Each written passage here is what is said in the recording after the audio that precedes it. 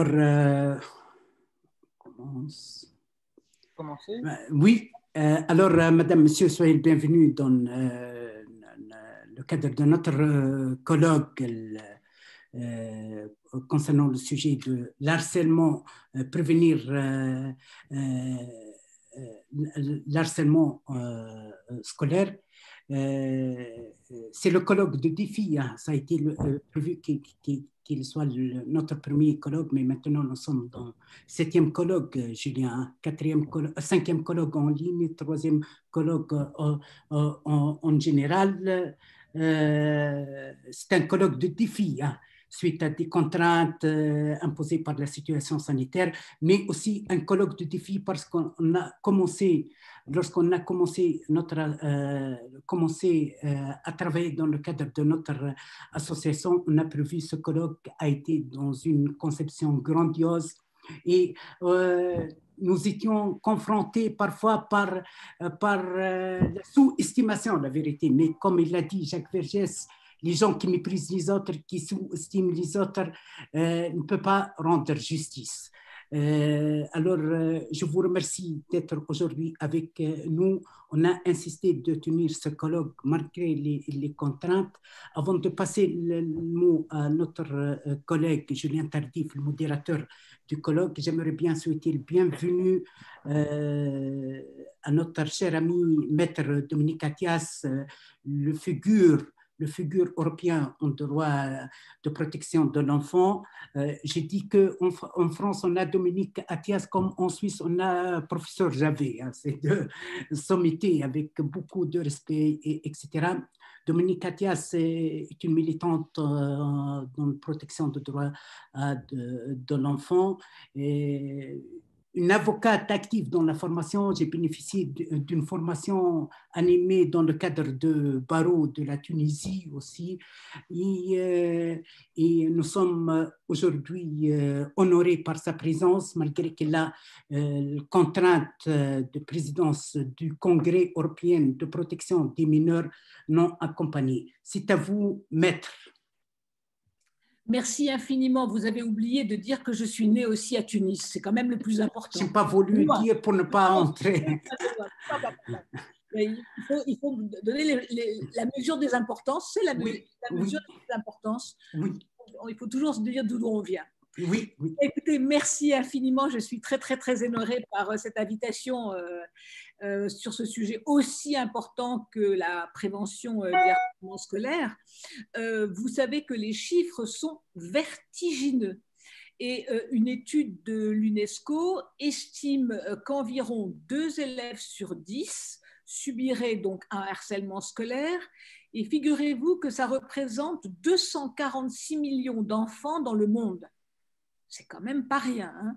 Et quand je parle d'enfants, bien évidemment, je me réfère à la Convention internationale euh, des droits de l'enfant, qui, dans son article 1, rappelle, et je vous le cite, qu'un enfant s'entend de tout être humain de moins de 18 ans, sauf si sa législation nationale en décide autrement, mais pour nous, disons, de moins de 18 ans. L'UNICEF évalue en France à 700 000 le nombre d'élèves victimes de harcèlement scolaire. Et euh, contrairement à ce que l'on pense, ce harcèlement n'est pas seulement le fait de collégiens ou de lycéens, mais a lieu également dans le primaire, c'est-à-dire des enfants qui ont moins de 11-12 ans. Et les chiffres sont éloquents. hein. 12% dans le primaire, 10% au collège et 4% au lycée. Toujours, je vous l'ai dit, euh, savoir d'où on vient et d'où on parle. Je- Moi, je vous parle euh, en ma qualité d'avocate d'enfants. Oublions les présidences et tout ça. Je suis une femme de terrain aux côtés des enfants. Car je pense que vous devez le savoir, euh, en France, comme dans beaucoup de pays d'Europe, euh, les barreaux ont mis en place des groupements d'avocats d'enfants spécialement formés pour assister les enfants dans toutes les procédures qui les concernent et notamment devant le juge des enfants qui a, vous le savez, une double compétence et qui s'occupe de l'enfant en danger, mais aussi de l'enfant délinquant. Et en tant qu'avocate d'enfants sur le terrain, il m'est arrivé à de nombreuses reprises d'être aux côtés d'enfants, qu'ils soient harceleurs ou harcelés.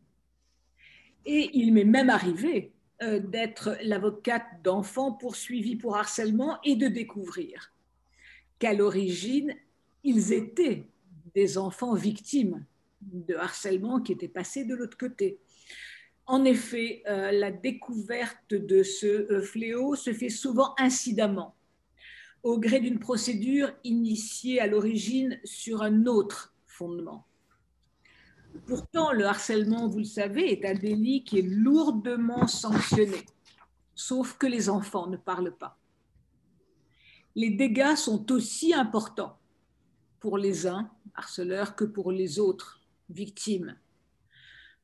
Sans vouloir rejeter la responsabilité uniquement sur les adultes, il ressort de nombreuses études que le climat scolaire joue un rôle fondamental la qualité des apprentissages, la réussite scolaire et la victimation à l'école dépendent de manière majeure du climat scolaire.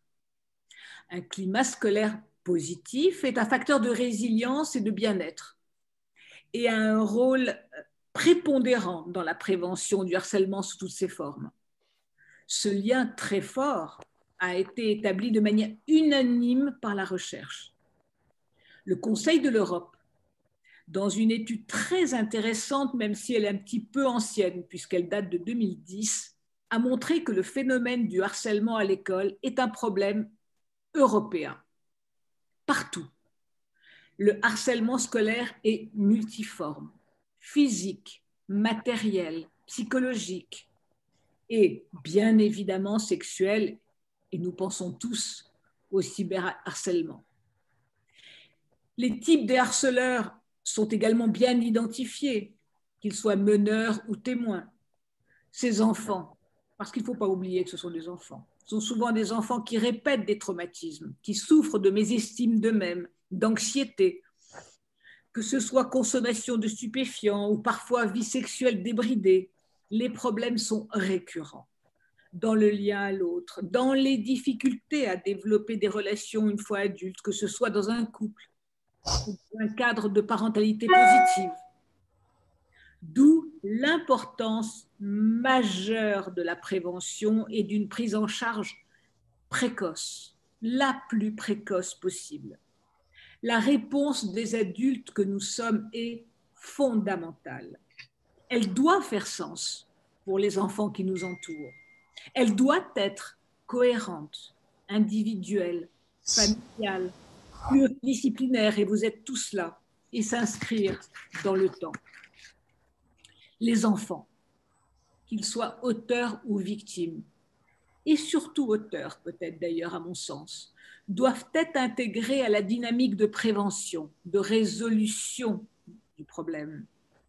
Il n'est pas question, dans une société démocratique et qui se veut porteuse d'espoir pour notre jeunesse, surtout en ces temps de pandémie, de baisser les bras et de ne pas continuer à inventer, à innover. C'est ce que vous allez faire cet après-midi. Comme on vous l'a dit, je regrette au plus haut point de ne plus voir assister à cet après-midi, mais je participe effectivement aujourd'hui à un séminaire organisé par la Commission européenne sur d'autres enfants en souffrance qui sont les mineurs non accompagnés dans l'Union européenne et les débats doivent reprendre à 13h45, c'est-à-dire dans deux minutes. J'espère que votre après-midi sera filmé et, retranscrite euh, afin que, je parle très égoïstement, que je puisse en prendre connaissance, mais aussi pour en faire bénéficier tous ces jeunes, auteurs ou victimes, mais tous. En France, je vous remercie. Merci, maître. Merci, euh, Dominique, pour euh, cet honneur. Bonne continuation. Nous sommes toujours euh, avec vous et on espère de continuer d'apprendre de vous. J'aimerais bien souhaiter le bienvenue à nos intervenants, Madame Isabelle Thierry, la présidente de la Cour des comptes, de l'État de Genève. Je cède la parole, puis je cède le, rôle à notre ami Julien, Julien Tardif. J'aimerais bien souhaiter le bienvenue à notre président, professeur Farhad Afshahar, membre du conseil, membre fondateur, c'est lui qui a fondé le Conseil fédéral suisse des religions et membre du Forum international du dialogue interreligieux. C'est à vous, professeur.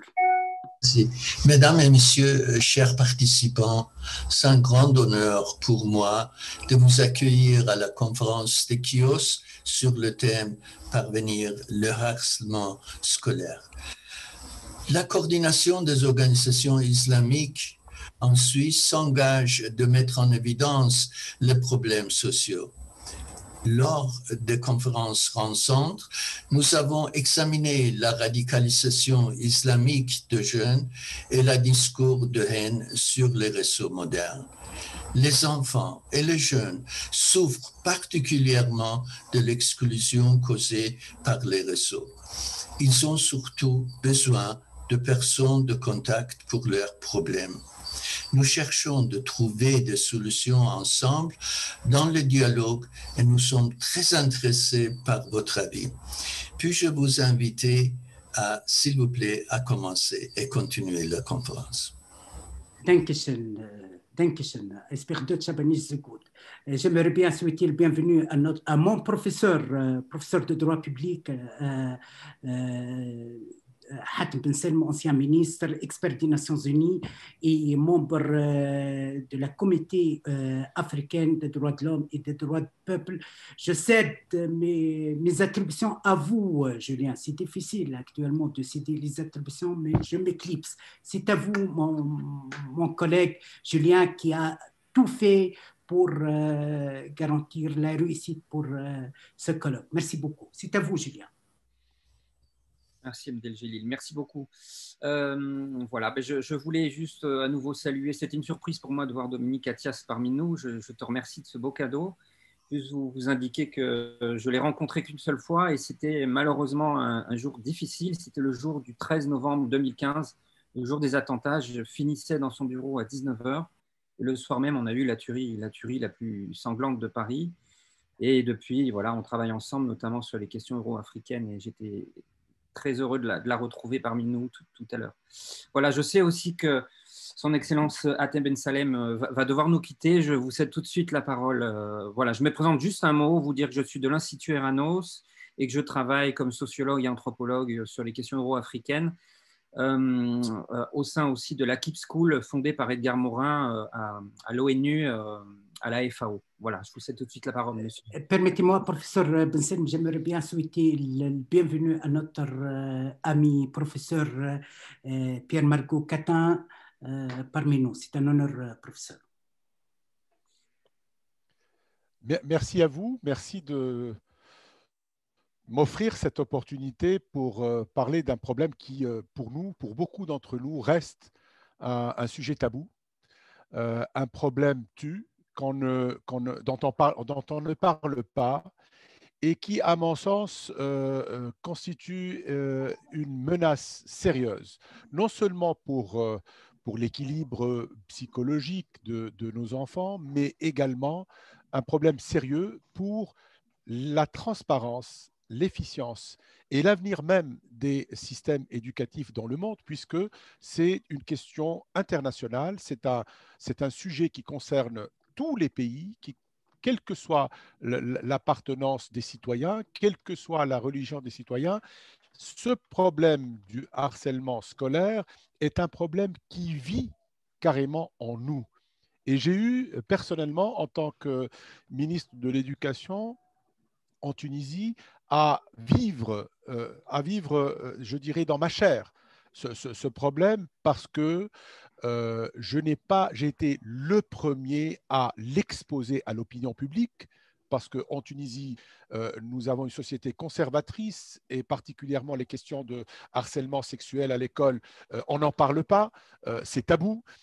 J'ai été le premier à le faire en public sur les ondes de la radio et de la télévision et ça a été le départ d'une découverte que moi-même, responsable politique, je n'avais jamais cru aussi euh, prégnante, aussi envahissante, aussi importante. Euh, nous avons, nous avons aujourd'hui des sociétés où la question de l'école est au centre même de la vie et de l'avenir des familles. en Tunisie, L'école, euh, c'est l'aspect le plus stratégique de la vie sociale. Et l'école est aussi le seul ascenseur social capable de sortir des familles, des enfants, des, élèves et des étudiants de la pauvreté vers euh, des horizons beaucoup plus, beaucoup plus positifs. Le problème, et je dois le souligner, je vais, parler de deux aspects.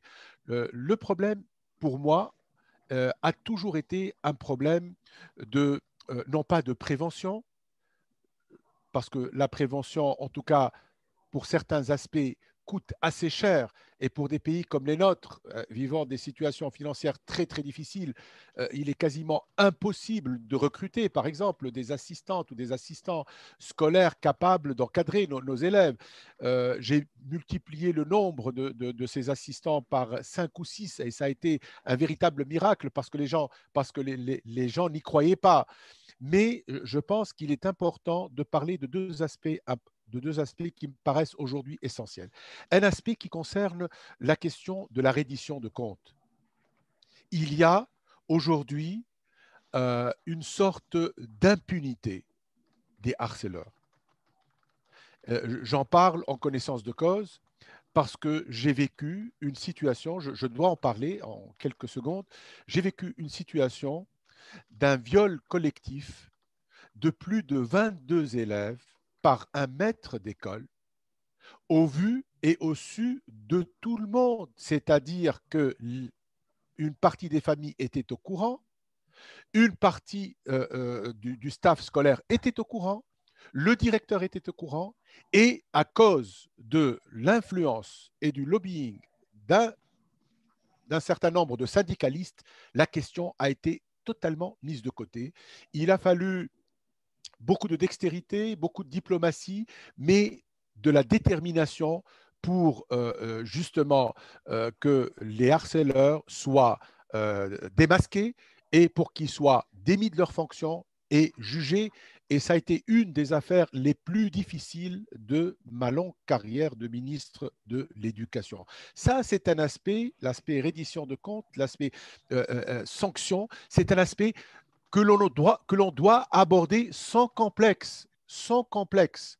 La prévention, c'est excellent, mais il est très très important de mettre l'accent sur la, nécessité de mettre en place des dispositifs juridiques capables de dissuader euh, ces harceleurs. Ça, c'est un premier aspect, j'espère que vous en parlerez tout à l'heure. Deuxième aspect qui est nouveau, et que je découvre aujourd'hui en étant en, action avec beaucoup d'enseignants, c'est ce que j'appelle, moi, le, harcèlement pédagogique. Euh, le harcèlement pédagogique, il est simple. Euh, d'abord, il vient des, professeurs et des maîtres qui carrément obligent leurs élèves à certains rythmes scolaires inacceptables que ce soit au sein de l'école ou que ce soit en dehors de l'école, avec le phénomène catastrophique dans notre pays, la Tunisie, de ce qu'on appelle les cours particuliers. Ça, c'est un premier aspect. Deuxième aspect, c'est ce harcèlement qu'a imposé cette pandémie, la COVID-19, cette pandémie, le harcèlement pédagogique euh, euh, qui a mis, qui met des centaines de milliers d'élèves aujourd'hui, entre guillemets, euh, tout simplement en dehors de l'école. C'est un abandon scolaire qui ne dit pas son nom. Pourquoi? Parce que tout simplement, des pays comme les nôtres, malgré euh, la bonne volonté, n'ont pas pu s'adapter à l'enseignement à distance et ont laissé les choses dans une situation qui devient quasiment incontrôlable. Je suis l'un des rares aujourd'hui qui dit en public que nous sommes en train de passer une deuxième année blanche en Tunisie parce que les élèves, non seulement ne savent pas ce qui se passe, ne savent pas, ne savent pas ce qui va se passer à l'avenir. Plus grave encore, les élèves ne sont pas en train aujourd'hui d'acquérir le minimum le minimum, le socle minimum des connaissances scolaires à cause justement de la Covid et de l'impréparation de nos gouvernements, de, nos gouvernements à, l'enseignement à distance. Voilà donc un peu l'aspect de harcèlement pédagogique dont je voulais parler. Je suis sûr qu'il y aura tout à l'heure beaucoup de choses à dire à ce propos. Je vous remercie de m'avoir écouté et, j'espère que j'aurai un, peu de temps pour vous suivre parce que j'ai un autre engagement. Merci beaucoup, Julia. Merci beaucoup, Excellence. Merci encore. Euh, en effet, c'est très important de, parler aussi des, violences institutionnelles telles que vous les avez faites. Hein. On ne parle pas que des violences des, usagers ou, des bénéficiaires de, l'action publique. Merci encore euh, pour nous attirer sur ce point. Nous voulons saluer euh, avec M. Dari la venue de, son Excellence l'ambassadeur du Canada à Genève. Euh, un, jeune très dynamique, M. Chibi, qui est vice-président de la Jeune Chambre économique internationale, et euh, mon président euh, de l'Institut Eranos, Alain Ruffion, qui, que j'ai vu dans, dans, les capsules vidéo au-dessus de ma tête. Voilà. Je, vais tout de suite passer la, parole à aussi une autre grande personnalité, Monsieur Philippe, le professeur Monsieur Philippe Jaffé, professeur de l'Université de Genève. Si vous êtes prêt, Monsieur Jaffé Tout à fait. Voilà, donc vous êtes professeur à l'Université de Genève et vous êtes évidemment très impliqué dans ces questions euh, interuniversitaires et de société civile autour de la protection de l'enfance. Et vous êtes euh, un expert à l'ONU sur, ces questions. Je vous laisse la parole. Merci beaucoup. Bien, ben, bonjour à toutes et à tous. Euh, pour ma part, je suis né sur l'île de la Trinité, dans les Antilles. Comme ça, tout le monde est au point sur mes origines. Et je suis très honoré que les organisateurs m'aient convié pour quelques éclairages durant un colloque euh, qui se présente euh, comme passionnant, euh, tant du point de vue du contenu que de la brochette des intervenantes et intervenants, qui se bousculent au portillon pour vous faire part de leurs connaissances spécialisées. Je ne souhaite brûler la politesse à qui que ce soit, alors j'ai opté pour résolument adopter ma casquette de membre du Comité des droits de l'enfant à l'ONU et organiser mes remarques autour des vues du comité sur la question du harcèlement euh, en milieu éducatif. Des vues d'abord générales et puis ensuite quelques vues spécifiques. Puis en filigrane, je, souhaitais aussi me référer à quelques temps forts dans la chronologie de l'évolution de cette thématique du harcèlement entre pairs ou ce que moi j'appelle le bullying étant plutôt anglo-saxon euh, d'origine. Peut-être en premier lieu pour les personnes qui ne sont pas tant familières avec le comité des droits de l'enfant, vous savez que ce comité exerce la surveillance de la mise en œuvre euh, de la Convention des Nations Unies relative aux droits de l'enfant dans les 196 pays qui l'ont ratifié. Et comme vous savez que c'est un, traité contraignant, que la Suisse, la France et tous les pays sauf les États-Unis ont ratifié, euh, ce processus de surveillance s'opère sur la base de questions que le comité adresse aux pays, en l'occurrence par exemple la Suisse, du rapport que le pays soumet en réponse au comité, d'un dialogue entre le comité et différentes organisations civiles, un dialogue avec les enfants également, et puis aussi un dialogue nourri et parfois assez, euh, euh, qu'est-ce que je pourrais dire, viril, euh, entre le, comité et le pays lui-même.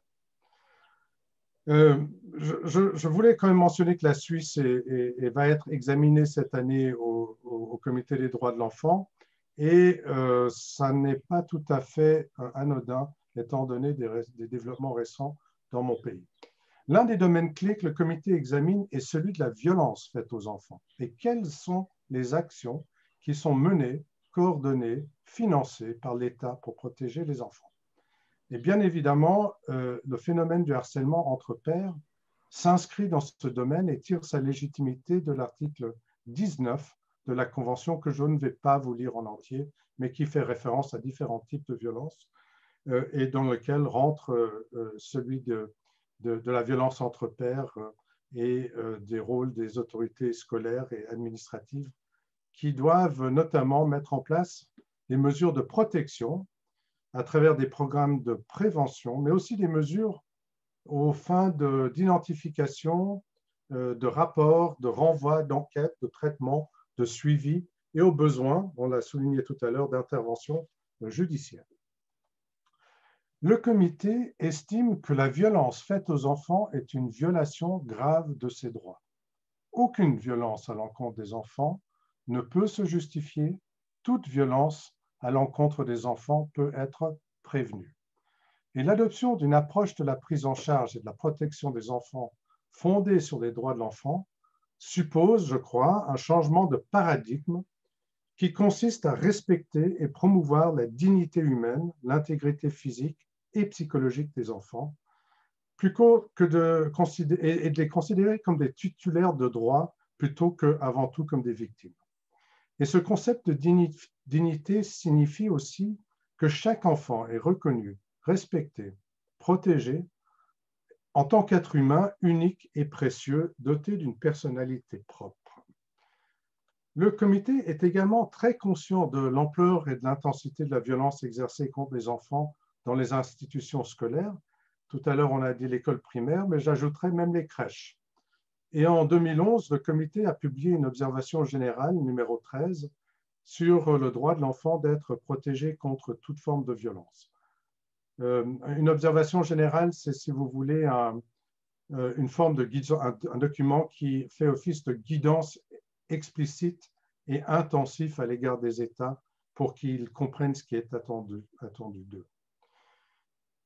Euh, et dans, cette observation générale, le comité reconnaît explicitement la violence entre enfants, je cite, la violence physique, psychologique et sexuelle exercée sous forme de brimade par des enfants, souvent en groupe, contre d'autres enfants et qui non seulement portent atteinte à l'intégrité euh, physique et psychologique et au bien-être de l'enfant à court terme, mais a souvent des effets graves sur son développement, son éducation et son intégration sociale à moyen et long terme.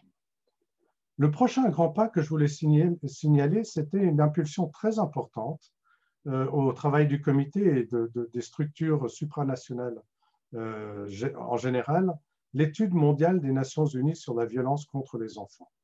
C'était une enquête, une recherche très conséquente.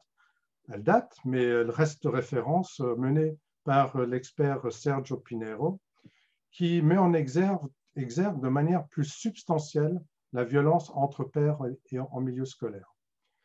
La terminologie officielle en français se réfère à des brimades mais même la version française indique entre parenthèses qu'il s'agit de bullying dont on parle.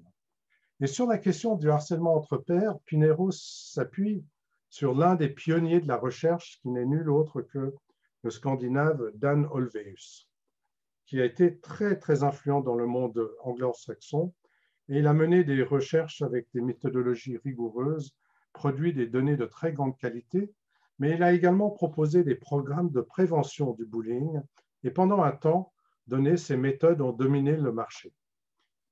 J'ai eu la grande chance de, pouvoir inviter Olveus à Sion, en Suisse, en 2012, et son passage ainsi que celui euh, de la présence de Éric Barbieux, le spécialiste francophone du harcèlement entre pairs, a été le point de départ de plusieurs études sur le bullying qui ont été menées sous la direction de la professeure Zoé Moody qui s'exprimera, elle est parmi nous un peu plus tard. Pour, pour revenir à cette étude mondiale, euh, Pinero relève déjà explicitement que Internet et les téléphones portables émergent également comme des vecteurs de harcèlement. Mais les mots cyberbullying et cyberharcèlement ne sont pas encore utilisés. Et nous devons aussi à Pinero la formule que je trouve absolument géniale, les droits de l'enfant ne s'arrêtent pas aux portes de l'établissement scolaire. Cette étude mondiale énonce de manière assez cinglante que le harcèlement entre pairs est un phénomène de grande ampleur. On a entendu des chiffres. Et pour finir, je vais citer Pinero pour, ce que, nous demandions, euh, pour que nous nous demandions si, quel chemin est-ce qu'on a parcouru? Est-ce qu'on a parcouru un très long chemin? Pinero écrit dans une section de son étude intitulée Comment les écoles ont échoué dans leur mission. Je cite Une solide gestion scolaire, une éthique fondée sur l'ouverture et une politique claire appliquée de manière systématique permettraient de réduire l'incidence et la gravité de toutes les formes de violence dans les écoles. Malheureusement, La plupart des écoles ont recours à des solutions miracles où elles abordent le problème de manière superficielle.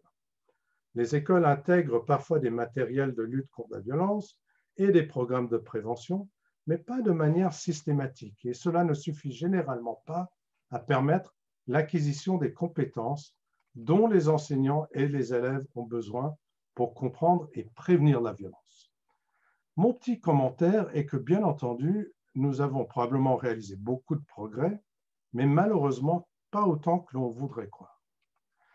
Pour revenir au Comité des droits de l'enfant, celui-ci émet dans quasiment toutes les recommandations adressées à chaque État le message suivant.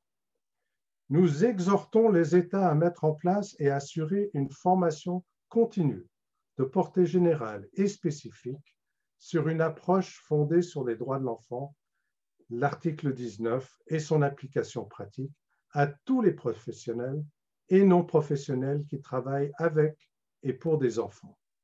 Et nous commençons souvent en spécifiant les enseignants à tous les niveaux du système éducatif. Nous demandons aux États de mettre en place des programmes de certification officiellement reconnus en collaboration avec des établissements d'enseignement et de formation et des associations professionnelles pour que ce type de formation soit réglementé et reconnu. Nous demandons enfin que les États veillent à ce que la Convention fasse partie du programme d'enseignement de tous les professionnels supposés travailler avec et pour des enfants. Or, les formations avancées sont rares en droit de l'enfant et les programmes spécialisés de formation continue sur le harcèlement entre pairs naissent timidement seulement ces temps-ci. Sur cette question de la formation, je ne souhaite pas trop surinterpréter, mais ceux qui suivent l'actualité suisse, tout d'un coup, la Confédération helvétique a émis un soutien financier pour mettre en place des formations initiales, des formations continues et la sensibilisation de professionnels. Et mon petit doigt me dit que c'est parce que la Suisse va être examinée prochainement par le Comité des droits de l'enfant. Je vais conclure. Je m'excuse d'avoir été un peu long. Aller à l'école, ce n'est pas un acte anodin. En Suisse, en toute saison, par tous les temps, chaque jour de l'année scolaire, environ un million d'élèves usent leurs fesses sur les bancs de cette institution. Et les enfants résidant dans mon pays sont assurément plutôt chanceux. Les garçons et les filles sont obligés, contraints d'exercer le métier d'élève, mais les conditions cadres qui régissent la qualité de, sont de qualité en Suisse, certainement même luxueuses par, rapport à d'autres contextes nationaux. De plus, les élèves sont plutôt bien encadrés par des enseignants d'un qualité, d'un niveau de formation et la transmission de connaissances s'effectue euh, avec une certaine volonté ou une volonté certaine de servir équitablement le plus grand nombre d'enfants. Alors que demander de plus? Nos autorités scolaires cantonales pourraient probablement, et c'est vrai dans tous les États, pourraient vraiment, vraiment faire beaucoup mieux en visant moins l'acquisition de connaissances et plus l'amélioration du vivre ensemble, en harmonie, en s'appuyant sur la réduction de la violence sous toutes ses formes et l'augmentation de la participation des enfants à l'amélioration de leur existence. Il s'agit d'un projet de société et nous gagnons tous quand le monde scolaire sera davantage pacifié et que les rapports entre les enfants seront tolérants, inclusifs et non discriminatoires. Bref, pas, pas du tout comme le monde adulte dans lequel les enfants baignent aussi le clair de leur temps. Je vous remercie de votre attention. Merci beaucoup, professeur Jaffé. Merci pour tous ces éclairages euh, de la dimension internationale et vous savez aussi bien sûr revenir sur le contexte national. C'est important de faire le, va-et-vient entre les deux, niveaux.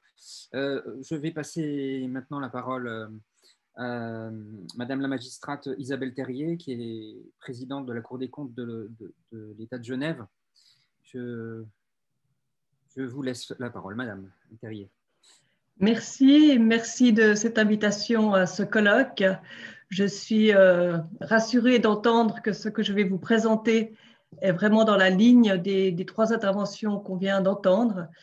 En fait, euh, je vais vous présenter brièvement une étude qui a été réalisée par la Cour des comptes de, donc de Genève en 2019 et dont le thème était particulièrement approprié en lien avec votre colloque, puisque c'était sur la politique de lutte contre le harcèlement entre élèves en milieu scolaire. Donc, juste pour vous préciser, euh, on a restreint, on va dire, notre étude au harcèlement entre élèves et non pas entre pairs, donc, on a exclu des, phénomènes de harcèlement qui auraient pu toucher, on va dire, les enseignants et on s'est concentré sur les relations entre élèves. Donc, vous pouvez peut-être vous demander pourquoi est-ce qu'une Cour des comptes s'intéresse à ce type de sujet. Eh bien, sachez qu'à Genève, donc on a une Cour des comptes qui est euh, cantonale et que la Cour des comptes de Genève a le mandat, de par sa constitution, la constitution de Genève, de faire également de l'évaluation de politique publique. Donc, c'est en lien avec notre mission d'évaluation de politique publique que nous avons choisi de nous intéresser à ce sujet. Donc, nos rapports sont publics. C'est un rapport qui a été publié en octobre 2019. Et si ça vous intéresse, vous pouvez le consulter sur le site de la Cour. Donc, comme euh, le professeur Jaffé euh, vous l'a dit, nous nous sommes beaucoup inspirés euh, de travaux de, des spécialistes en la matière et nous avons notamment retenu la définition du harcèlement qui est celle qui a été mise en place par le professeur Olveus et donc qui dit que pour qu'il y ait harcèlement, il faut qu'il y ait trois caractéristiques. C'est d'une part la répétition, d'autre part l'asymétrie des forces et enfin l'intention de nuire. Donc c'est sur ces trois caractéristiques que nous avons basé en fait nos études. Et euh, par rapport aux chiffres, donc on, rejoint ce qui nous a été euh, annoncé par euh, Maître Athias. Donc toutes les études européennes arrivent au même chiffre en matière de prévalence. Donc on dit qu'on est entre 5 et 10% des élèves. Et puis à Genève, il y avait une étude qui avait été faite euh, par rapport à la prévalence sur le canton de Genève, c'était des chiffres de 2013 et en 2013, on arrivait à 6%. Donc vous voyez qu'on est parfaitement dans cette fourchette entre 5 et 10%. Alors, à Genève, il y a quelque chose qui a été fait en, fait en matière de lutte contre le harcèlement au milieu scolaire. Il y a un plan d'action et ce plan d'action repose sur les trois phases traditionnelles, on va dire, de lutte contre le harcèlement, qui sont la prévention, le repérage et la prise en charge. Et puis, pour que ce plan d'action euh, fonctionne, il faut évidemment une coordination entre les différents acteurs, une bonne collaboration entre ces acteurs, donc les acteurs de terrain qui sont chargés de la mise en œuvre. Par rapport à la formation, à Genève, il y a euh, depuis 2014 une formation qui a été dispensée euh, à tous les enseignants des, établissements euh, à coût de, on va dire, par volet. Donc, il y a environ une trentaine d'établissements par année. C'est un programme qui devait se terminer en 2020. Alors, je ne sais pas s'il a été quelque peu retardé en raison de la pandémie. Mais donc, normalement, tous les établissements devaient être formés d'ici la fin 2020.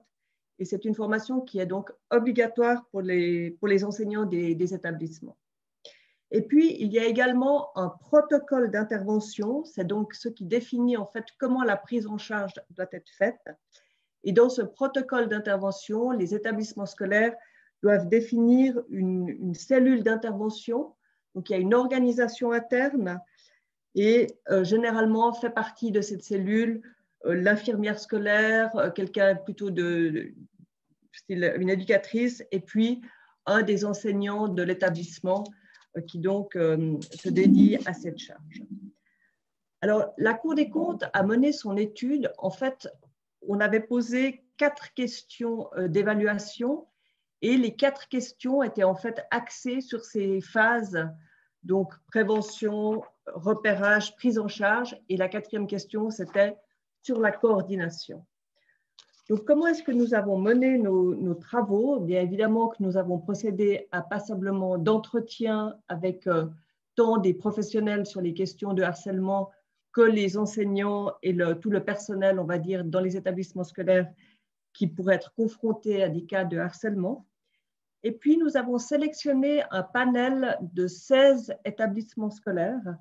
Nous avons pris 12 établissements scolaires du niveau primaire et 4 établissements scolaires du cycle d'orientation. Donc, en fait, nous avons arrêté, on va dire, le, périmètre de notre étude à ce qu'on appelle l'école obligatoire en Suisse, donc jusqu'à jusqu'à 15 ans. On n'est pas allé au-delà de, l'école obligatoire. Et donc, on avait ces 16 établissements dans lesquels on a fait des études, on va dire, plus approfondies. Et surtout, on a fait des études de cas. Donc, en fait, on a demandé aux établissements scolaires de nous donner accès à tous les cas de harcèlement qu'ils avaient rencontrés pour voir comment est-ce qu'ils les avaient traités. Et parallèlement à cela, nous avons élaboré un questionnaire que nous avons envoyé à 1078 professionnels susceptibles d'être confrontés à des cas de harcèlement.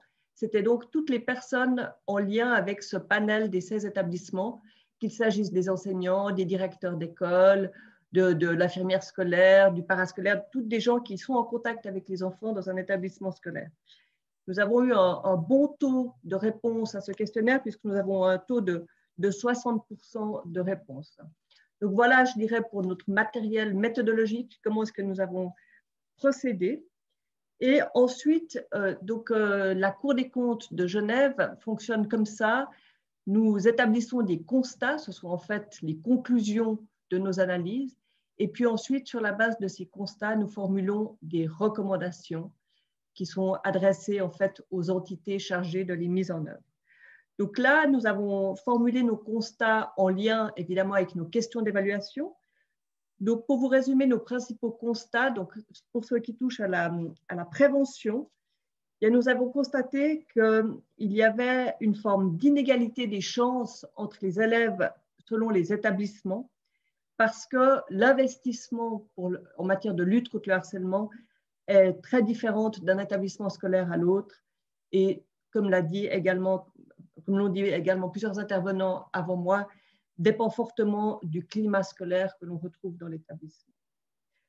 Le deuxième constat en matière de prévention, c'est que les enseignants ont des difficultés à intégrer la transmission des compétences psychosociales dans, le cadre de leurs enseignements, c'est-à-dire euh, se soucier par exemple des notions d'empathie, de bienveillance, de respect, est souvent considéré par un enseignant comme une matière en plus, une charge supplémentaire, plutôt que de l'intégrer, on va dire, dans l'enseignement, je dirais, ordinaire, qu'il s'agisse euh, du français, des mathématiques ou de, ou de l'histoire.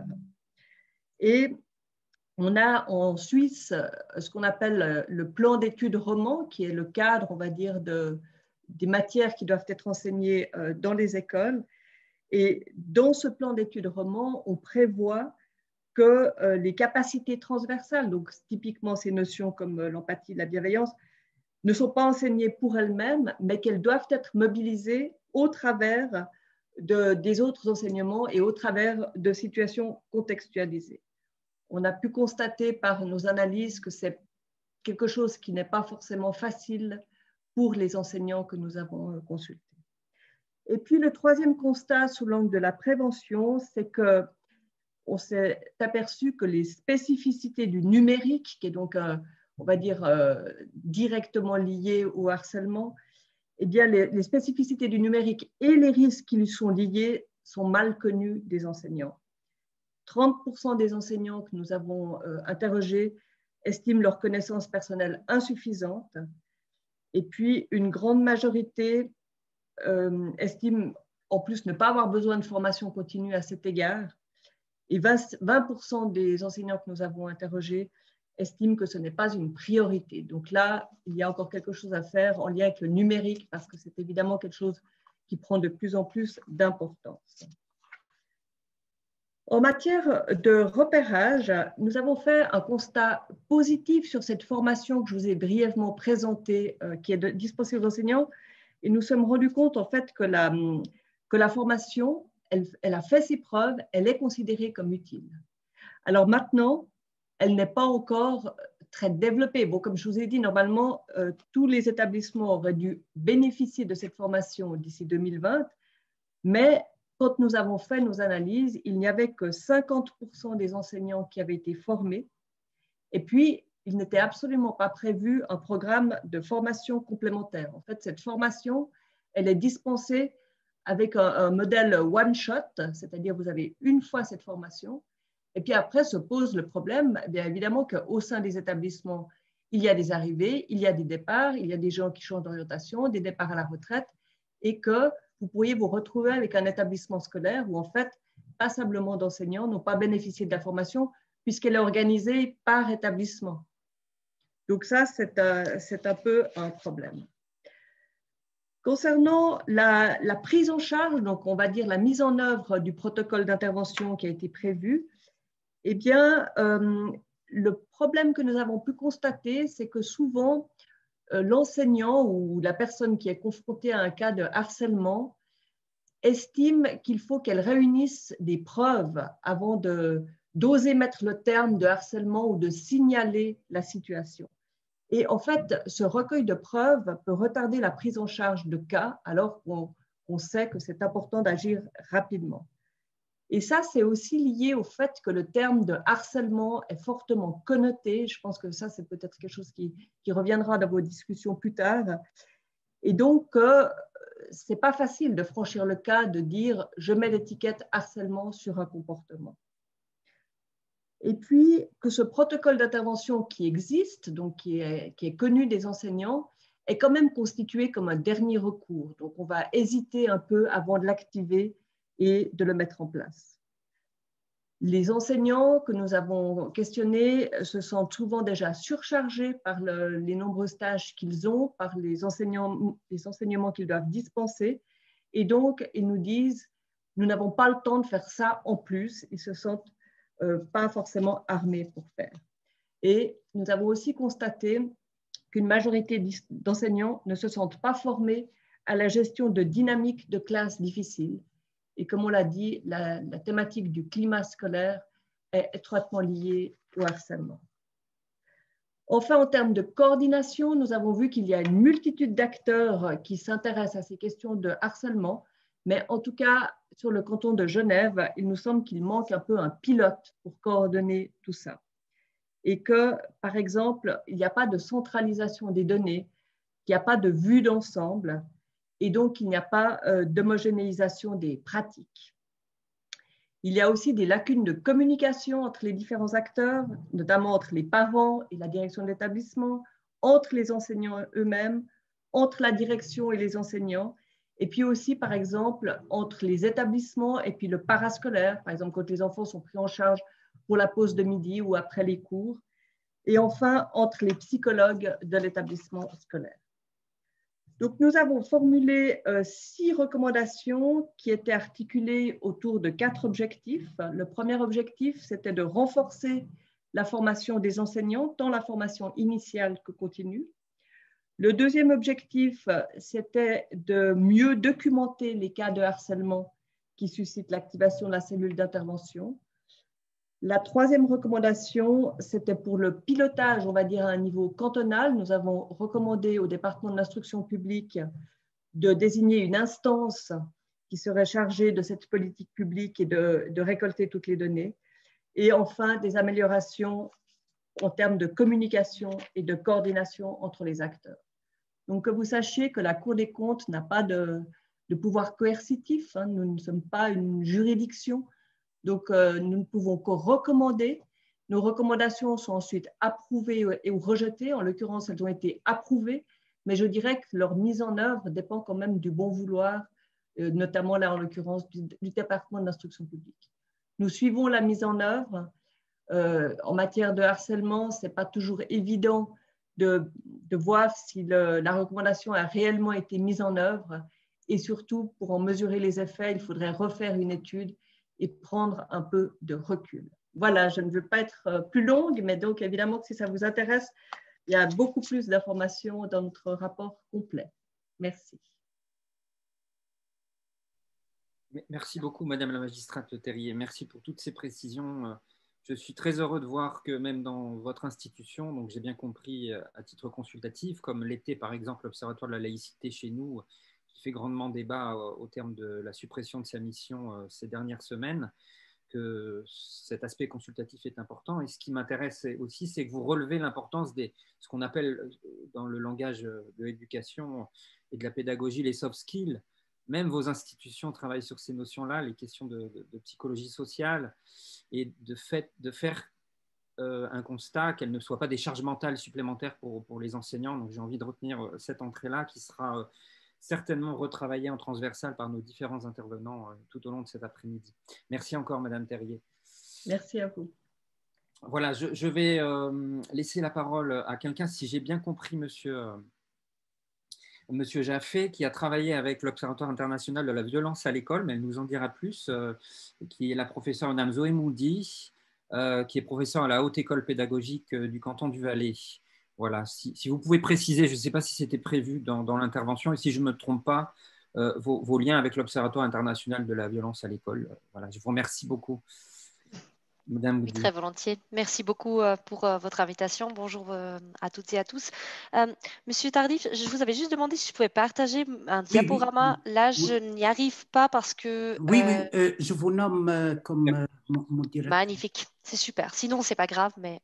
Non, tout l'honneur pour nous. Voilà. Et puis, je, je, je commence avec, euh, avec effectivement cette, cette précision. Donc, euh, c'est vrai que euh, dans le canton du Valais, on s'est intéressé à la, à, la, à la, problématique du harcèlement entre élèves du point de vue des, des droits de l'enfant, donc comme une violation des droits de l'enfant de manière assez, assez, concomitante à l'apparition d'un rapport qui a fait suffisamment de bruit pour, pour qu'il dépasse les frontières nationales françaises, celui du professeur Éric de Barbieux, président à l'époque de l'Observatoire international de la violence à l'école, et qui a été publié en des premières conclusions pour le primaire, enfin oui pour, le, pour les premiers degrés de la scolarité en 2010 et puis ensuite euh, la suite en 2011, ce qui a d'ailleurs ensuite donné euh, lieu aux assises nationales contre la violence à l'école en 2012 lorsque M. Eric euh, de Barbieux a été nommé au ministère. Donc nous avons été en collaboration étroite avec M.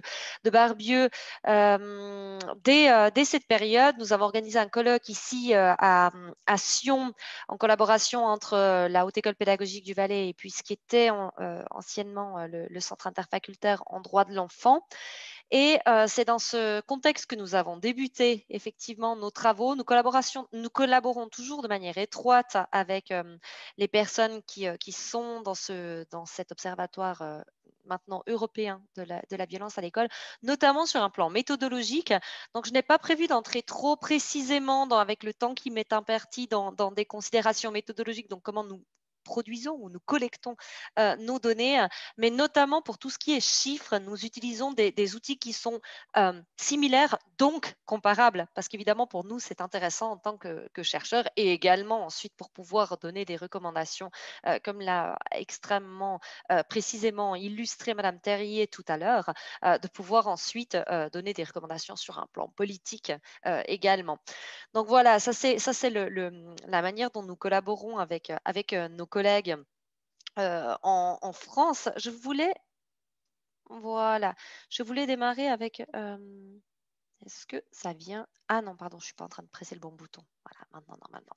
Donc, euh, je voulais vous parler un peu de cette question de, harcèlement en lien avec la question des discriminations et des droits de l'enfant, parce qu'elles sont étroitement liées. C'était un peu la démonstration que j'avais envie de faire pour les, les 13 minutes qu'il me reste maintenant. donc, une, présentation en trois temps. Donc, revenir brièvement sur, sur peut-être les, enjeux définitionnels de, de la question du, harcèlement. Vous avez entendu plusieurs termes dans les présentations précédentes. Brimade, on a peu mentionné intimidation, qui est un terme plutôt québécois, mais la question du harcèlement, du bullying. si on va du côté plus germanophone de l'Europe, on entendra mobbing. Donc, je voulais un tout petit peu clarifier ces éléments-là. Ensuite, parler de la question des discriminations et puis finalement euh, conclure en ouvrant la, porte aux droits de l'enfant. Mais avant tout, donner la voix euh, aux enfants. J'espère que si je vous partage cela, vous allez pouvoir entendre euh, ce que les enfants ont à dire. Vous avez de toute façon euh, affiché à l'écran ici l'extrait d'un interview d'un élève que nous avons rencontré dans un cycle d'orientation valaisan, donc entre, entre 12 et 15 ans, qui écrit, qui nous décrit, mais là on voit que c'est écrit, ce qu'est sa réalité d'élève victime de harcèlement comme un cercle, il le dit, comme un cercle vicieux.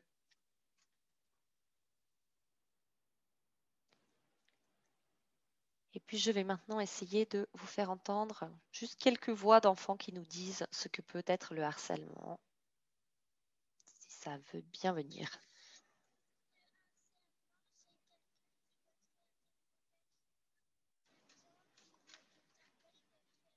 Vous n'entendez pas? Il faut augmenter le, le, son Oui. Très bien. Et là Oui, je pense. Par exemple, il y a quelqu'un qui vient vers toi, il dit si tu ne me donnes pas, je sais pas, ton bracelet, demain, je dirai à ta maman. Ben, il y a plusieurs sortes d'harcèlement. Il y a le harcèlement aussi physique. Pour moi, euh, celle qui est plus grave comme sorte d'harcèlement, c'est des gens qui regardent les parties intimes des autres. Le harcèlement, c'est par exemple si tu as la récré et puis il y a des gens qui viennent te donner des coups de pied et te taper. Voilà, donc euh, euh, avec une, une, une, organisation euh, qui a une aussi belle euh, dénomination que les voix des victimes, j'avais envie de donner la voix aux enfants. Vous avez ici entendu plusieurs formes de harcèlement. Donc, euh, tout, un, tout à l'heure, euh, euh, nous avons entendu des, critères pour essayer de, définir ce qu'est le harcèlement. Et euh, je vous décris rapidement ici parce que le, but pour moi, c'est de rester dans, le concret de ce que vivent les enfants. Mais il y a effectivement deux grands courants théoriques qui, nourrissent finalement la, recherche sur la problématique du harcèlement on a euh, les travaux qui ont été menés dans la logique des, euh, travaux de Dan Olveus, euh, qui, est un, qui est un psychologue, et qui mais qui a travaillé dans le, domaine scolaire, hein, et qui a nommé la, question du harcèlement le bullying. Donc, avec cette idée que le, harcèlement inclut un auteur, une victime, éventuellement des témoins, et qu'il euh, y a à travailler sur la relation entre ces différents protagonistes euh, en regardant notamment s'il y a des traits de personnalité en particulier sur lesquels on peut agir euh, pour ensuite tenter de prévenir cette problématique et, et voir l'éradiquer. D'un autre côté, on a des, travaux qui ont été menés davantage dans la lignée de, de, ceux d'Anatole euh, Picasse, qui est davantage un psychologue social, et qui, lui, initialement parlait de mobbing en référence à la foule, en disant que euh, le harcèlement n'existe que s'il y a témoin. Euh, il n'existe que parce qu'il y a domination possible de un ou de plusieurs auteurs sur une ou plusieurs victimes. Alors, fondamentalement, les, la, logique fondamentale, elle, euh, elle n'est pas extrêmement différente selon euh, euh, que l'on est dans une école de pensée ou l'autre, puisque finalement, on a des enfants qui sont en souffrance et qui se font embêter, comme l'ont très bien décrit tout à l'heure les, jeunes enfants qui étaient au, micro d'une radio locale. Il n'empêche que dans la manière de prévenir la question du harcèlement, d'être attentif au fait qu'on est potentiellement face à un ou plusieurs auteurs qui dysfonctionnent, qui euh, nécessitent une aide particulière pour pouvoir agir de manière prosociale, ou de se concentrer sur des dynamiques de groupe et de se dire que finalement le harcèlement, c'est une préoccupation partagée, vous le voyez ici à l'écran, shared concern, et on en parle de plus en plus de cette méthode de la préoccupation partagée, eh bien là, on voit une, manière un peu différente de prévenir et d'intervenir tout particulièrement. Donc, c'était la raison pour laquelle je voulais vous rendre attentif à ces, à ces deux grands courants qui, euh, qui nourrissent, comme je le disais tout à l'heure, les travaux euh, et, et les, les manières d'intervenir à l'heure actuelle, tout en retenant, comme l'a, suggéré Madame Tessier tout à l'heure, les, aspects fondamentaux des, différentes définitions que l'on peut que l'on peut connaître du côté d'Olveus avec cette idée de de trois critères, l'agression volontaire, la répétition des faits. Donc ce n'est pas simplement un acte violent, mais c'est sa répétition qui fait que l'on va parler de harcèlement. Et cette domination, cette asymétrie de pouvoir entre les différents individus. Et le fait que l'on a une relation euh, triangulaire euh, qui inclut donc des témoins. La relation de harcèlement perd un peu de son sens euh, si il n'y a pas de personnes qui peuvent assister à cette prise de pouvoir sur euh, là où les victimes. D'ailleurs, dans cette logique, euh, certains auteurs vont jusqu'à dire que 87% des individus seraient impliqués dans des situations de harcèlement avec différents rôles. Vous voyez peut-être ici à l'écran euh, que euh, les termes en anglais euh, de bully se réfèrent à l'auteur et qu'il y aurait des assistants à ces auteurs ici en orange. Ensuite, on aurait des renforceurs en rouge, et puis des, des, défenseurs, les personnes qui sont plutôt du côté de la victime. Donc, vous voyez un nombre important d'élèves qui sont concernés par ces dynamiques même s'ils ne sont pas directement auteurs ou victimes. Dans la recherche que nous avons conduite très récemment euh, en, Valais euh, en 2019, euh, nous avons même constaté que ces dynamiques s'ancrent dans une temporalité. Lorsque l'on commence à s'intéresser à, comme, l'a fait également la Cour des comptes euh, du côté de, Genève, mais en regardant, Genève regardait, euh, si j'ai bien compris, euh, comment l'institution scolaire avait géré la situation de harcèlement, nous nous sommes adressés aux victimes, aux auteurs et aux témoins. Et en fait, ce que l'on a constaté, c'est que bien souvent, une victime actuelle a peut-être anciennement été auteur ou a peut-être anciennement été témoin. Et on s'est rendu compte qu'il y avait une beaucoup plus grande perméabilité des rôles que nous, euh, euh, ne nous laissait percevoir la littérature disponible à ce sujet, rendant la situation particulièrement complexe pour les enseignants. Nous aussi, nous avons entendu des enseignants qui se sentaient, euh, tout comme Madame Tessier le signalait, qui se sentaient un peu désarmés face à ces situations, qui ne savaient pas toujours comment intervenir, qui ne se sentaient pas nécessairement soutenus par euh, les institutions ou qui n'avaient pas l'impression que c'était finalement le, mandat principal qui leur était confié. Et une des difficultés que nous identifions en nous entretenant avec, les élèves, c'est que finalement, un élève qui est peut-être auteur de harcèlement en début d'année, eh bien, peut se retrouver être victime à partir de février. Et peut-être que la situation va se stabiliser, peut-être pas, euh, peut se retrouver être témoin euh, l'année suivante. Et donc, les étiquettes qu'on pourrait vouloir utiliser pour essayer de comprendre et euh, finalement catégoriser des élèves ne sont pas nécessairement opérantes dans la durée. Et ça, c'est une complexité qui vient s'ajouter. C'est aussi quelque chose qui impacte de manière importante, et cela a été dit à plusieurs reprises, le climat d'établissement. Parce que si je suis témoin, je suis systématiquement dans l'angoisse d'être peut-être la prochaine victime. Et peut-être que ce que je vais le faire pour éviter de le devenir, c'est devenir auteur à mon tour et d'entrer dans la violence. Donc vous voyez que cette euh, perméabilité entre les rôles est hautement problématique pour, euh, pour les, pour, ou en tout cas est à prendre en considération pour ce qui est de la prévention et de l'intervention. Un extrait d'interview de nouveau qui montre euh, cette euh, perméabilité des rôles. Une jeune fille qui décide de prendre le risque d'aller dénoncer une situation de harcèlement en se disant c'est peut-être en fin d'extrait, c'est peut-être pour ma peau, mais au moins ma meilleure amie ne sera pas seule face à cela.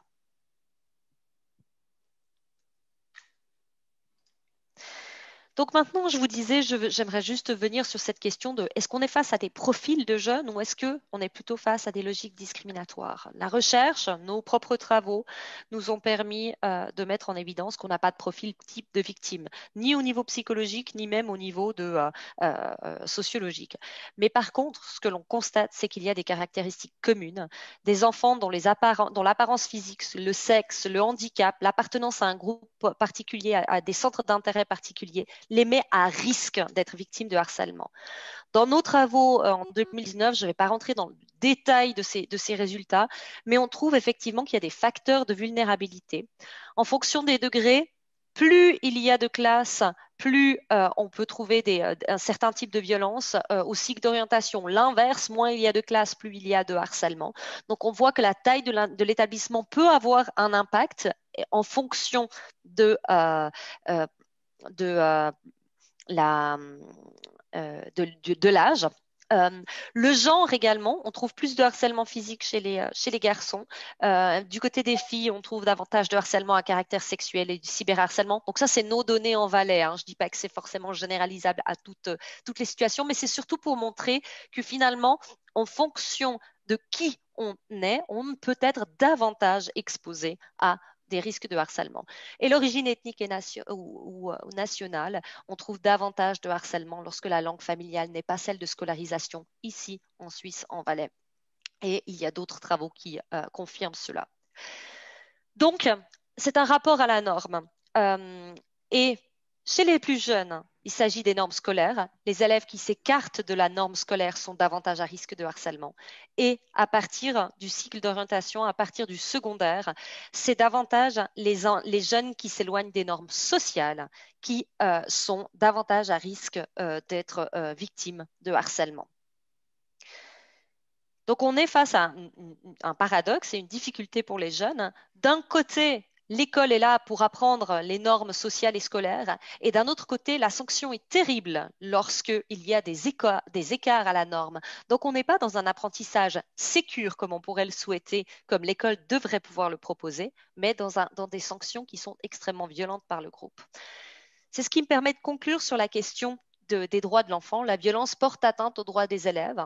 J'ai ici quelques, euh, articles de la Convention des droits de l'enfant qui euh, sont très visiblement violée par la question euh, du harcèlement. Mais c'est surtout les propos de Philippe Mérieux, euh, pédagogue français, qui écrivait ceci et qui, m'aide toujours en fait à, conclure la question du harcèlement finalement en disant le droit à l'éducation, c'est le droit de vivre et d'apprendre dans un espace hors menace. Et donc on est dans une violation extrême du droit à l'éducation lorsqu'il y a harcèlement entre pairs. Et donc, euh, c'est sur ces termes que euh, je souhaitais euh, conclure cette, cette, intervention. Je vais rapidement juste ici vous donner des informations supplémentaires au sujet de la, de la, recherche que nous avons conduite en 2019 en Valais est disponible ici sur, sur ce site. Et je vous remercie encore pour cette invitation et votre attention. Merci, madame. Merci, Merci beaucoup, madame Moody. Merci beaucoup. Ben voilà, on est au cœur du sujet là, hein, sur, des approches euh, interactionnelles, interactionnistes euh, de, sociologie et d'anthropologie du monde scolaire. Ça me rappelle les travaux de, la grande Régine Sirota, notamment en France, pour les classes primaires. je pense qu'on pourra à l'occasion s'échanger des, bibliographies entre les chercheurs français dont je suis et les chercheurs suisses par la suite de, ce colloque. Je rappelle juste un principe de, ces de, ces euh, colloques, c'est que malheureusement, comme il y a beaucoup d'intervenants, il n'y a pas de phase de discussion, donc on privilégie, on privilégie l'intervention de, chaque intervenant prévu et ensuite de pouvoir euh, éventuellement vous faciliter les prises de contact individuelles avec chaque intervenant une fois que vous avez euh, pu repérer ce qui vous intéresse dans, les différents propos. Je vous remercie d'avance d'excuser de cette absence d'interaction avec le public. Voilà, je vais tout de suite passer la parole à Madame, euh, si elle est présente, Madame Mandy Barker, euh, pédopsychiatre, donc pour un point de vue euh, en psychiatrie, et responsable de la consultation de la libellule à Lausanne. Permettez-moi, Julien, j'aimerais bien saluer par reconnaissance. Vas-y. Vous, vous, savez, au niveau, parce que chez nous, il y a beaucoup de sentimental et de reconnaissance, j'aimerais bien euh, remercier Madame Parker qui m'a conseillé personnellement, qui nous a conseillé dans les préparatifs de ce colloque. Et Madame Parker, elle est en train de faire euh, un travail formidable au niveau de la consultation libellule. La vérité, toute une équipe euh, typique et formidable qui respecte la famille, qui respecte l'enfant. Et je vous invite à consulter en tant qu'observateur, c'est pas en tant que euh, le travail de Madame Parker et son équipe. C'est à vous, euh, docteur Parker. Merci beaucoup. Euh, merci pour l'invitation. J'ai aussi une présentation, disons, par, par PowerPoint. Je ne sais pas si vous pouvez me donner la possibilité de partager l'écran avec, avec tous. Euh, ce, qui, est important, donc effectivement, je suis, je pédopsychiatre. J'ai aussi des collègues euh, pédopsychiatres euh, aujourd'hui ici au colloque, la doctrice Cap et le docteur Stéphane qui vont parler tout à l'heure, qui vont probablement peut-être plus parler aussi au niveau pédopsychiatrique. je suis pédopsychiatre, mais je m'occupe plus particulièrement des enfants et adolescents qui ont des troubles neurodéveloppementaux. Donc aujourd'hui, je voulais vous proposer un peu une, une, enfin, de vous parler un petit peu autrement de, l'harcèlement, mais par rapport aux enfants euh, que j'appelle euh, extraordinaires, aux enfants différents. Euh, merci professeur Moody qui a, qui a, bien parlé des risques de ces enfants-là. et j'avais envie de vous apporter aussi quelques, quelques exemples cliniques. Alors, je vais essayer de partager voilà, l'écran je crois que ça, marche. Donc, euh, euh, ce que je, voilà, je, vais euh, passer en revue. Je vais essayer de changer de slide. Voilà. Qu'est-ce qu'on, enfin, les enfants extraordinaires, qui, qui sont-ils? Ben, C'est toutes sortes d'enfants et nous nous occupons beaucoup de ces enfants à la consultation libellule. On parle beaucoup à l'heure actuelle des enfants euh, qui sont dans le spectre autistique, les enfants TSA, mais nous nous occupons aussi beaucoup des enfants 10, des enfants qui ont des troubles attentionnels avec hyperactivité, des enfants qui ont des syndromes génétiques, peut-être avec un retard mental, un handicap physique. Et je me suis permis aussi de mettre les enfants à haut potentiel intellectuel euh, avec ces enfants parce que nous en recevons beaucoup ici. Et c'est vrai que c'est des enfants qui euh, subissent aussi beaucoup euh, d'harcèlement scolaire.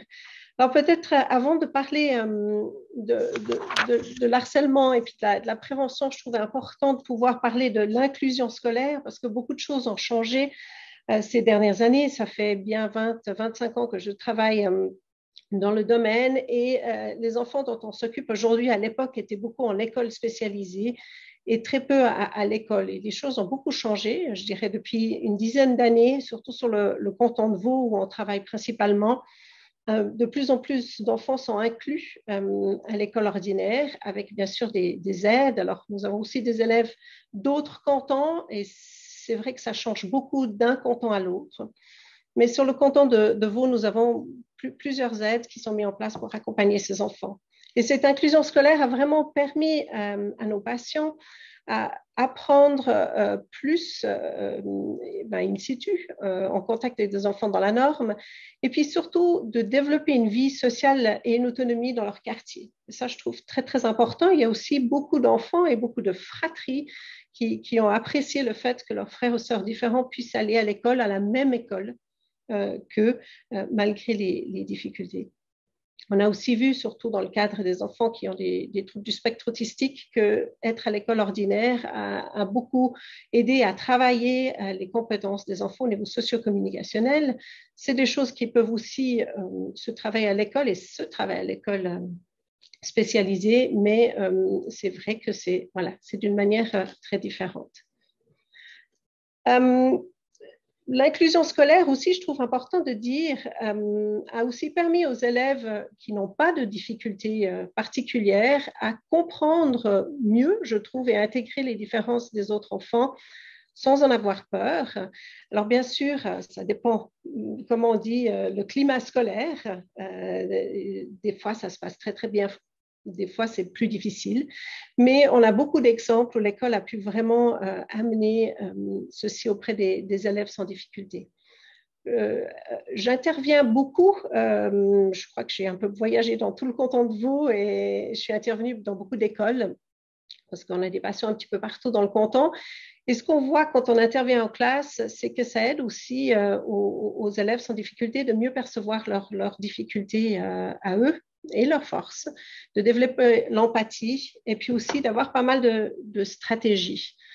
Euh, voilà, on me raconte beaucoup de différents euh, moments. On, supervise parfois des, des, aides qui sont en classe, qui reviennent avec des, questions, comment faire par rapport aux enfants et comment faire pour bien les intégrer et, pour que ces enfants ne, subissent pas aussi un harcèlement. Et, c'est vrai que c'est très touchant de voir ce qui se, fait on est vraiment dans l'idée que dans le futur, ben, on pourrait, enfin, le fait que les élèves en difficulté sont dans l'école ordinaire, ben, ça va permettre un monde professionnel plus ouvert et quand même plus accueillant pour des personnes en, situation de handicap. Et euh, je vous raconterai juste une, petite histoire. Euh, il y a quelques années, nous avons, pour une journée mondiale euh, de sensibilisation à l'autisme, avons monté un projet entre une école privée, le Collège Champitet, et une école pour enfants autistes. C'était avec des adolescents dans le spectre autistique et ils ont monté un spectacle ensemble. Et depuis, euh, chaque année, je retourne dans le collège pour former les élèves en dixième Armos à ce que c'est l'autisme. Ils lisent un, ouvrage et nous parlons de ce que c'est le trouble du spectre autistique. Et pourquoi je vous raconte ça? C'est qu'il n'y a pas si longtemps, il y a une thérapeute qui est, venue me raconter une scène qui est arrivée dans sa salle d'attente euh, et en fait, ça concernait un des élèves. On a, compris après coup euh, que cet élève venait de, de. Il y avait un, garçon euh, autiste dans la salle d'attente et puis il y, a, eu des difficultés, une crise. Et puis quelqu'un a dit, mais a voulu enfin, essayer d'aider, puis s'excuser. Puis la maman a dit, ah, mais mon fils est autiste. Et ce garçon a dit, non, mais je sais ce que, enfin, j'ai appris ce que c'est l'autisme. Enfin, et il a commencé un peu à expliquer ce qu'il avait appris. Et, voilà, quelque chose qu'on trouve très, très important, effectivement, de pouvoir former ces, jeunes. Et on se dit, ben, peut-être un jour, euh, dans un, milieu de travail, euh, ben, toutes ces, notions et ces choses vécues euh, vont pouvoir aider. Bien sûr, l'inclusion scolaire amène aussi des, défis. Euh, comment s'assurer que tous les élèves trouvent un environnement stimulant et propice aux apprentissages? Et comment est-ce que l'enfant différent va pouvoir exprimer son potentiel? Et puis surtout, ce qui est le sujet un peu d'aujourd'hui aussi, ben, comment l'enfant différent, comment faire pour en sorte qu'il ne soit pas en souffrance et qu'il ne subisse pas trop d'harcèlement?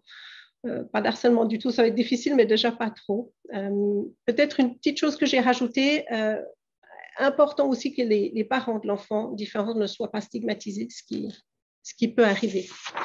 Alors, je voulais très rapidement, parce qu'on parle beaucoup ben, des enfants euh, différents. Certains d'entre vous connaissent bien euh, ce que c'est, mais très rapidement, je vais passer en revue les difficultés que ces enfants peuvent avoir, puis comment, ben, comment on peut se retrouver dans des situations d'harcèlement. Les enfants qui sont dans le spectre autistique, on en parle beaucoup euh, sur les médias actuellement, mais c'est des enfants qui ont des difficultés euh, socio-communicationnelles, donc qui ont des difficultés forcément de s'intégrer dans des groupes, il faut qu'on les accompagne.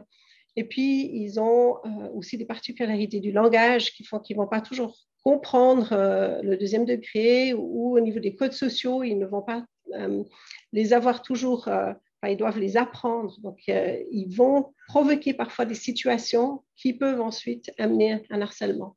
C'est aussi euh, des enfants qui ont des intérêts restreints et qui ont des particularités de comportement, euh, qui peuvent avoir des crises à la frustration, qui peuvent avoir des, comportements physiques comme le flapping, qui, peuvent avoir ça en, à la récréation et puis ça peut amener beaucoup de, de moqueries ces enfants, euh, contrairement à ce qu'on imagine, souvent on dit que les enfants euh, troubles du spectre autistique, c'est des enfants en retrait euh, qui sont dans leur monde. Ben, finalement, nos patients, enfin tous ces enfants, ben, ils, sont très hypersensibles et, les moqueries les touchent. C'est vrai que ce qu'on voit, c'est que nos patients vont pas nous en parler tout de suite. Et parfois, c'est plusieurs années plus tard qui nous en parlent, de ces moqueries qu'ils ont subies à l'école. Euh, parfois, à un moment d'une hospitalisation en psychiatrie, parce que tout, d'un coup, il n'y a plus rien qui va. Parfois, enfin voilà. Donc, c'est quelque chose auquel on est très sensible maintenant et euh, c'est quelque chose qu'on aborde souvent en thérapie. Ces enfants veulent tellement avoir d'amis qu'ils vont vite se faire euh, influencer par les autres. Et on a eu plusieurs euh, jeunes euh, où les, jeunes autour leur disent ben, bah, écoute, tu pourrais aller voler des bonbons pour nous, tu pourrais aller enfin, il leur donne toutes sortes d'idées. Euh, récemment, j'ai eu un garçon va, va, casser les lunettes de, ce copain. Euh, et, malheureusement, nos patients qui, n'ont pas les codes sociaux ne vont pas tout à fait toujours comprendre et cherchant à avoir un ami peuvent partir à, faire des choses dont ils regrettent. Souvent, ils, n'osent pas se, défendre et ben, j'ai eu quelques patients qui m'ont dit ben, il faut attendre euh, ben, quand on a 1m70, alors il n'y a plus personne qui a peur de nous. Euh, j'ai aussi un autre patient qui a dit ben, finalement, j'avais tellement peur de me défendre, mais un jour, j'ai décidé de taper. Et quand j'ai tapé, là, on m'a respecté. Enfin, voilà, donc c'est des choses euh, qu'on vit et ce n'est pas toujours simple pour ces élèves. Il y a d'autres élèves pour c'est pas pas simple. Les enfants euh, hyperactifs euh, peuvent vivre des choses très difficiles aussi au niveau de l'harcèlement. Forcément, c'est des enfants euh, qui sont souvent très agités, qui, qui, sont plutôt immatures, mais en même temps, bah, ils ont beaucoup de, de choses positives, et, comme les enfants dans le spectre autistique, c'est des enfants qui sont très créatifs, les, les, TDAH, très, très attachants, et puis ils peuvent amener beaucoup de, choses en classe, mais euh, il peut, il peut aussi avoir beaucoup de choses difficiles et les relations se gâtent au fil du temps. Euh, ces, enfants euh, sont rarement, bah, beaucoup d'enfants qui ont ce profil-là me disent combien ils sont tristes de ne pas être invités aux anniversaires, que toute la classe est invitée sauf eux. Euh, d'autres enfants qui se sont vraiment mis euh, de côté et, euh, ceci est, très problématique. Un autre profil d'enfants qui, peuvent souffrir de harcèlement à l'école, c'est les enfants qui ont un haut potentiel intellectuel.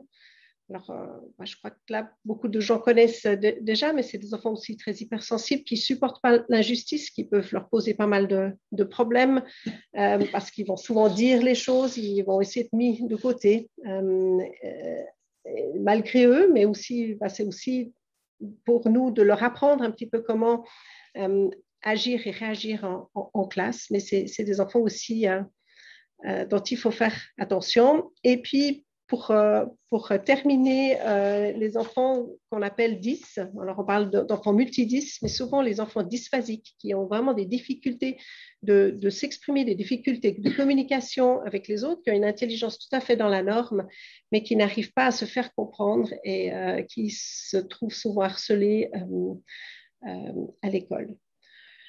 Voilà, je passerai ben, un petit peu, enfin, je, note juste aussi, euh, nous suivons aussi des enfants qui ont un mutisme sélectif et bien sûr des enfants qui ont des syndromes génétiques et des handicaps physiques.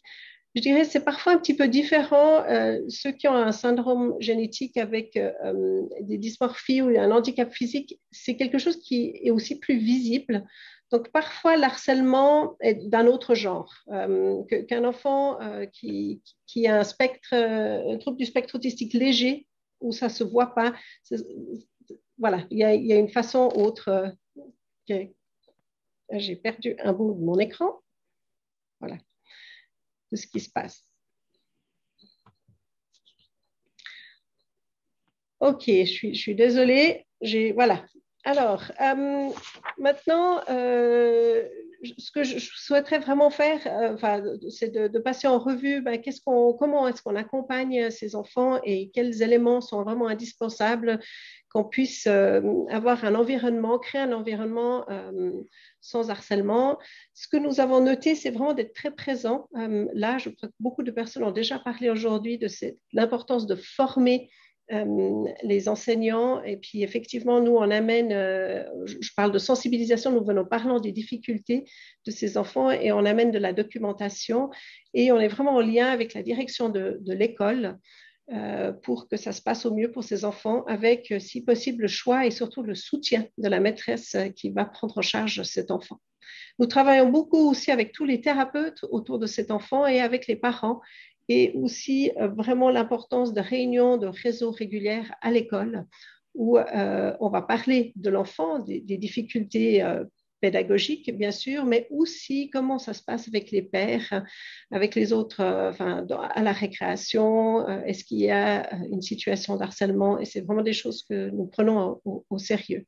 D'ailleurs, je vais devoir vous quitter après la pause d'aujourd'hui parce que je dois justement me rendre à une réunion de, de réseau. Euh, peut-être une chose que je n'ai pas dit, l'harcèlement existe aussi dans les écoles spécialisées. Simplement, ce qui est très différent, c'est qu'il y a beaucoup plus d'adultes et euh, plus probablement de, temps, des classes plus petits effectifs, qui fait que ces choses peuvent être vite reprises et vite euh, travaillées. Et puis, a l'importance ben, de mettre en place des, mesures spécifiques. ce que nous, on a remarqué pour vraiment amener, enfin, aider à ce qu'il n'y ait pas d'harcèlement euh, dans le milieu scolaire, nous allons en classe où d'autres collègues ou les enseignants spécialisés parlent des différences des enfants. Euh, de, qu'est-ce que c'est, par exemple, un enfant qui a un, diagnostic, surtout quand ils sont plus grands, de syndrome d'Asperger. Euh, qu'est-ce que c'est? Et puis, chez les plus petits, on parle plutôt de différences et quelles sont les forces et les faiblesses de, chacun. On va aussi mettre à disposition des livres pour la, classe. Euh, certains parents euh, souhaitent qu'on parle aux parents des autres élèves, euh, souvent lors de, réunions de classe. Ils trouvent que c'est important pour ne pas stigmatiser leur enfant, que ça, puisse être dit que, leur enfant est autiste et puis qu'il va avoir des aides en classe. D'autres ne le souhaitent pas du tout. Et c'est vraiment important de, suivre chaque famille et de voir au mieux comment les accompagner. Quand ils sont plus grands, euh, on propose des parrainages à la récréation où on forme des enfants. Bien sûr, les enfants sont d'accord de, faire cette petite formation et comment on fait pour aider euh, le jeune à avoir euh, des meilleures relations avec les, pères. Et il y a tout un travail avec les aides à l'intégration à l'école et les enseignants spécialisés qui vont aussi accompagner ces enfants. Bien sûr, nous faisons, euh, ben, au niveau thérapeutique, il faut soutenir cet enfant, lui proposer euh, une thérapie qui puisse travailler les difficultés qu'il qui peut avoir euh, à l'école et aussi un espace où il peut discuter de ce qui lui arrive. Et nous proposons aussi beaucoup de groupes de compétences sociales où ces enfants-là parce que souvent, l'harcèlement peut aussi arriver parce qu'ils ont ces difficultés sociales, donc c'est une réaction. Ben, c'est comment travailler leurs difficultés et améliorer tout ceci. Alors, quelques images pour, euh, pour terminer. Il y a énormément de, documentation euh, pour parler des enfants différents ou extraordinaires. Et si jamais des, personnes sont intéressées, peuvent nous contacter sur consultation at libellule.ch. Et nous avons beaucoup de, livres. J'en ai mis juste quelques photos euh, là. Euh, cette photo, juste pour euh, vous montrer aussi les campagnes de sensibilisation que nous faisions chaque année lors du 2 avril, la journée mondiale de l'autisme, pour aussi sensibiliser à, tout ceci. Et j'aimerais finir avec une petite, une petite photo d'un garçon qui a été beaucoup embêté à l'école. Alors, ça a été aussi compliqué son arrivée, euh, parce que c'était un enfant où les parents au début ne souhaitaient pas trop qu'on parle de, de ces différences.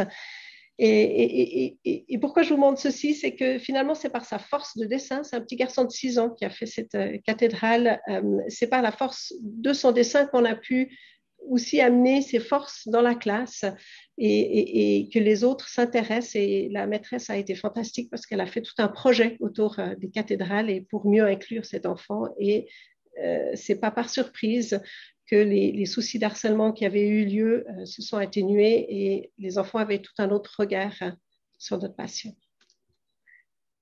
Voilà, je vous, je vous remercie pour votre attention, c'était euh, d'amener, bien sûr, c'est extrêmement intéressant de parler de l'harcèlement sur plusieurs formes, et j'avais envie d'amener ce regard par rapport à, nos patients euh, qui, peuvent parfois être en, grande souffrance, mais euh, bien sûr, on travaille avec eux tous les jours pour trouver des solutions. Et on remercie aussi énormément les écoles et le corps enseignant de tout le travail qu'ils font auprès de ces enfants et leurs élèves. Merci beaucoup. Merci, docteur Barker, pour cette présentation très importante des liens entre euh, le, monde scolaire, la communauté scolaire et la communauté soignante que vous représentez, euh, c'est évident que l'extension du domaine de la prévention passe par la mobilisation de l'ensemble de cet environnement. Et c'est très important d'avoir ce point de vue-là. Je, signale euh, que la conférence internationale du CRI et de ses partenaires pour le mois d'août, le 25 août, touchera justement à ce public que vous appelez si joliment extraordinaire. Euh, c'est une expression que je n'avais jamais encore entendue dans, les colloques français. Euh, c'est peut-être moi qui les fréquente pas trop parce que c'est pas ma spécialité. c'est plus ma spécialité l'éducation nationale et plus largement l'éducation euh, informelle. Voilà, donc ça sera l'élève avec des besoins spécifiques multiples entre inclusion et exclusion, hein, qui serait le thème, du mois d'août prochain. On espère évidemment votre collaboration ainsi que à vous, euh, professeur euh, Margot Catin, qui, va pouvoir prendre la parole. Maintenant, j'ai juste une petite anecdote à vous faire part, puisque j'ai travaillé sur le domaine euh, en France des sections SECPA, section d'enseignement général et professionnel adapté, qui s'appelait anciennement, dans les années 70, les 16 sections d'enseignement spécialisé. Et juste une petite anecdote qui peut lier un petit peu nos différentes interventions euh, dans, mon, dans mon parcours d'ethnographe de, ce milieu scolaire. Euh, dans les sections euh, SECPA en France, on y met des, des, populations diverses et variées qui intègrent en effet des enfants qui viennent de situations de handicap dès le primaire, ce sont des classes de collège. on les met avec des primo-arrivants donc des problématiques de multiculturalité, euh, des, gens qui ne maîtrisent pas la langue, et on y intègre des enfants euh, hyper turbulents, hyper actifs, voire euh, qui ont été exclus d'établissements classe normale. donc ça fait un espèce de, trio à gérer assez complexe.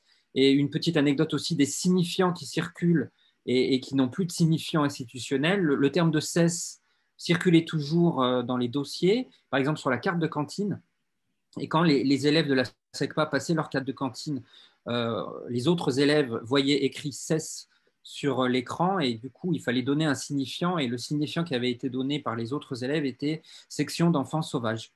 Voilà, cesse, section d'enfants sauvages. Et quand j'ai rapporté ça à la principale, elle était complètement choquée et voilà, on a appelé au recteur pour modifier euh, ces choses-là. Vous voyez l'importance des signifiants euh, dans nos, métiers et l'importance du partenariat aussi avec nos métiers, l'anthropologie, les sciences sociales et, la psychiatrie pour, pour, aider le monde scolaire à être au plus près du besoin de, de, ses enfants. J'ai été un peu long, excusez-moi. Voilà, professeur euh, euh, Margot Catin, ben, je voulais vous, vous, remercier avant de nous avoir accueillis parce que vous m'aviez accueilli, accueilli, en 2014. Je ne sais pas si vous vous souvenez, euh, au sein de, de, de, votre haute école spécialisée Suisse occidentale du canton du Valais. Et puis, bon, ben, je me rappelle de votre chaleureux accueil, de toute votre équipe. À l'époque, je crois, de, l'EFRIS, hein, l'engagement de l'association euh, internationale qui était dans ses premières années euh, pour la formation et l'intervention sociale, la recherche en intervention sociale. Et il y avait votre collègue Sarah, je ne sais pas si elle travaille toujours avec vous, mais qui était impliquée dans, le réseau suisse et le réseau international. Donc, on, on l'avait ensuite, nous, accueilli en France et, au Maroc en réciprocité. Donc, je pense que je n'ai pas trop à vous présenter en Suisse. Hein. vous êtes très connu aussi pour vos travaux au sein du Conseil national sur le handicap. Merci d'être parmi nous euh, et j'espère aussi le 25 août dans le prolongement de, ces travaux plus spécifiques sur les, situations de handicap. La parole est à vous. Merci, merci beaucoup. Je vais aussi vous demander de me, laisser partager l'écran parce que j'ai aussi un support PowerPoint.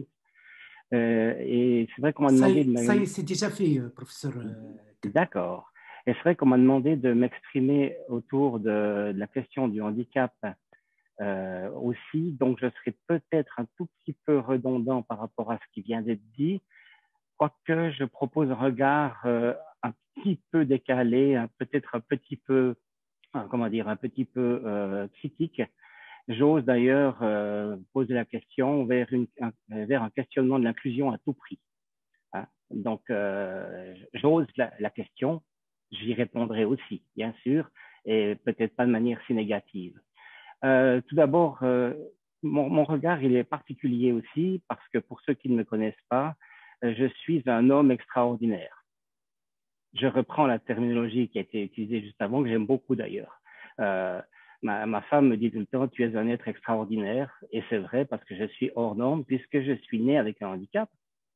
J'ai fait une partie de ma scolarité en institution spécialisée, et au niveau du collège, c'est-à-dire 14 ans à peu près, j'ai été un des premiers en Suisse romande à être inclus dans le milieu scolaire normal. Euh, inclus, euh, à l'époque, c'était euh, largué dans le milieu scolaire normal, hein, c'est-à-dire parachuté, euh, tellement parachuté que ma prof de classe a appris deux jours avant la rentrée qu'elle aurait un enfant handicapé dans sa classe. Donc, vous voyez un petit peu le, type de parachutage. Donc, ma, réflexion, elle va être imprégnée tant de réflexion théorique que d'éléments un petit peu vécus aussi. Donc, le contexte, ben, vous le connaissez, euh, le bullying ou le harcèlement entre élèves, c'est un phénomène qui est fréquent dans le milieu scolaire. On en a entendu parler, on a entendu parler des chiffres en début d'après-midi. Ce qui est intéressant de soulever, euh, c'est que s'il existe maintenant un consensus et des chiffres euh, qui sont très clairs euh, au niveau du harcèlement scolaire en général, des chiffres spécifiques en lien avec le harcèlement scolaire d'enfants extraordinaires ou en situation de handicap, il est quasi impossible d'en trouver. J'en ai en tout cas pas trouvé. Et il n'y a aujourd'hui aucune étude qui se fige sur cet aspect spécifique. Pourtant, comme vient de le dire ma préopinante, euh, le handicap est souvent source de harcèlement euh, et on a un chiffre de l'UNESCO qui laisse entendre que les personnes qui vivent au quotidien avec un handicap sont quatre fois plus souvent harcelées que les personnes sans handicap. En Suisse, vous le savez, ce type de violence scolaire commence à être pris en compte et des programmes de prévention se mettent en place. On le sait, il y a un mouvement qui se met en place, quelque chose qui se fait. En lien avec le handicap en tant que tel, rien aujourd'hui, si ce n'est des activités spécifiques de d'accompagnement ou de prise en charge d'un besoin spécifique d'une personne par un thérapeute notamment, euh, je pense à ma préopinante et la libellule notamment. Alors, les enfants qui présentent un handicap moteur, sensoriel, cognitif, une maladie chronique ou toute autre condition, justement des TDA, les troubles 10, etc., ce qu'il faut retenir, c'est qu'elles sont d'office perçues comme différentes par leurs camarades et sont plus donc, de par la présence de la différence, à risque d'être la cible de ces attitudes et comportements négatifs qui, à répétition, deviennent du harcèlement. Et comme je vous le disais juste avant, donc selon l'UNICEF, les situations de harcèlement sont quatre fois plus élevées en présence d'une situation de handicap que sans situation de handicap. Le contexte toujours, eh bien, le contexte international aujourd'hui prescrit clairement euh, une scolarité en milieu ordinaire pour tous les enfants, quels que soient leurs besoins spécifiques. Ça devient donc une problématique essentielle de la question du harcèlement, la prise en compte de ces éléments comme étant euh, des éléments fondamentaux pour la réussite de l'inclusion scolaire. Donc, le harcèlement devient une question qui va être une question clé. La présence ou non de harcèlement va être une question clé pour la réussite d'une inclusion scolaire. Ça montre l'importance du sujet. Alors, d'autres éléments clés existent. L'accessibilité architecturale des fonds scolaires, c'est un élément clé. Si, si votre bâtiment euh, scolaire n'est pas adapté aux besoins d'une personne avec un handicap, eh bien, elle ne pourra pas aller à l'école. Donc, euh, il y aura clairement un risque d'exclusion ou une impossibilité d'inclusion scolaire. Mais l'accueil, la façon dont la personne est accueillie, elle est traitée, elle est reconnue avec son handicap dans un milieu scolaire ordinaire, ou la façon dont elle n'est pas accueillie, elle est rejetée, mise à l'écart, devient un élément clé et essentiel pour la réussite d'une inclusion scolaire. Donc, la pleine réussite de l'inclusion scolaire nécessite clairement la prise en compte des attitudes et des comportements suscités par la présence du handicap. On est donc obligé, si on pense inclusion scolaire, de d'évaluer aussi quel est l'impact de la présence de, de, ce caractère extraordinaire sur le fonctionnement de l'école en général, de la classe en particulier et des relations interpersonnelles encore plus particulièrement. Du coup, des handicaps qui ont euh, une connotation ou qui ont, qui ont des représentations sociales euh, générales négatives vont être plus difficiles à intégrer ou à inclure. Des handicaps qui socialement sont généralement acceptés, reconnus, poseront moins de problèmes, si ce n'est des problèmes logistiques. Prenez la différence fondamentale entre une personne porteuse d'une cécité importante ou d'un trouble de l'ouïe et puis une personne qui euh, a un trouble du type euh, le terme actuel m'échappe euh, ce qu'on appelait les, les trisomiques hein, voilà le terme m'échappe tant pis eh bien une personne avec une, surdité partielle voire profonde ou une personne avec une cécité euh, même importante seront beaucoup mieux intégrés et inclus dans un contexte scolaire euh, parce que le regard posé par les autres va être beaucoup plus accueillant et il va être beaucoup moins rejetant. Alors que l'image sociale du trisomique, c'est l'image du gentil fou, du, petit garçon ou de la petite fille qui sourit tout le temps, mais qui est bête et puis qui est stupide, puis qui est on, utilisait encore ce terme euh, souvent euh, dans nos régions, euh, dans nos régions alpines, qui est un crétin ou une crétine.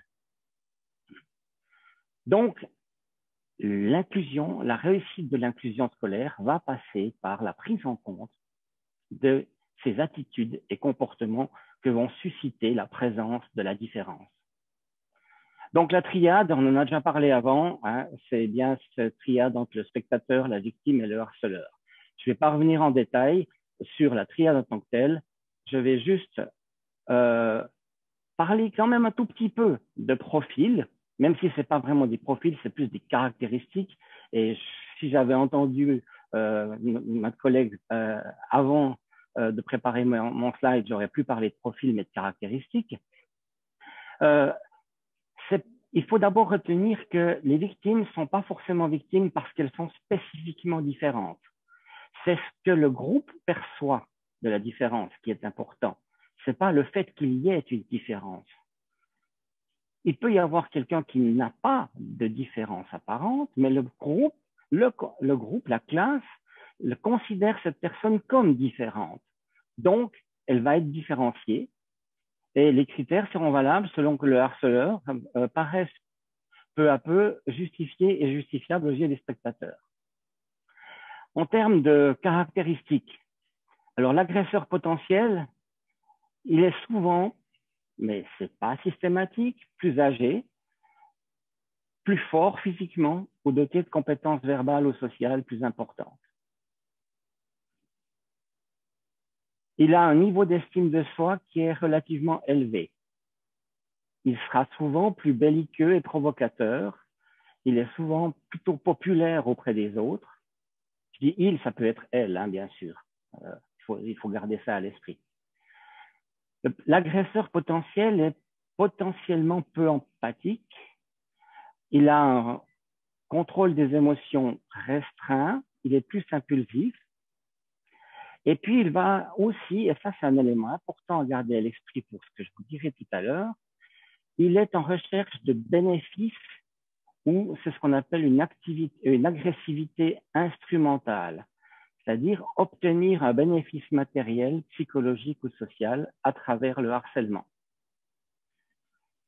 Et puis, euh, il a un rayonnement moral restreint ou primitif euh, dans sens où il, a, euh, il, a, il ou elle a tendance à dupliquer les choses. Je fais ce qu'on m'a fait.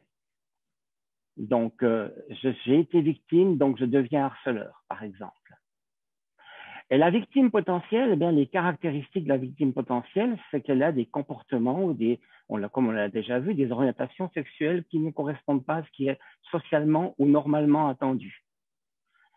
Elle a des, elle, elle a des, hum, des pathologies ou des éléments, des singularités, j'ai envie de dire, qui font qu'elle se retrouve régulièrement en situation de handicap. Elle est d'origine étrangère, euh, au niveau des papiers, mais ça peut aussi être euh, ethnique ou religieux, des différences donc euh, d'origine culturelle. Ça peut être un, nouvel arrivant qui, qui débarque dans un monde qu'il ne connaît pas.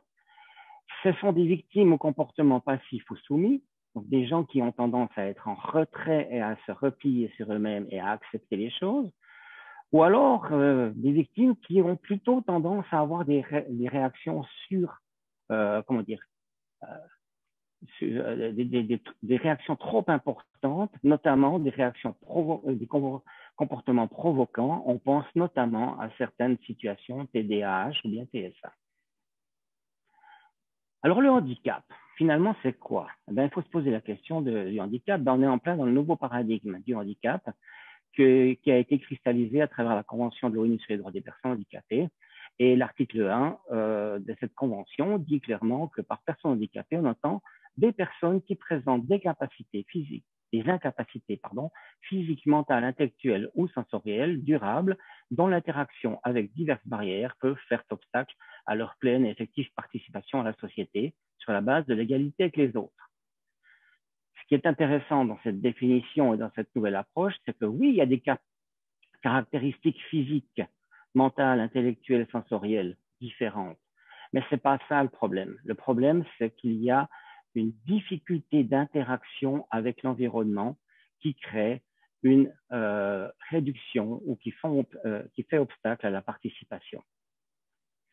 Et on retrouve la même définition, enfin, le même type de définition dans le cadre légal suisse, la loi pour l'élimination des obstacles qui frappent les personnes handicapées, puisqu'on dit que c'est la personne handicapée, c'est toute personne dont on retrouve la notion de déficience corporelle, mentale ou psychique présumée durable qui l'empêche d'accomplir les actes de la vie quotidienne, d'entretenir des contacts sociaux, de se mouvoir, de suivre une formation ou une formation continue, ou d'exercer une activité professionnelle, ou la gêne dans l'accomplissement de ces activités. Donc, on est dans le nouveau paradigme du handicap. Donc, il ne s'agit pas forcément d'avoir une pathologie pour être en situation de handicap. Il suffit d'avoir une difficulté d'interaction ou d'avoir des éléments propres qui gênent dans l'interaction. Alors, l'inclusion scolaire, eh bien, c'est le prescrit aujourd'hui. Article 24 de la Convention des droits sur les personnes handicapées pose très clairement un prescrit d'inclusion scolaire qui doit permettre le plein épanouissement du potentiel humain de tout un chacun et l'épanouissement de la personnalité des personnes handicapées, de leur talent, de leur créativité, de leur aptitude mentale et physique dans toute la mesure de leur potentiel. Donc, le prescrit international aujourd'hui, et c'est le cas pour euh, maintenant 180 et quelques États qui ont signé et ratifié la Convention, c'est l'inclusion scolaire. Au niveau national, en Suisse, on a aussi un prescrit très clair avec la loi pour l'élimination euh, sur les, les, obstacles qui frappent les personnes handicapées, et la LAND, qui, crée, qui, euh, qui pose les conditions propres à faciliter aux personnes avec handicap la participation à la vie dans, la société. Et cette loi s'applique notamment à la formation de base et à la formation continue. Mais pour beaucoup d'entre vous, vous le savez, en Suisse, euh, le, euh, le, prescrit, c'est que l'enseignement est de nature cantonale. Donc, euh, notre petit pays, la Suisse, a 26 régimes d'enseignement, 26 règles euh, spécifiques d'enseignement, 26 systèmes d'enseignement. Alors, on a des concordats qui essaient euh, d'unifier tout cela, dont un concordat qui est le concordat intercantonal sur la pédagogie spécialisée. Ce concordat pose aussi un prescrit pour chaque canton euh, de tout mettre en œuvre pour assurer l'inclusion scolaire. Le tribunal fédéral, la Cour suprême suisse, à tout de même temporiser ou, comment dire, freiner un tout petit peu cette idée d'inclusion scolaire à tout prix, puisque le tribunal fédéral a, en accord d'ailleurs avec les principes de la Convention sur les droits de l'enfant, mis en avant le fait que le choix entre inclusion scolaire ou scolarité spécialisée en milieu spécialisé devait se faire notamment sur la base de, euh, de ce qui est le mieux pour le développement de l'enfant. Donc, euh, l'idée du bien de l'enfant. Donc, on est dans un prescrit euh, d'inclusion avec, avec normalement la nécessité de prendre en compte très concrètement, en premier lieu, le bien de l'enfant. Alors, handicap et harcèlement.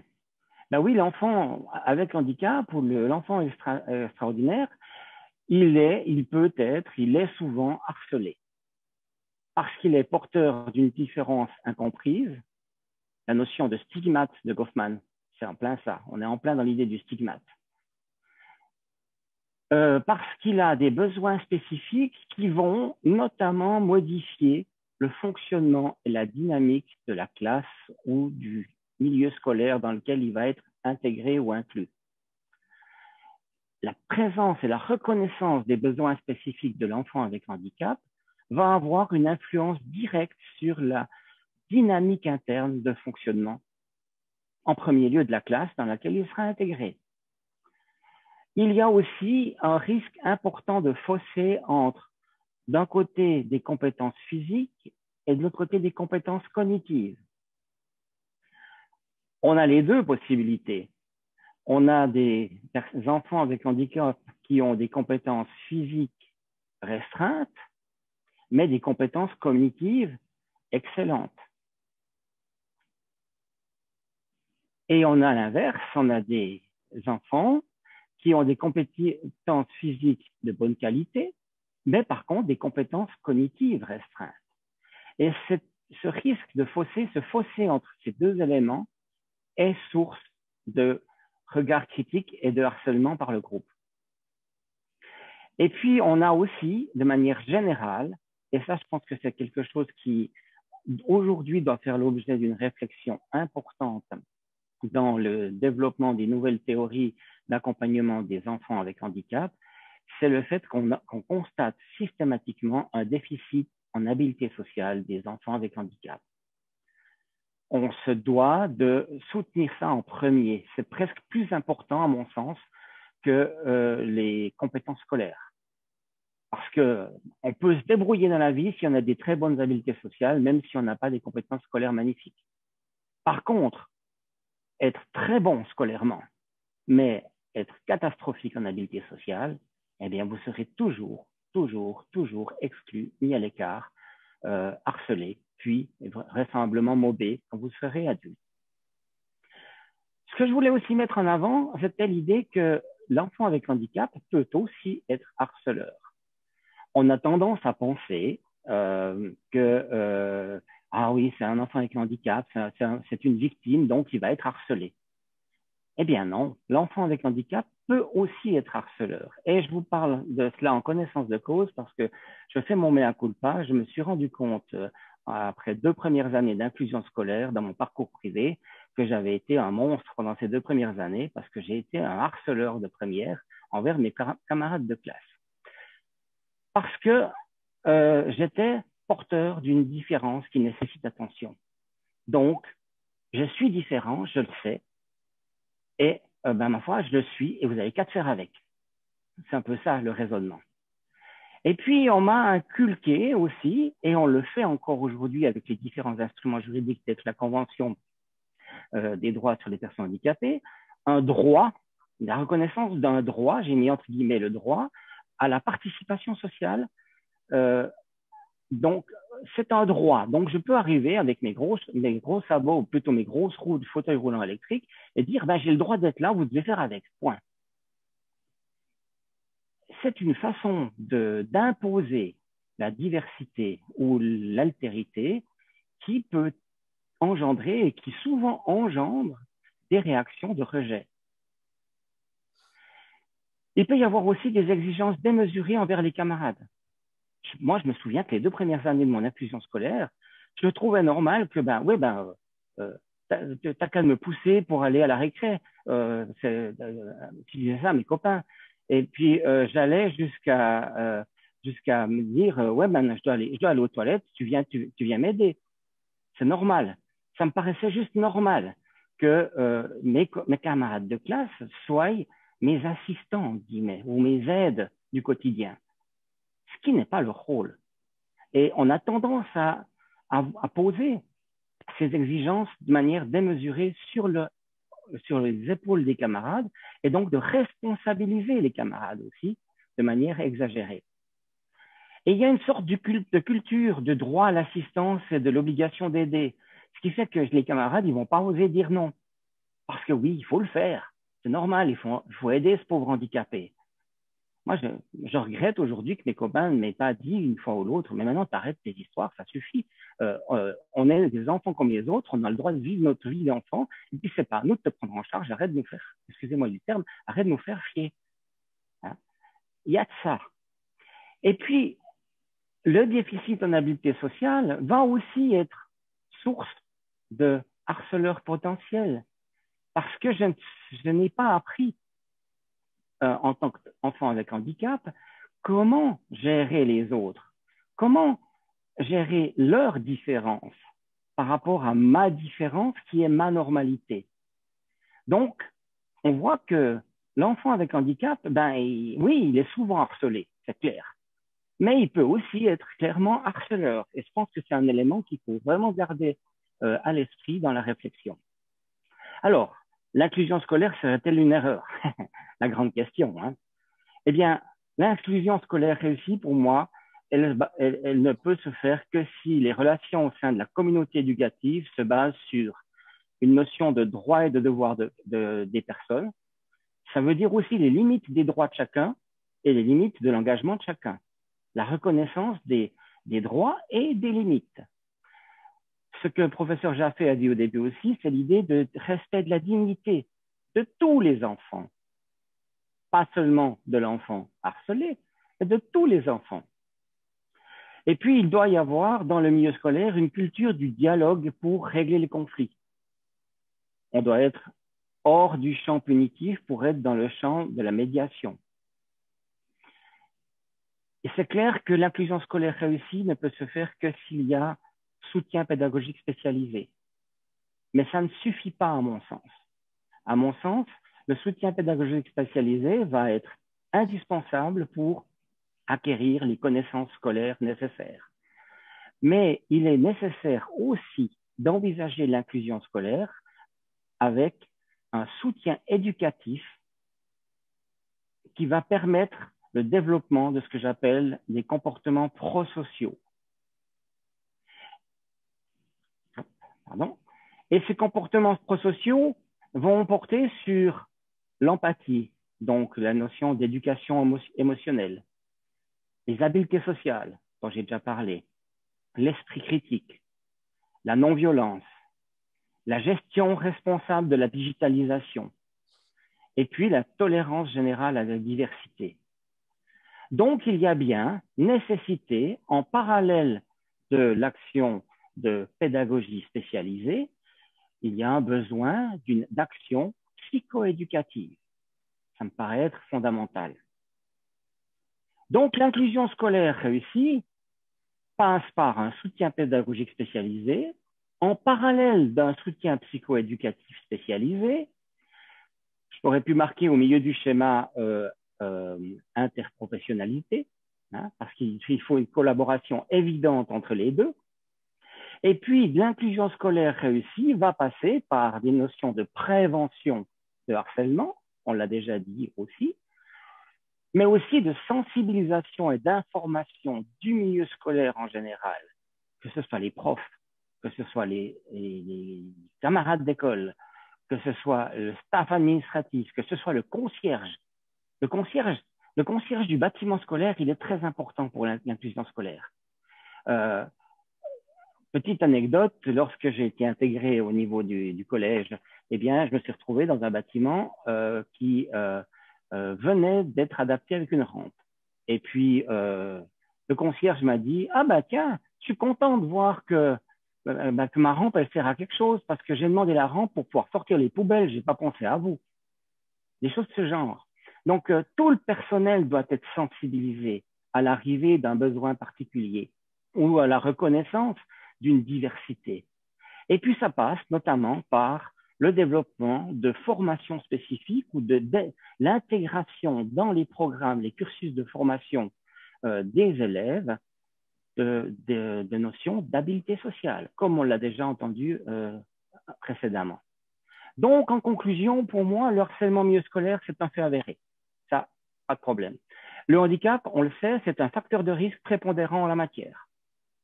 Mais l'inclusion scolaire réussie d'un enfant avec un handicap va passer par un soutien pédagogique adapté, un soutien psychoéducatif adapté, notamment en termes d'habileté sociale, et puis une démarche d'information, de sensibilisation et de prévention en amont, et pas lorsque l'enfant est dans sa classe et que tout le monde se pose des questions, que dit ouais, ben on va peut-être quand même vous parler du handicap.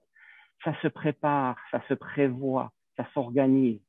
Euh, et ça devrait même faire partie des cursus de formation des élèves depuis la plus petite classe, depuis le, depuis le début de la scolarité. On devrait avoir des éléments dans ce domaine, ce qui n'est généralement pas encore le cas aujourd'hui, en tout cas pas en Suisse. Voilà ce que je voulais vous apporter dans mes réflexions. Merci. Merci beaucoup, professeur Catin. Merci. Je, hum, comme le, temps tourne, je, ne ferai pas de, petite synthèse cette fois-ci, parce que j'étais un peu long sur la dernière. Euh, je voulais simplement vous rappeler qu'il faudra vous rapprocher de Adelgélil Dari pour euh, d'éventuelles attestations de participation, notamment pour des, pour des étudiants qui seraient présents. Je sais qu'il y en a quelques-uns, ou pour des dorations pour d'autres professionnels qui devraient être ailleurs, mais qui sont, euh, nous font la Chaque participant, chaque participant, chaque participant. Très bien.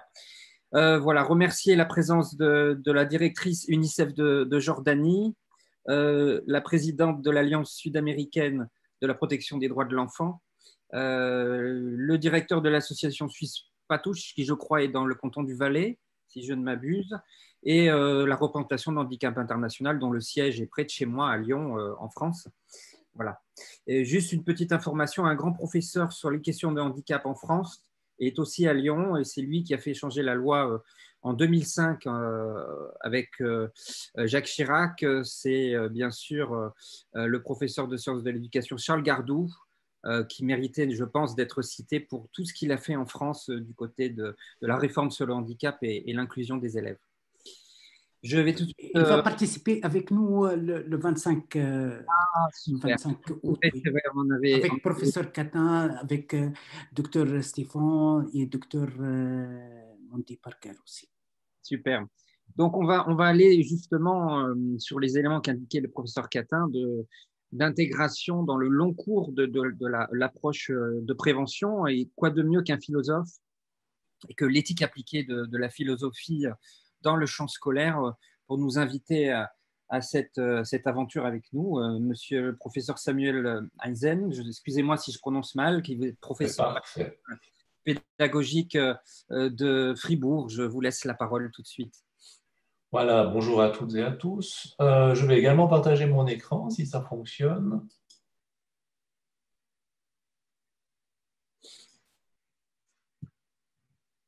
Est-ce que ça marche? Oui, vous pouvez, euh, docteur. Voilà.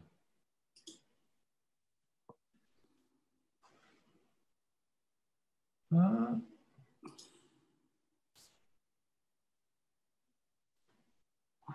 Pour l'instant, c'est tout noir. Donc, en attendant que l'image arrive, mon travail donc est de former les enseignants. Donc, je suis euh, euh, je suis pour ainsi dire dans les, dans les premières lignes, puisque je suis professeur de déontologie professionnelle notamment, et que j'ai devant moi chaque année depuis 2003 euh, environ 100 à 150 étudiants, que, étudiants principalement, que je dois former à la déontologie professionnelle, autrement leur dire comment bien se comporter en tant qu'enseignante avec les élèves. Donc bien entendu la question du harcèlement euh, est, en, première ligne. Et, les choses ont beaucoup changé. Hein. Euh, en, tout cas, en Suisse, euh, au tout début, quand j'étais les premières fois que je donnais mon cours, hein, je devais encore expliquer ne mettez pas le harceleur ou la harceleuse à côté de sa victime pour qu'ils deviennent bons amis. Parce qu'on pensait encore que c'était quelque chose de bien à faire. Hein. Donc c'était carrément les, mettre au supplice. Hein. Et, maintenant, bien entendu, j'ai plus besoin de dire ce genre de choses. Les gens sont quand même mieux informés, mais pas encore suffisamment, puisque bah, malheureusement, malgré tout ce qu'on fait, hein, la Suisse est un pays qui a énormément de moyens en comparaison avec d'autres pays, et ben, le harcèlement reste présent, on va dire, de manière endémique. Alors, mon propos est un propos euh, de type philosophique, euh, au sens, déjà c'est ma formation, donc c'est toujours mieux de parler de ce qu'on connaît un petit peu, hein, et euh, l'idée c'est de comprendre avec l'aide des concepts les observables. Le harcèlement est un observable, mais comment ça se fait qu'il est pensable? Autrement dit, mon but est un but qui est délibérément provocateur. Hein. Mon propos euh, vise de provoquer la réflexion, mais non, provoquer la réflexion, mais il y a la provocation tout court, hein. Euh, de manière à pouvoir en quelque sorte comprendre les raisons générales du harcèlement, euh, dans le but, bien entendu, de pouvoir dépouiller le harcèlement de sa raison d'être. Et ça implique, bien entendu, de questionner le comportement des enseignants dans le système scolaire en général, puisqu'on l'a vu, le climat de classe, c'est euh, l'enjeu numéro un, et la personne qui intervient d'une façon décisive dans le climat de classe, avec les élèves, ben, c'est l'enseignant. Un enseignant qui ne prend pas soin de son climat de classe, le climat de classe, il ne va pas s'instaurer euh, comme par miracle. Alors, euh, pour questionner ce climat de classe, je prends l'exemple des loups et du loup oméga. Le loup oméga, c'est le loup dans une meute qui est harcelé par les autres loups. Et cette image est assez troublante parce qu'on pourrait remplacer les loups par des personnes. Et on voit que c'est exactement le même schéma que celui qui nous est présenté tout à l'heure. Hein. Il y a une victime, plusieurs harceleurs emmenés par un leader, et puis les témoins euh, qui soit euh, feignent l'indifférence, soit euh, soutiennent par derrière. Et, le problème du loup oméga, c'est qu'est-ce qui se passe quand il s'en va, le loup oméga, parce que le loup oméga, au bout d'un moment, soit dans la nature, bah, il, devient un loup solitaire parce qu'il en a marre, soit en captivité, comme il est fréquemment blessé par ses congénères, on va le retirer de l'enclos. Et c'est une très mauvaise nouvelle pour le groupe, parce que le groupe va devenir plus violent. Il n'y a plus la victime expiatoire en quelque sorte, hein. euh, et de ce fait, c'est problématique d'arrêter le phénomène du harcèlement parce que bah, il soit trouver une autre victime et si on n'en trouve pas une, eh ben, il y a davantage de désordre. Et en ce sens, euh, il y a une hypothèse générale, je souligne bien le terme hypothèse, hein, une hypothèse générale, à savoir que le harcèlement est un facteur d'ordre inégalitaire qui fonctionne seulement dans un système lui-même inégalitaire. C'est-à-dire que le système gagne finalement en, force grâce à l'inégalité générée par le harcèlement. Le harcèlement est finalement un facteur d'ordre, un mauvais ordre, mais un ordre quand même, et qui finalement, cet ordre a tendance à, faire fonctionner et à faire reproduire un système inégalitaire. Et comme tous les sociologues de l'éducation nous l'expliquent depuis, Bourdieu, hein, eh ben effectivement, euh, l'école est un système d'ordre inégalitaire, et donc qui alimente une société également d'ordre inégalitaire. Euh, pour alimenter cette réflexion, je me base notamment sur les travaux de Ken Robinson, qui a écrit un livre assez terrible en 2017, hein, Those School Kill Creativity. Euh, ça veut tout à fait dire ce que ça veut dire. Et effectivement, Ken Robinson insiste sur le fait que l'école a tendance à préparer finalement euh, la plus grande partie des élèves avoir une attitude, une attitude qui est une attitude soumise à un système.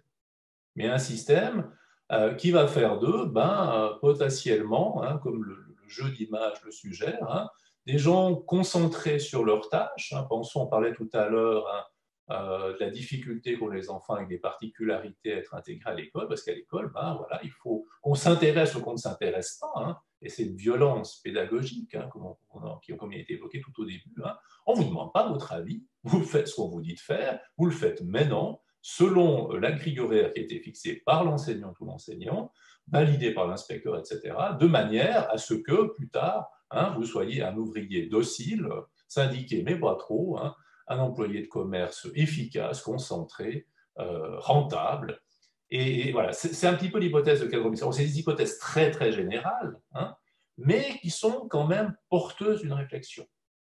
Parce que dans un tel système d'ordre inégalitaire, euh, le harcèlement est efficace. Et le harcèlement est présent à l'école, est présent au travail, est présent dans l'entreprise. Hein. Récemment, on a vu euh, dans, des forces censées garantir l'ordre, hein, comme les, forces de police, des policiers victimes de harcèlement par d'autres policiers. C'est quand même un compte, notamment personnes qui sont censées protéger les plus faibles se harcèlent entre elles. Euh, donc c'est vraiment quelque chose qui est endémique et qui euh, participe apparemment du fonctionnement de notre société. Euh, à partir de là, grosso modo, est-ce que ça va mal à ce point? Est-ce que notre société est quelque part condamnée à fonctionner comme ça et tous nos efforts de formateurs, nos efforts de politiciens, nos efforts de, thérapeutes et de lutter contre un courant de fond qui serait toujours le même depuis tout le temps, hein, à savoir une minorité de leaders qui vous disent un peu grosso modo quoi faire de notre vie, suivi ben, et servi par une majorité de suiveuses et de suiveurs, euh, et puis qui décharge sa violence sur les minorités oméga. J'ai pas eu assez de place dans le PowerPoint pour mettre tous les logos qu'il aurait fallu mettre de toutes les minorités euh, qui risquent d'être victimes de violences. Et le problème, c'est que l'école reproduit euh, ce genre de schéma. Alors, qu'est-ce qui me permet de dire ça? Parce que ce sont des, propos, sévères. Permettez-moi quelques anecdotes. Vous avez peut-être suivi, pour celles et ceux qui, lisent la presse suisse, ce qui s'est passé au collège de Gambach donc collège et formation post-obligatoire en février 2021, vous voyez des soutiens-gorge accrochés à la barrière du collège. Pourquoi? Mais parce que pour une énième fois, euh, une, étudiante euh, avait subi une remarque sexiste d'un professeur, un homme, et là, en l'occurrence, on lui avait reproché de ne pas porter de soutien-gorge. Parce que ça ne se fait pas, quand on est une femme, une jeune femme, de venir à l'école sans soutien-gorge. Ça a créé une polémique. Euh, la grève des femmes s'en est apparue. On crée un compte Instagram. Et euh, ce qui est apparu dans ce compte, c'est ce qu'on savait déjà, malheureusement, mais qui était moins visible. Hein, et c'est le, bon côté des réseaux sociaux. Ça permet des dénonciations de masse. C'est qu'en fait, encore aujourd'hui, en Suisse, en 2021, on peut tenir des propos sexistes, des propos homophobes, des propos islamophobes, des propos xénophobes, de tous les phobes que vous voulez, être enseignant et si on n'est pas trop, trop, trop trash, ça passe. Les gens n'ont pas été outre mesure inquiétés par leur hiérarchie. Et si vous n'êtes pas un homme blanc, sportif, hétérosexuel, euh, vous le savez, euh, durant votre scolarité, certainement qu'un jour vous vous êtes ramassé une remarque. À propos de votre apparence, à propos de votre comportement, à propos de votre accent, à propos de vos croyances, à propos euh, du fait que vous ne soyez pas comme vous devriez être dans cet ordre établi, dans cet ordre normé que l'école ne cesse de reproduire. Et si je vous ai mis une deuxième image d'une sandale en dessous, c'est parce que euh, vous traversez la rue, hein, vous avez un cycle d'orientation qui est un, tout petit peu plus loin, donc on est à la fin de, de, de l'école obligatoire, et là, un enseignant m'a conté une anecdote, un enseignant que j'ai trouvé en formation continue, il lui arrivait une chose terrible. Il venait de débarquer, euh, il était enseignant d'activité créatrice manuelle, c'était sa première année, et au mois de juin, il faisait très chaud. Alors il a fait quelque chose de fou, hein. il a mis des sandalettes. Des sandalettes pour hommes, donc des sandalettes, on voyait ses orteils. Et cet enseignant s'est fait réprimander par le directeur de l'établissement, et vertement réprimander en disant que c'est absolument scandaleux de venir enseigner avec des sandales, euh, que c'était pas sérieux, que ça décrédibilisait la profession, que les parents allaient certainement faire des remarques et s'en plaindre. Et il a été sommé euh, de mettre des euh, chaussures fermées. Et ce sont des faits qui ne remontent pas à 1950, ce sont des faits qui remontent à 2017. Donc, la mise en regard de, ces, faits questionne à quel point quand on est en train de reproduire par la discrimination, par le harcèlement, euh, par toutes les formes de, bullying institutionnel ou par le, fait de fermer les yeux euh, sur le bullying interpersonnel, quelque chose qui va dans le sens de l'ordre, euh, ben, il ne se passe pas grand-chose. Mais quand on a le malheur de remettre en question cet ordre-là, cet ordre avec des alphas, des suiveurs et des omégas, eh bien, effectivement, quelque part, on n'aurait pas sa place dans le monde enseignant. bien sûr, ce sont des exemples extrêmes, ça ne se passe pas tout le temps comme ça, pas partout comme ça, mais ça se passe encore et ça se passe encore aujourd'hui. Dans quelle mesure il y a un lien fort entre l'organisation générale de l'école et son besoin de reproduire cet ordre inégalitaire et la possibilité euh, que le harcèlement perdure, c'est l'hypothèse que je questionne et c'est aussi l'hypothèse que je soumets à mes étudiants quand je les ai en cours, hein, où finalement, euh, leur manière de valider l'ordre des choses pourrait avoir tendance à entretenir le problème. Ce n'est pas la seule raison, de loin pas, mais c'est le contexte général qui fait que finalement, hein, le harcèlement trouve encore sens dans le système alors qu'il ne devrait justement pas en avoir. Donc, ce que j'essaie de défendre, bec et ongle, euh, avec mes modestes moyens de professeur, euh, c'est de passer d'une inclusion théorique à des pratiques inclusives réelles. On a vu l'inclusion, c'est bon, c'est dans la loi. Hein, et si vous demandez à un enseignant, un jeune enseignant, un enseignant expérimenté, quel qu'il soit, fondamentalement, il est pour, du moins au niveau du discours. Maintenant, dans les pratiques, vous le savez, ça a été souligné, un enseignant est ravi de se dire bah, je ne suis pas formé, je ne suis pas suffisamment formé, ah, c'est une lourde charge, ah, j'ai beaucoup de travail, mais cet enfant, il serait peut-être quand même mieux dans une école spécialisée, hein, etc. Euh, donc, on a, au niveau des pratiques réelles, une difficulté à mettre en valeur et à concrétiser ce discours.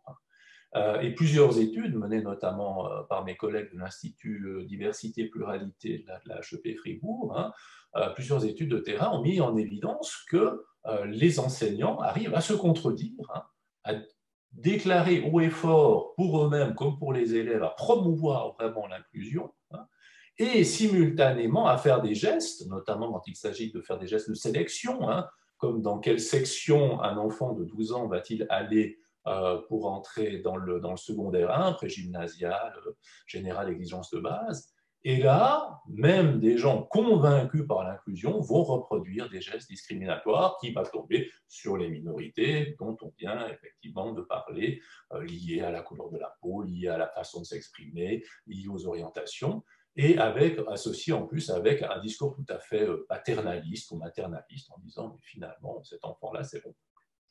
Donc on retrouve des schémas dans les attitudes, même avec des personnes de bonne volonté, qui finalement donne sens au maintien de cette inégalité fondamentale qui est constitutive de l'acte de harcèlement, euh, où la, valeur de quelqu'un gagne en dévalorisant quelqu'un.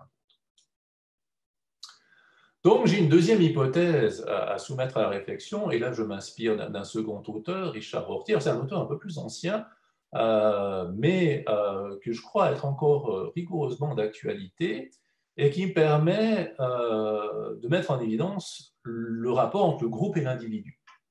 Autrement dit, un ordre inégalitaire, tel qu'il existe encore maintenant, a besoin de groupes clairs et homogènes. Il y a la norme, ceux qui en font partie, ceux qui n'en font pas partie, et il y a les, différents leaders qui orientent cette norme et qui euh, interviennent de façon à ce que ceux qui sont de, appartenant aux minorités se retrouvent rejetés. Si on inverse les concepts, parce que c'est ça qu'on fait en philosophie, on travaille d'abord sur les idées, et on peut formuler une seconde hypothèse, c'est que finalement, si on a beaucoup d'individus hétérogènes, une grande diversité, si on appuie sur la diversité, bah, c'est beaucoup plus difficile de faire des groupes homogènes parce qu'on n'y arrive plus. Il n'y a plus assez de gens semblables pour arriver à faire des groupes qui ont un poids social décisif. Alors, ce que propose Richard Horty, c'est euh, la reconnaissance des particularités individuelles. Une reconnaissance insistante, une reconnaissance massive, et ça, l'école peut le faire. Elle en a la possibilité, dans les gestes pédagogiques, hein, on peut valoriser la particularité individuelle. On peut valoriser la norme, mais on peut faire exactement le contraire. Et vu la puissance de la norme et, les automatismes absolument monumentaux qui permettent à la norme de se répéter quasiment euh, sans qu'on ait rien besoin de faire, de contrebalancer euh, cette puissance de la norme en délibérément euh, commettre des actions pédagogiques et des actions éducatives qui valorisent et qui mettent en, lumière la particularité individuelle, ben effectivement, si on en croit Richard Horty, serait incompatible avec toute forme de cruauté interpersonnelle. C'est le terme qui emploie, hein, c'est l'idée de cruauté. Hein. C'est-à-dire finalement ce besoin de détruire l'autre pour soit favoriser le groupe, soit se mettre en évidence dans le groupe. Alors, comment euh, ça peut se traduire, et c'est la conclusion auquel j'arrivais, c'est finalement, mais qu'est-ce que je dis à mes étudiants hein, autre que formez-vous, autre que comprenez les processus, c'est déjà de commencer par soi-même. Euh, et, ça, euh, et ça, je vous ai dit, hein, ça fait partie du côté provocateur de ma démarche, mais je suis provocant mais sincère, c'est mon équipe enseignante idéale.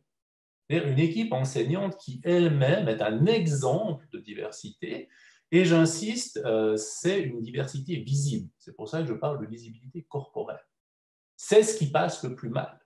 Généralement, vous l'avez pu le, constater dès le moment où vous êtes en contact avec le terrain, les premières choses sur lesquelles on tire dans le harcèlement, c'est sur ce qu'on voit. C'est pas que, hein, mais c'est extrêmement facile. Et euh, tout ce qui est de l'ordre de la visibilité corporelle, c'est euh, à haut risque de harcèlement. Et de ce fait, quand on a euh, un monde d'enseignants qui sont extrêmement homogènes dans leur manière d'être, ils ont beau dire que le harcèlement, c'est le mal, ils ont beau dire que la diversité, c'est formidable, eux-mêmes ont énormément de peine à la mettre en pratique. Et chaque année, j'ai des discussions houleuses avec mes, futurs enseignants quand je leur présente des photos de ce type-là, et je dis avec quel collègue acceptez-vous de travailler? Je n'ai pas besoin de vous dire le résultat, vous pouvez déjà vous-même imaginer les collègues qui sont refusés par des enseignants, mais qui sont tous des enseignants qui sont pour l'inclusion, qui sont pour la diversité, qui sont pour prendre. Ils adorent les enfants, ils adorent tous les enfants, hein, mais des collègues comme ça, certains, on n'en veut pas, hein, parce que ça va pas, parce que c'est pas sérieux, parce que c'est pas le rôle de l'école, parce que sinon l'école est en péril.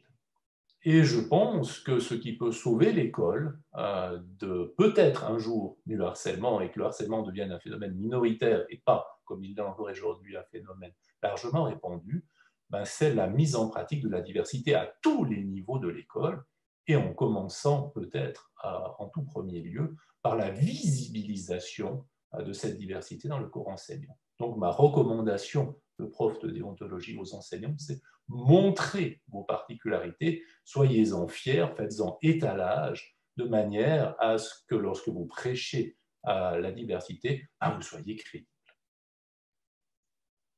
Je vous remercie pour votre attention. Merci beaucoup, professeur Eisen. Merci, c'était en effet très intéressant et, ça me rappelle euh, les, les discussions que j'ai pu avoir, moi, en France avec l'association SOS Homophobie, euh, qui est une institution quasiment d'État, puisqu'ils ont en charge la, la mesure de, l'homophobie chaque, année, hein, en lien avec euh, les autorités du défenseur des droits. Et ils m'ont toujours rappelé cette idée que euh, les familles ne peuvent pas protéger les enfants de, l'homophobie, puisque ça ne se voit pas, contrairement au racisme ou, à d'autres formes de, de, particularité euh, ou de stigmates, comme on le disait avec euh, la référence à Goffman tout à l'heure. Merci pour cet éclairage sur euh, la question de la visibilité en philosophie et en pédagogie. On, va retourner à, la psychiatrie avec la professeure Carole Cap, pédopsychiatre au centre universitaire hospitalier de, Lausanne. Je, vous cite Vaudois, pardon. Oui, c'est ça, Lausanne. Hein. Excusez-moi, je suis un peu perdu dans tout, vos, tout votre, joli territoire. Hein. Oui, bonjour, merci beaucoup. C'est un plaisir euh, d'être avec vous. J'ai un petit problème technique, j'essaie de le régler. Euh, je devrais pouvoir partager l'écran, n'est-ce pas? Euh, vous pouvez, vous pouvez, docteur Cap. On vient de vous nommer comme co-animatrice. D'accord, c'est ça qui a fait. La priorité aux femmes, toujours. Je vais essayer. Alors, écran partagé. Mais vous ne voyez pas là. Hein? Hmm.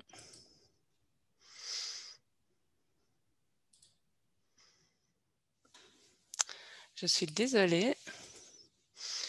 Je pense que mon ordinateur est un peu en difficulté.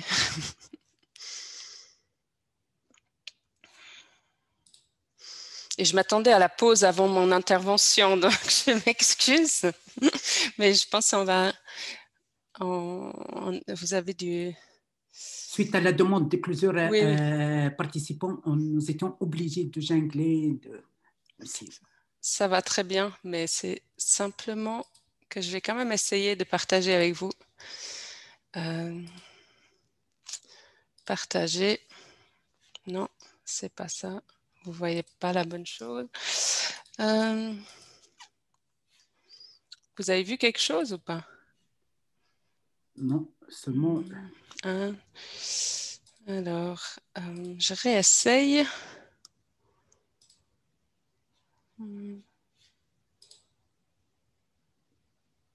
Ça me dit votre partage d'écran est en pause.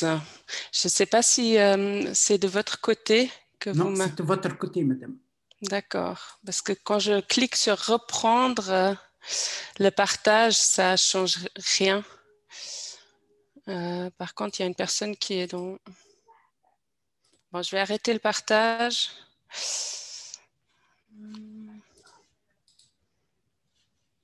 Ah, je vais essayer autre chose. Voilà. Euh,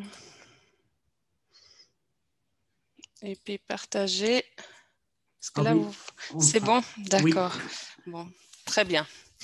Donc, moi, je vais, j'ai le plaisir euh, donc de vous parler d'un, sujet très en lien et je vais aussi euh, essayer de mettre en évidence les liens entre la prévention suicide, surtout auprès des, enfants et adolescents, et le harcèlement scolaire.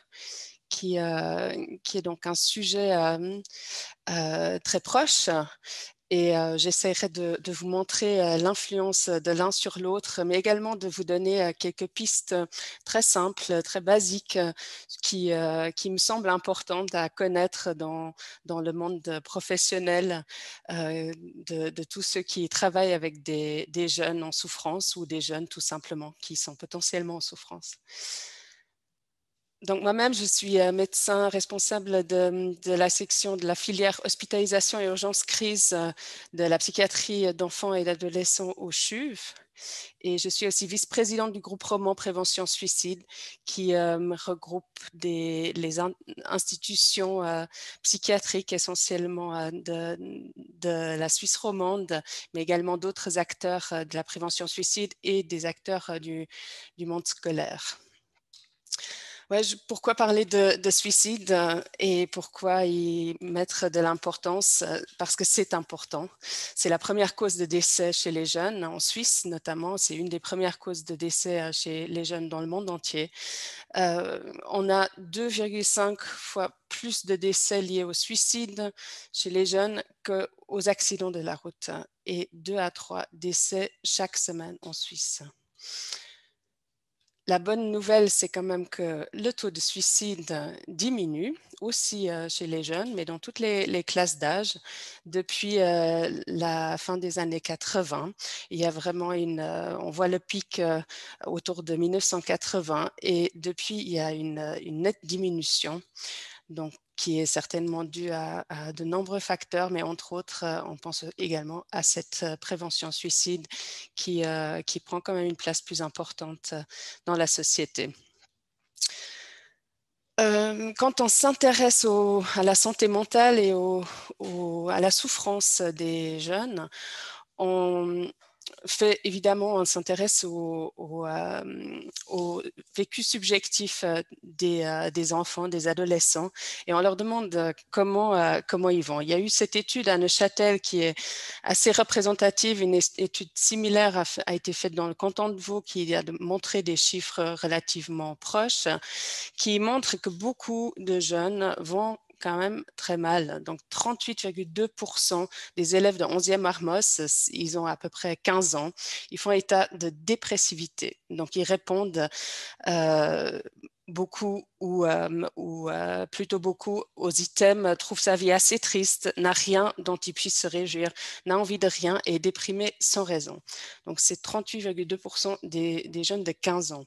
C'est vraiment un taux élevé. Et ce qui est encore presque plus impressionnant, plus choquant, c'est que 11,2% de ces jeunes ont fait au moins une tentative de suicide au cours de leur vie, donc à 15 ans, alors que euh, les tentatives de suicide sont en augmentation avec l'âge. Elles sont plus rares quand même, et les suicides avérés également chez les enfants, mais ils existent, elles existent, et les suicides existent aussi. Mais euh, avec les années, au cours de l'adolescence, les tentatives de suicide sont de plus en plus fréquentes. Euh, donc, l'harcèlement et, le suicide euh, est un sujet très, très lié, très important. L'harcèlement est souvent retrouvé dans des crises suicidaires, l'harcèlement scolaire aussi, l'harcèlement, le cyberharcèlement. Euh, c'est d'un côté un facteur prédisposant, c'est-à-dire un facteur qui, s'il est là de manière chronique dans le temps, euh, contribue à un terrain de vulnérabilité qui euh, augmente le risque de, développer une crise suicidaire. Ça peut aussi être un facteur précipitant, donc un facteur de risque aigu dans le passage à l'acte suicidaire. Mais le suicide ne résulte jamais d'un seul facteur. Le suicide est un phénomène multifactoriel. Prévenir le, harcèlement prévient donc évidemment beaucoup de crises suicidaires, contribue à prévenir des crises suicidaires. Prévenir les crises suicidaires ou accompagner les crises suicidaires vers un mieux euh, a évidemment euh, un impact sur la diminution de la souffrance et comme la souffrance des jeunes est beaucoup liée au phénomène du harcèlement, euh, il y a aussi cet effet de prévention du harcèlement à travers la prévention suicide. Euh, je voulais partager avec vous euh, une vignette d'une adolescente euh, qui était hospitalisée. je l'ai prénommée Eva. Elle avait 13 ans. Au moment de l'hospitalisation, c'était une très bonne élève, donc ça touche quand même toutes les populations, pas uniquement les, personnes qui, qui ont déjà un, terrain de vulnérabilité important ou, ou d'un handicap ou, ou d'autres particularités. Elle était en 9e VP.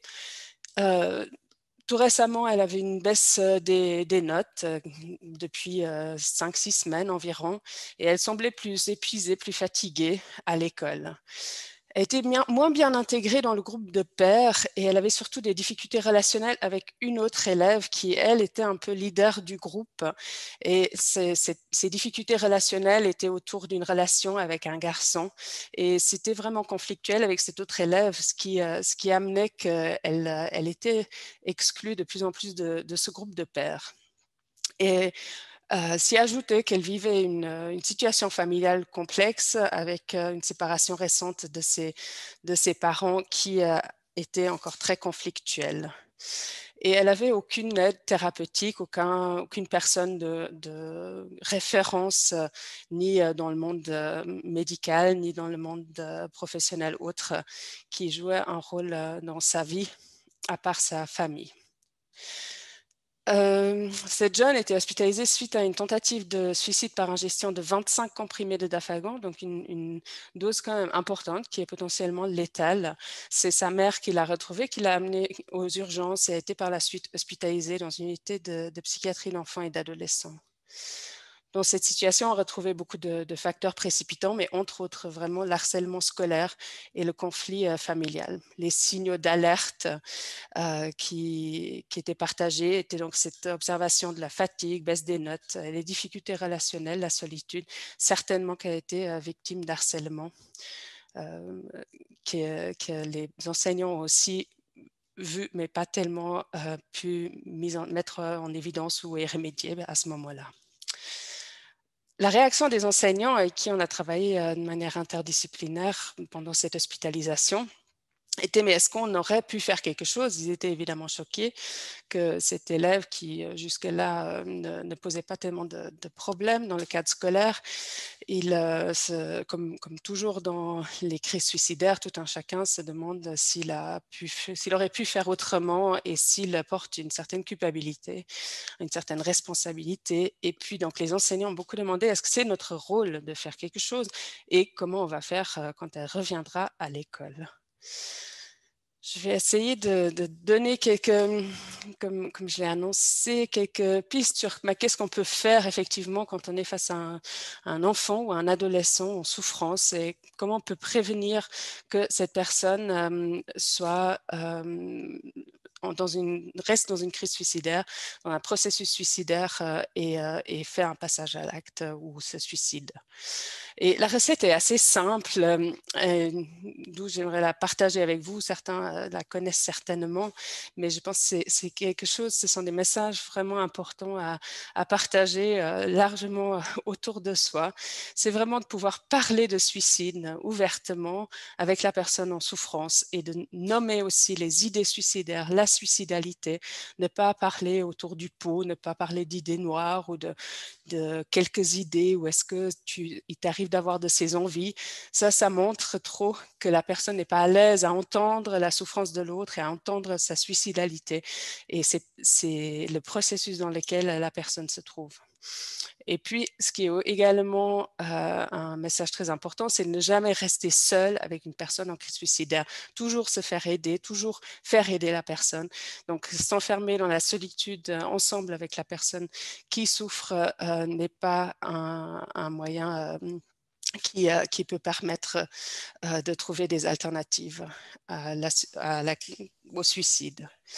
Euh, ce qui est également euh, préconisé dans la prévention suicide, c'est limiter l'accès aux moyens envisagés, comme euh, sécuriser un pont mythique pour le, suicide, par exemple. Ça apporte beaucoup de, bénéfices et, les études montrent une, une, réelle diminution du taux de suicide suite à de telles protections. Euh, donc l'important, c'est vraiment de pouvoir accompagner avec ouverture et sans jugement euh, la personne en souffrance pour aider la personne à trouver ses propres alternatives. Il ne s'agit pas de nos solutions, il ne s'agit pas de nos propositions, mais c'est la personne qui doit elle-même pouvoir voir à nouveau, percevoir des nouvelles alternatives au suicide. Mais alors pourquoi c'est si difficile si la recette est si simple? Euh, C'est dû à beaucoup de facteurs, mais les, obstacles principaux sont certainement nos idées reçues, les représentations euh, qui sont très répandues dans, toutes les sociétés et euh, qui, ont, une forte influence sur notre posture qu'on va avoir dans l'accompagnement d'une personne en crise suicidaire. Ces idées reçues sont marquées par la culture, évidemment. Euh, le suicide reste un grand tabou. C'est un interdit aussi. Dans certains pays, c'est totalement interdit. On va en prison si on fait une tentative de suicide. En Suisse, c'est pas officiellement interdit. Il n'y a, euh, il a pas de, répercussions euh, légales. Par contre, il n'y a pas si longtemps, les personnes suicidées n'avaient pas le droit d'être enterrées au cimetière. Ça montre bien le, le tabou et l'interdit qui, euh, qui avait aussi dans notre culture et qui, persiste encore euh, en grande partie. Il y a aussi le côté intime des idées suicidaires, de parler de la mort, de, parler euh, des idées suicidaires. Ça peut paraître trop intime, comme parler de la sexualité peut paraître trop intime ou trop intrusif. Et beaucoup de personnes ont des difficultés à l'aborder ouvertement. Et puis, il y a notre propre peur de porter une certaine responsabilité. Parce que du moment qu'on sait que l'autre a des idées suicidaires, euh, on, on, pense qu'on a une plus grande responsabilité ou que si jamais il passe quand même à l'acte, on aurait une culpabilité ou on pourrait être condamné ou autre. Du coup, euh, comme de même que pour les résistances euh, euh, aux premiers secours somatiques, hein, qui existent aussi, qui sont largement répandus, beaucoup de gens n'interviennent pas lorsqu'ils se retrouvent face à une personne qui, est en arrêt cardiaque parce qu'elle se dit, mais si jamais je fais faux, mais dans le fond, est-ce qu'on peut vraiment faire faux quand une personne est, tellement mal qu'elle risque de mourir ou pour les premiers secours somatiques, qu'elle est même euh, probablement décédée. Euh, est-ce qu'on peut faire faux et qu'est-ce qu'on ce qu'on risque réellement En tout cas, d'un point de vue légal, rien. Et d'un point de vue humain, c'est plutôt ne pas porter assistance qui, euh, qui est un, réel risque pour, pour nous et pour la personne surtout. Donc, on n'a aucun risque lorsqu'on intervient et surtout beaucoup de vies peuvent être sauvées c'est euh, vraiment important de, faire circuler ce message. Et euh, les représentations du suicide dans la société, donc les idées reçues qui nous bloquent à intervenir. Et quand je dis nous, euh, j'y mets également les soignants, c'est pas que le monde scolaire ou autre. Tout un chacun a des difficultés et il faut travailler sur ses difficultés, ses propres difficultés, ses propres représentations, sa posture face au suicide pour pouvoir être euh, dans un accompagnement plus ouvert, plus, libre et plus juste d'une personne qui, euh, qui a des idées suicidaires je voulais partager avec vous quelques idées reçues qui sont très répandues, comme le suicide est un choix. C'est évidemment euh, quelque chose qu'on entend beaucoup, c'était son choix. Euh, quand on entend les personnes qui ont fait des tentatives de suicide, elles disent toutes ce n'était pas, un choix, c'était une absence de choix pour moi. Je n'avais pas d'autre choix que de passer à l'acte pour euh, diminuer, mettre fin à cette souffrance insupportable. Ils ne voient pas d'autres possibilités, donc ça, un choix, euh, c'est pas un choix entre plusieurs possibilités. Une autre idée reçue, c'est une personne qui dit qu'elle va se suicider, ne va pas passer à l'acte. Là également, euh, c'est une idée erronée très répandue. Euh, donc, mentionner le suicide est toujours un signe de souffrance qui doit être considéré avec attention. Ça ne veut pas dire que toutes les personnes qui mentionnent le suicide vont forcément euh, se suicider, mais c'est un signe de souffrance, ça peut être un appel à l'aide, mais en tout cas, c'est prendre avec attention et au sérieux. Et puis, une des idées reçues les plus importantes et qui empêche probablement le plus euh, la, bonne prévention suicide, c'est que parler de suicide à quelqu'un peut lui donner envie de le faire. Cela est totalement faux. C'est en aucun cas juste. Donc, évoquer la problématique suicidaire avec quelqu'un en souffrance, c'est lui donner le message, vous pouvez en parler avec moi. Ce n'est pas un sujet tabou. Je peux entendre votre souffrance, je peux entendre ce que vous avez à dire. Le fait d'en parler franchement peut réduire son isolement face aux idées suicidaires. Je vais vous donner euh, quelques informations sur euh, l'évolution donc euh, ou sur, la vignette clinique, donc sur Eva pendant l'hospitalisation, elle fait part qu'elle avait une personne de confiance à l'école qui était euh, son enseignant de musique, mais que c'était la seule personne à qui elle, avait une certaine envie de, se confier. Donc, seul cet enseignant aurait pu lui prodiguer les premiers secours, en quelque sorte, entendre sa, sa souffrance et aider Eva à recevoir de l'aide professionnelle, l'accompagner vers l'aide professionnelle.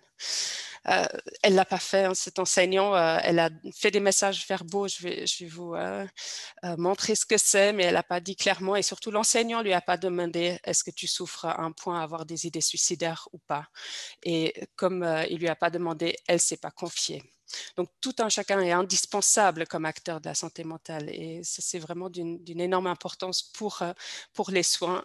Euh, on, ne peut pas nous faire des, euh, offrir les bons soins aux personnes qui en ont vraiment besoin si les personnes qui en ont besoin n'arrivent pas à être amenées aux soins par leur entourage. Là, ça peut également être le concierge, la personne de confiance. Donc, ça, a été nommé, mais effectivement, l'importance de tout un chacun dans l'entourage des, jeunes, euh, des, enfants et des adolescents en souffrance.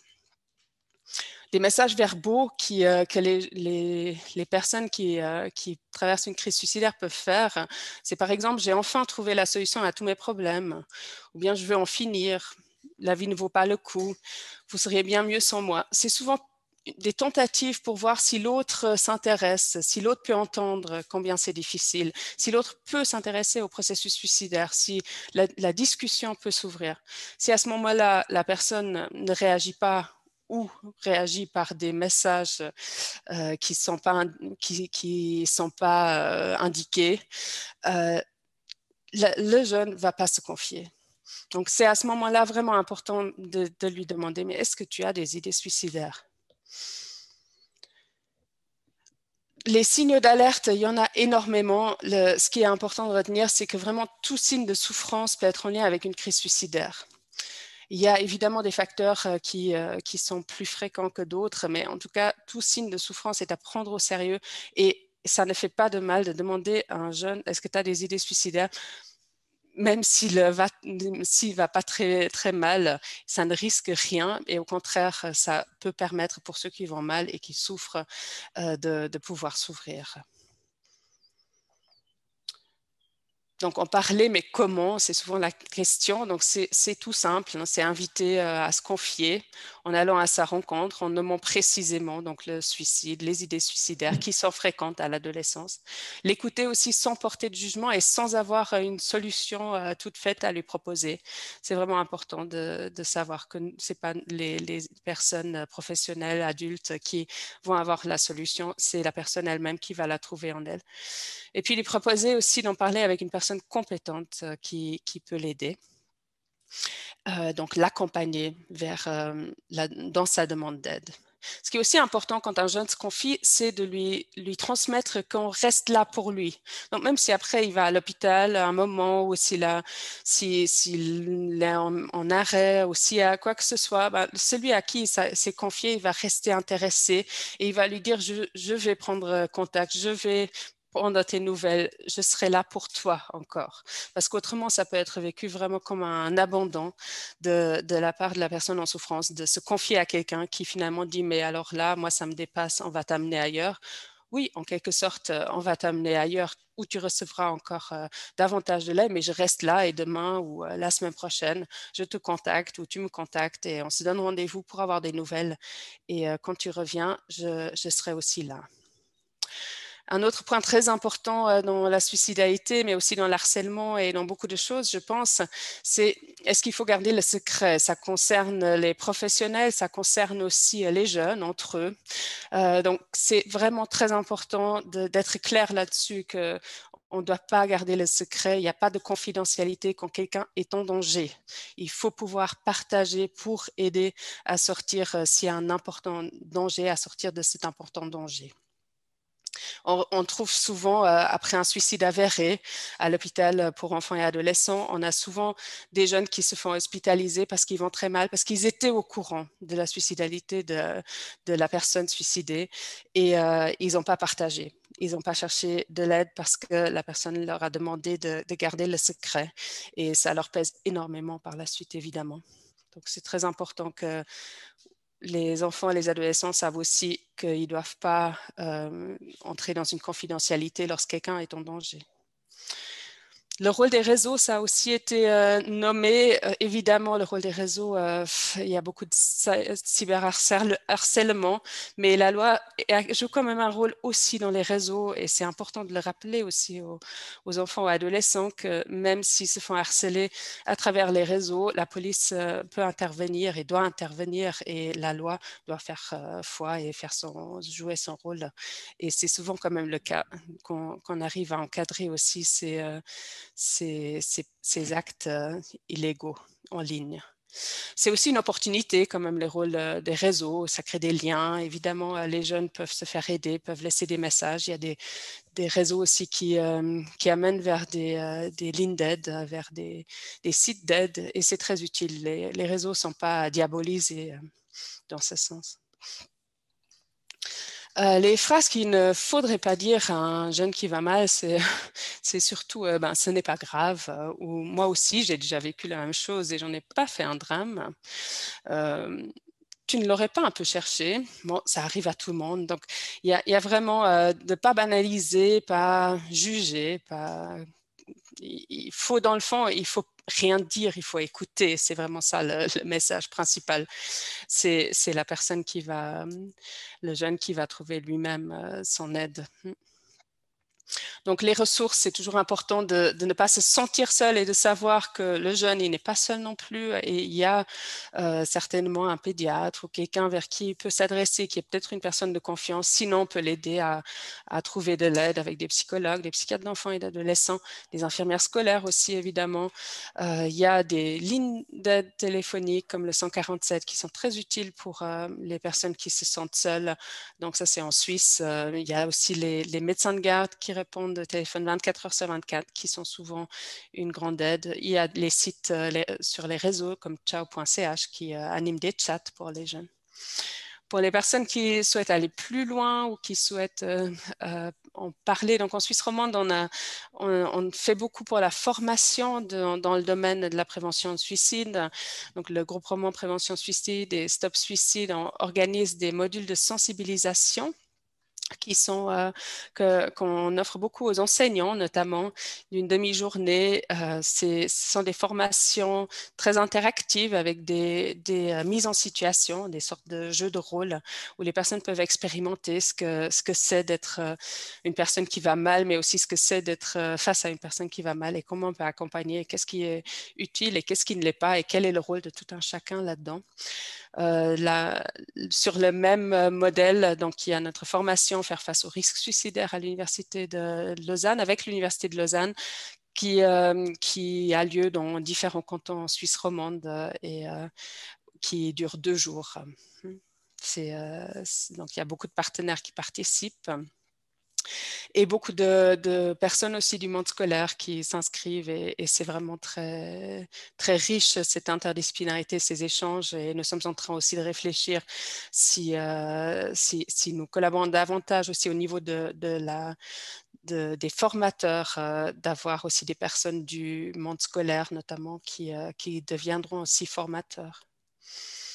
Euh, en Romandie, on a écrit un livre, c'est la prévention du suicide. Il y a Philippe Stéphane qui, euh, me suivra.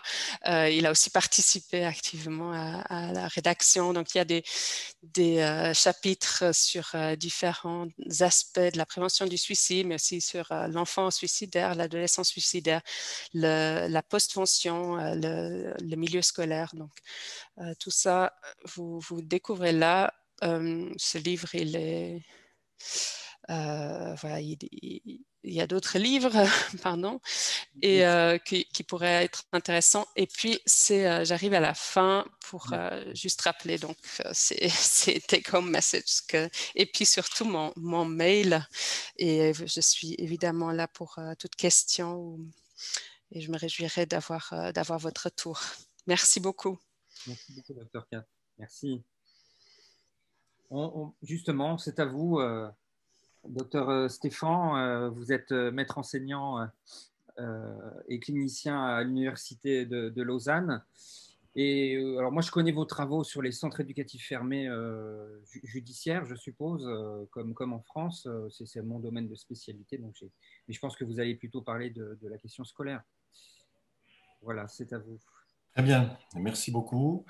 Alors moi, je n'ai pas d'écran à partager, euh, donc je, là, je vais partager que des paroles. Euh, merci de, m'inviter euh, à, parler de, ce sujet qui est, évidemment tout à fait important, intéressant. J'ai beaucoup apprécié tout ce qui s'est dit. ça a suscité évidemment un peu de, réflexion. Alors, en effet, je vais vous parler du fait que ça fait à peu près 25 ans que je, je suis au SUPA, donc service universitaire de psychiatrie de l'enfant et de l'adolescent j'ai un peu navigué dans ce service avec différents euh, euh, intérêts, différentes euh, unités, et finalement, en effet, avec une, oh, expertise quand même autour de la délinquance. ce qui fait que je vais parler un peu de cette expérience, notamment donc de la rencontre d'adolescence, un, un, peu plus de l'adolescence. Ah, attends. Euh, vous a demandé de démarrer votre vidéo. Pardon? Il y a un souci? Non? Et si vous pouvez désactiver vos microphones, s'il vous plaît. D'accord. Alors donc du coup, euh, je vais parler plus de la délinquance des adolescents et du lien de cette délinquance euh, avec l'école et aussi donc euh, avec la question de l'harcèlement. je, veux peut-être amener l'idée qu'il y a quand même une forme d'agressivité, entre guillemets, dite naturelle, dans le vivant. Hein, on a un peu parlé de ça et je trouve que c'est intéressant de voir comment finalement, si on regarde dans les garderies, j'ai des petits-enfants aussi, et je vois bien que euh, dans une garderie, jusqu'à 2 ans, 3 ans, c'est quand même un peu le Bronx. Hein, et euh, l'agressivité, euh, voire la violence est, prédominante et, permanente. et que donc, progressivement, en effet, on acquiert finalement une forme d'empathie par rapport à l'autre, mais cette empathie, elle naît aussi beaucoup du fait de la reconnaissance que nous avons peut-être les mêmes désirs et que si nous avons les mêmes désirs, évidemment, euh, une certaine compétition, un certain conflit et donc une certaine violence peut naître de ces, de ces désirs. Alors ça se calme un peu et puis ça se rejoue au moment de l'adolescence où ce que je pourrais dire, c'est que euh, c'est un grand moment de fragilité. Et dans, cette, dans ce moment de fragilité, on retrouve à ce moment-là une forme de menace, il me semble, sur l'individu. Et quand l'individu se sent menacé, eh bien souvent, il menace ou il va justement amener quelques violences. et j'ai beaucoup moins rencontré du coup de, qui, se sentent toujours victimes, alors que c'est les harceleurs, donc je vais parler un peu du côté des harceleurs, euh, que je rencontre beaucoup finalement. Euh, on, m'adresse aussi évidemment des, victimes, mais euh, après je ne sais pas combien d'années donc de, de, de, rencontres de ces adolescents quotidiennement, ils sont toujours victimes. C'est-à-dire que tous les adolescents que j'ai vus qui ont agressé quelqu'un d'autre me disent qu'ils étaient victimes. Alors ça, ça, ça, quand même, ça questionne. Et euh, ils ont souvent l'impression d'être dans une forme d'injustice et que euh, finalement l'acte qu'ils vont avoir sur l'autre, euh, c'est de rééquilibrer les questions d'injustice.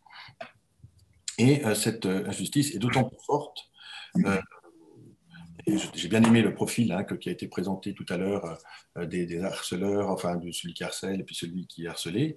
Euh, moi, je, trouve qu'il y a beaucoup de similitudes finalement entre les deux, c'est-à-dire qu'on retrouve le statut d'une forme de fragilité et que cette fragilité, euh, qu'elle soit montrée, on l'a dit, avec le handicap, euh, elle vient souvent, souvent menacer celui qui est fragile mais qui ne se voit pas. Ça ne se voit pas.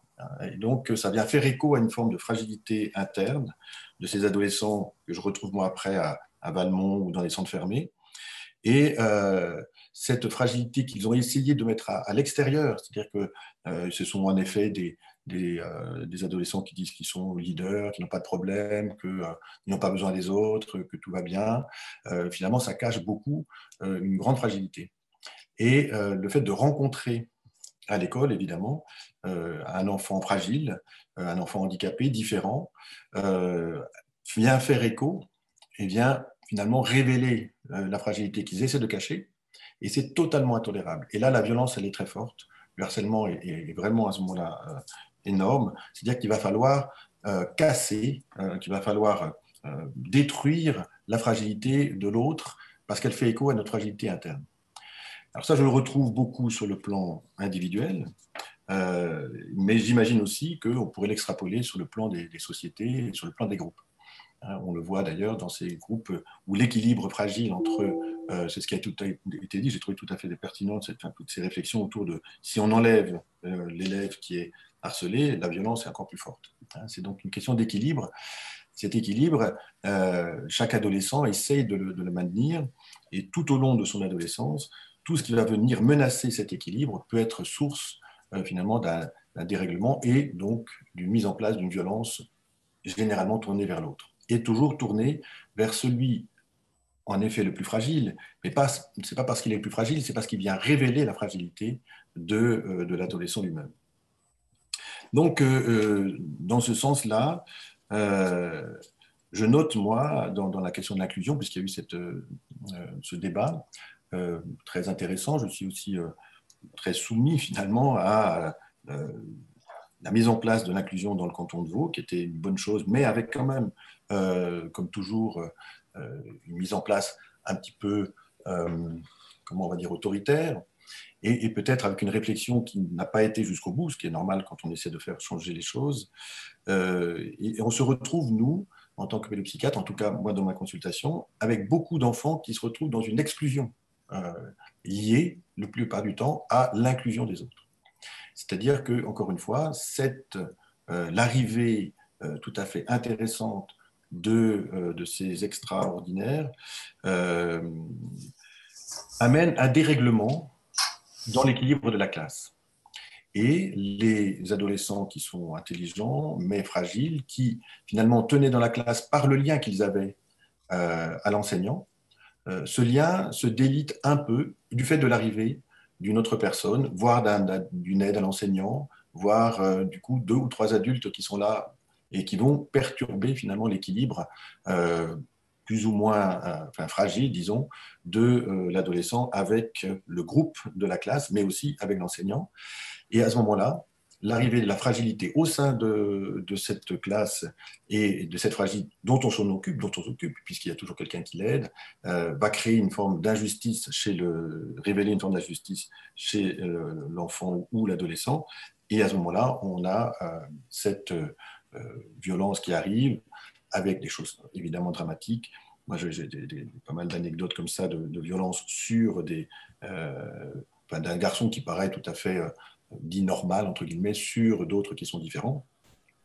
Et que finalement, on se retrouve à ce moment-là à, être dans un harcèlement inverse, c'est-à-dire que c'est celui qui harcèle, le harceleur de la fragilité, qui va se retrouver, lui, harcelé par l'ensemble de l'école et se fait exclure, euh, récemment, la, semaine dernière, c'est un nouveau cas, un enfant de 13 ans qui est exclu par la direction, par tout le monde, parce que justement, au nom de, la tolérance, euh, et qui lui ne supporterait pas euh, finalement de, la différence d'un camarade, euh, ben, à ce moment-là, se retrouve lui-même exclu. Donc on est à ce moment-là quelque chose d'un petit peu particulier, un peu paradoxal, et que comment finalement instaurer aussi une aide à ces enfants qui ont finalement un handicap qui n'est pas celui, j'ai bien aimé cette notion d'un handicap qui serait un peu visible, ou d'un handicap un peu psychique qui n'est pas visible comme ça à l'œil. Donc, euh, euh, je, me suis beaucoup penché sur l'idée que, euh, ça a été redit, le climat de l'établissement, le climat d'une classe, est, évidemment donné par l'enseignant, est particulièrement important pour redonner un peu confiance au groupe classe. Hein, puisque si cette confiance en soi, ce narcissisme du groupe classe n'est pas suffisamment fort, en effet, le déséquilibre arrive et on a ce qui a été dit, c'est-à-dire qu'on trouve vite un bouc émissaire pour que la violence soit à ce moment-là, euh, euh, disons, traversée ou en tout cas euh, répercutée sur une seule personne et non pas dans le groupe ensemble. Hein, donc plus le groupe se sent menacé, plus il va chercher un bouc émissaire, c'est quelque chose qui est connu depuis la nuit des temps. Donc ça, c'était un élément que je voulais amener. Et puis, il y avait aussi une autre, question qui arrive de plus en plus, mais qui sera abordée après par Niels Weber aussi, c'est la question du harcèlement et du cyberharcèlement. Euh, je dois dire que c'est quelque chose qui nous est de plus en plus demandé au niveau scolaire. Et, euh, là, je vois à la fois la victime et à la fois ceux qui ont euh, été donc des, des harceleurs. Et la question intéressante, c'est de se dire que la plupart du temps, il y a la sexualité qui entre en jeu dans ce type d'harcèlement. pas toujours, bien sûr, mais euh, il se trouve que souvent, euh, le, le, cyberharcèlement qui inquiète, c'est euh, autour de la sexualité. Alors là, je ne veux pas être très politiquement correct, donc j'espère que ça, pourra passer, ce que je vais raconter.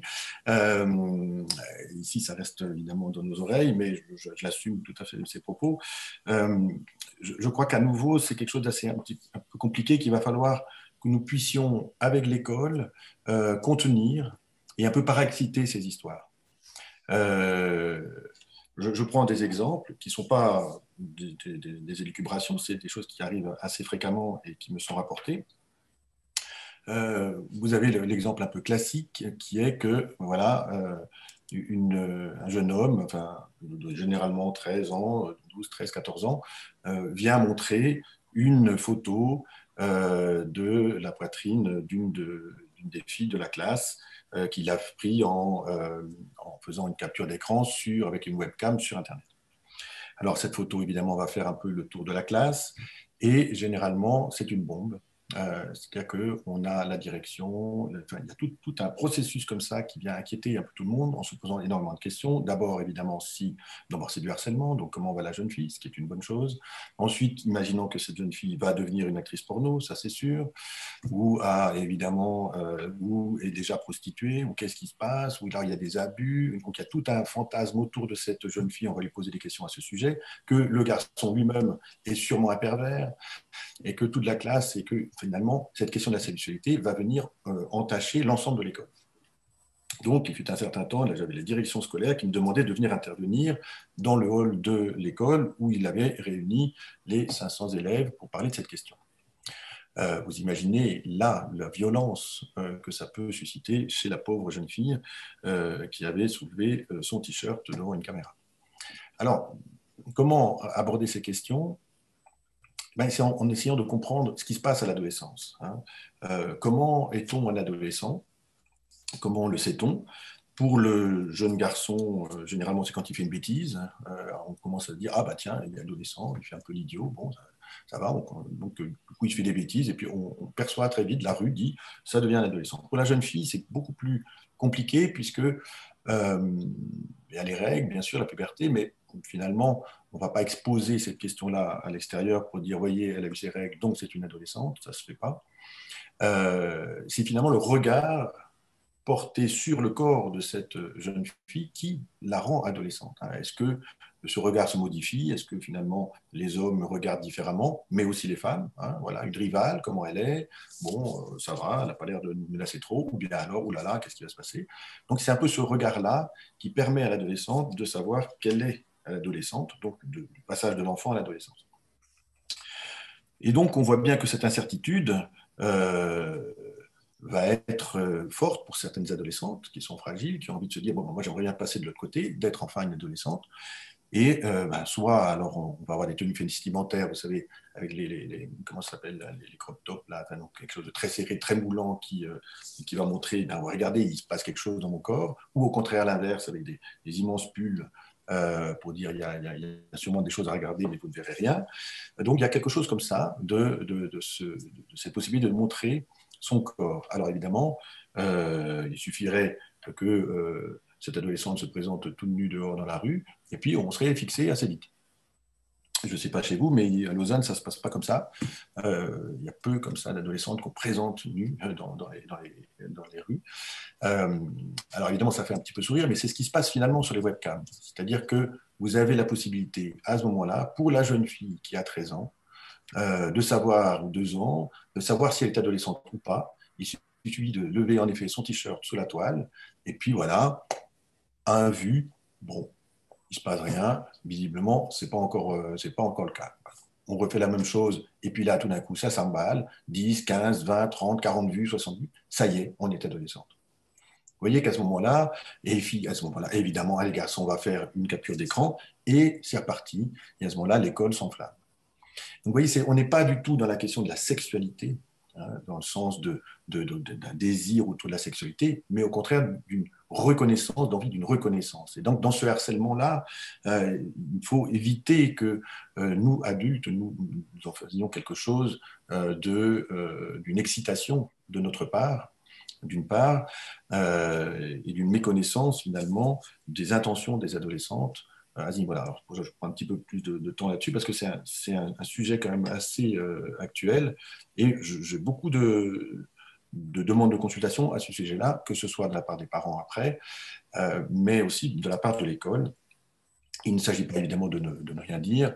Euh, de façon assez triviale, je, préconise, je discute avec l'enseignante, puis je dis, ben voilà, prenez le, téléphone, vous montrez à tout le monde dans la classe, ça y est, une nouvelle paire de seins est arrivée au monde, on la salue, c'est parfait, merci beaucoup, quand ce sera la prochaine, on verra ce qui se passe, et maintenant tout le monde au travail. Donc, euh, on n'est pas menacé par ces questions-là. Ça ne nous intéresse pas plus que ça. Et évidemment que derrière, on peut tout à fait proposer à l'adolescent d'aller voir l'infirmière scolaire, de voir un peu ce qui s'y passe, parce qu'il y a des questions qui sont difficiles. Je ne veux pas euh, minimiser les problèmes et, banaliser les choses, euh, mais je veux dire qu'il y a des préventions à faire, un travail à faire à ce niveau-là, bien sûr, avec l'adolescente, mais ne pas enflammer l'ensemble et ne pas montrer que finalement parce que ça peut devenir un harcèlement qui va intéresser et qui intéresse beaucoup les, ados. Ils sont tous sur leur portable et la question de la sexualité, c'est leur problème et non pas d'essayer de savoir si ça nous intéresse, nous, la sexualité des ados. Hein, je crois que c'est vraiment important de pouvoir bien séparer ces choses-là pour qu'on puisse retrouver de l'intime. Parce que dans le harcèlement, finalement, il y a une confusion. Hein. C'est vraiment quelque chose de je te fais mal euh, pour que tu saches combien moi j'ai mal. On a ça dans le harcèlement. Donc c'est une confusion euh, au niveau de l'intime. Donc si on peut retrouver des moyens de mettre des limites dans l'intimité, je pense que ce sera tout, tout bénéf pour, euh, pour ces adolescents et ces adolescentes. Euh, voilà un petit peu ce que, ce que je voulais, ce que je voulais vous, témoigner cet après-midi. voilà, je vous remercie. professeur Stéphane. Je, crois d'ailleurs qu'un colloque est prévu en décembre avec vous, hein, aussi sur la question de délinquance et monde scolaire. Donc on pourra largement poursuivre cette, cette exploration. Bon, je, j'évite les transitions là parce que c'est vrai que ça commence à être long pour tout le monde. Donc, je vais tout de suite euh, passer la parole à, à, Niels Weber qui nous a rejoint. Merci, merci d'être là. Euh, vous êtes euh, psychologue et, thérapeute, mais je vous laisse préciser les choses pour notre auditoire. Merci. Volontiers, merci. Est-ce que vous avez besoin du partage? Oui, s'il vous plaît.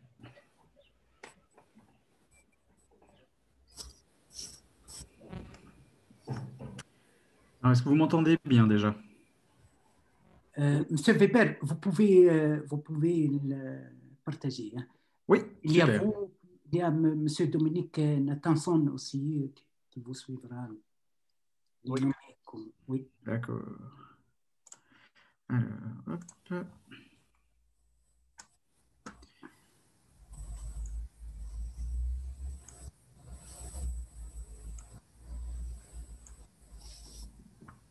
Voilà.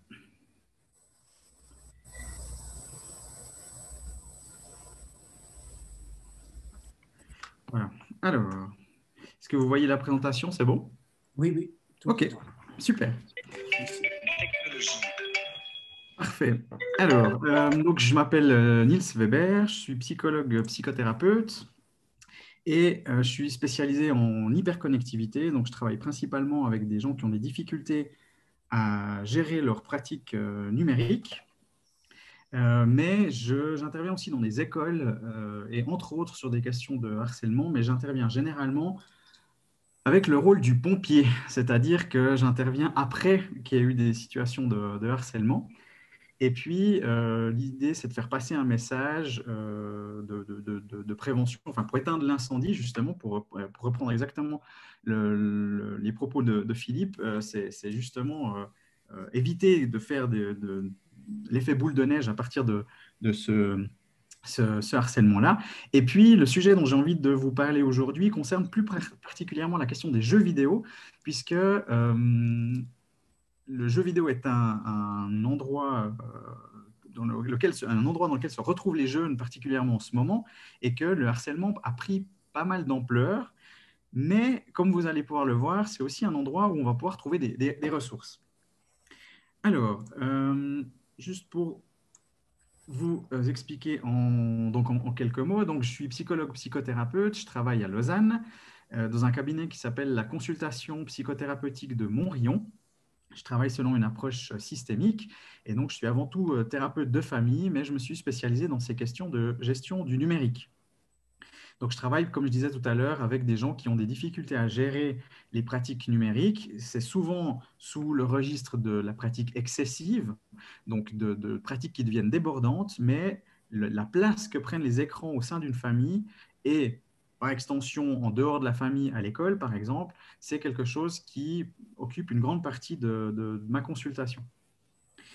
Euh, si, euh, si, vous avez des, questions, évidemment, euh, je, suis volontiers à disposition pour y répondre par mail. Je vous ai mis ici mon, adresse, mais vous pouvez aussi me contacter avec les différents moyens que vous voyez ici, que ce soit via les sites web ou les comptes Twitter qui y sont associés. Je suis volontiers à disposition pour échanger.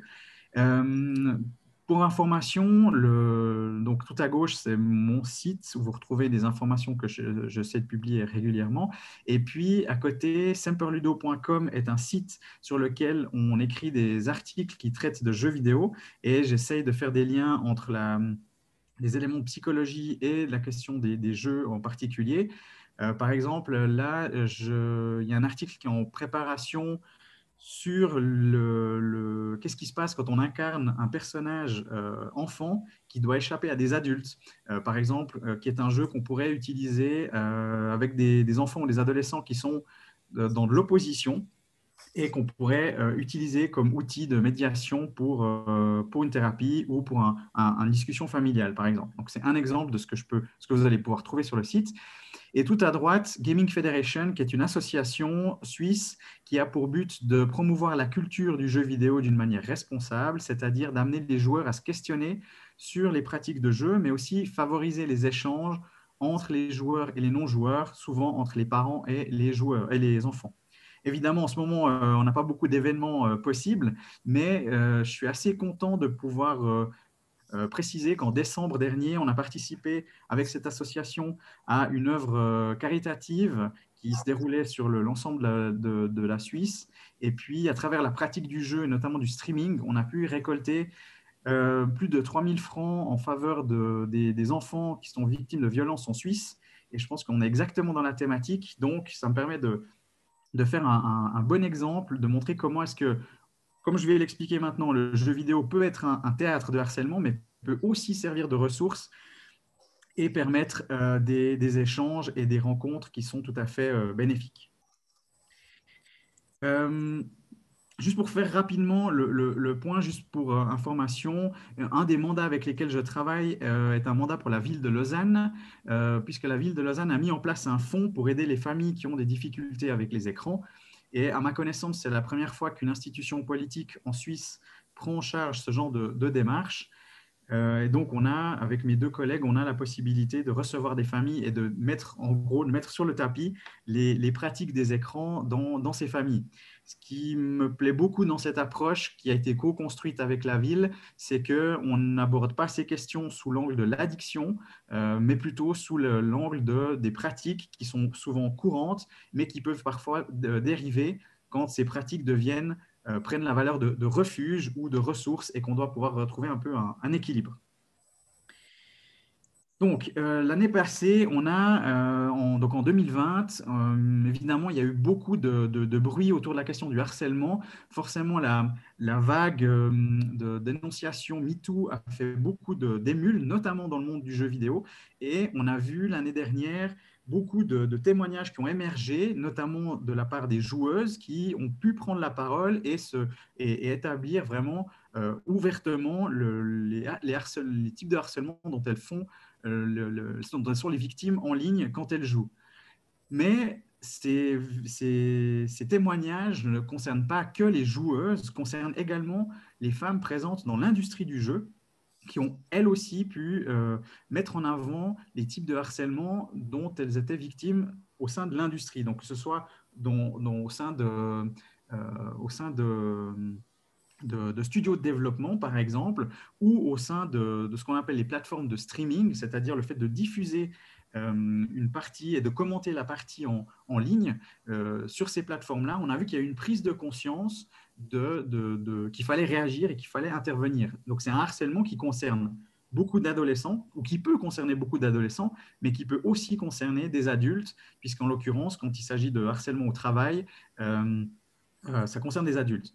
Ça nous permet surtout de voir que le jeu vidéo reste un domaine qui a une image très masculine, dans laquelle les femmes ont peu de place, même s'ils en prennent de plus en plus, et c'est une excellente chose, mais on voit que c'est encore un média qui souffre de beaucoup de clichés, que ce soit dans la vision qu'on en a ou dans la manière dont on le conçoit.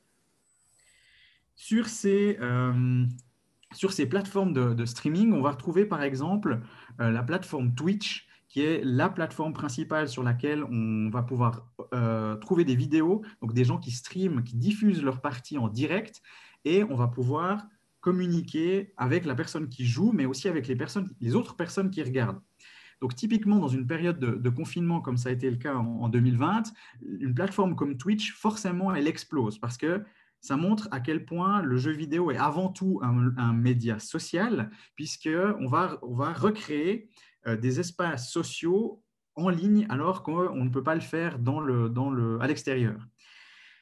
Pour moi, le, phénomène de Twitch, c'est exactement ce que euh, peut-être les, joueurs parmi vous des années 80, euh, 90 ont connu, euh, où on, avait une seule manette et il fallait se passer la manette chacun son tour. Et même si on avait qu'une seule personne qui jouait, on avait peut-être les copains ou les frères et sœurs qui regardaient ce qui se passait.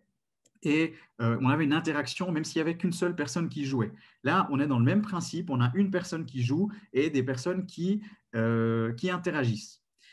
Donc, pour moi, c'est plutôt une chose intéressante à, étudier, mais forcément, euh, on va voir aussi des débordements puisque certains comportements vont devenir problématiques, puisque certains euh, viewers, certaines personnes qui suivent ces streams se permettent des comportements euh, déplacés en, harcelant soit la personne qui est en train de jouer, soit d'autres personnes qui sont en train de suivre la partie également. Donc là aussi, on a une prise de position de la part de Twitch qui a annoncé donc l'année dernière qu'à partir de maintenant, euh, ils allaient être plus regardants sur euh, certaines réactions de, leurs clients et euh, vont pouvoir maintenant bannir. Et on a vu que c'est efficace. C'est-à-dire qu'ils le font vraiment, ils, peuvent bannir des gens qui ont un comportement déplacé. À savoir qu'ils peuvent aussi bannir des, gens qui, qui diffusent du contenu qui serait déplacé. Et ça, euh, c'est intéressant de voir qu'il y a vraiment cette prise de conscience qui, émerge. Forcément, quand on parle de, harcèlement, notamment euh, en, lien avec le, jeu vidéo, vous voyez, on parle de, harcèlement et de sexisme, donc forcément, on a l'impression que ça ne touche que des femmes.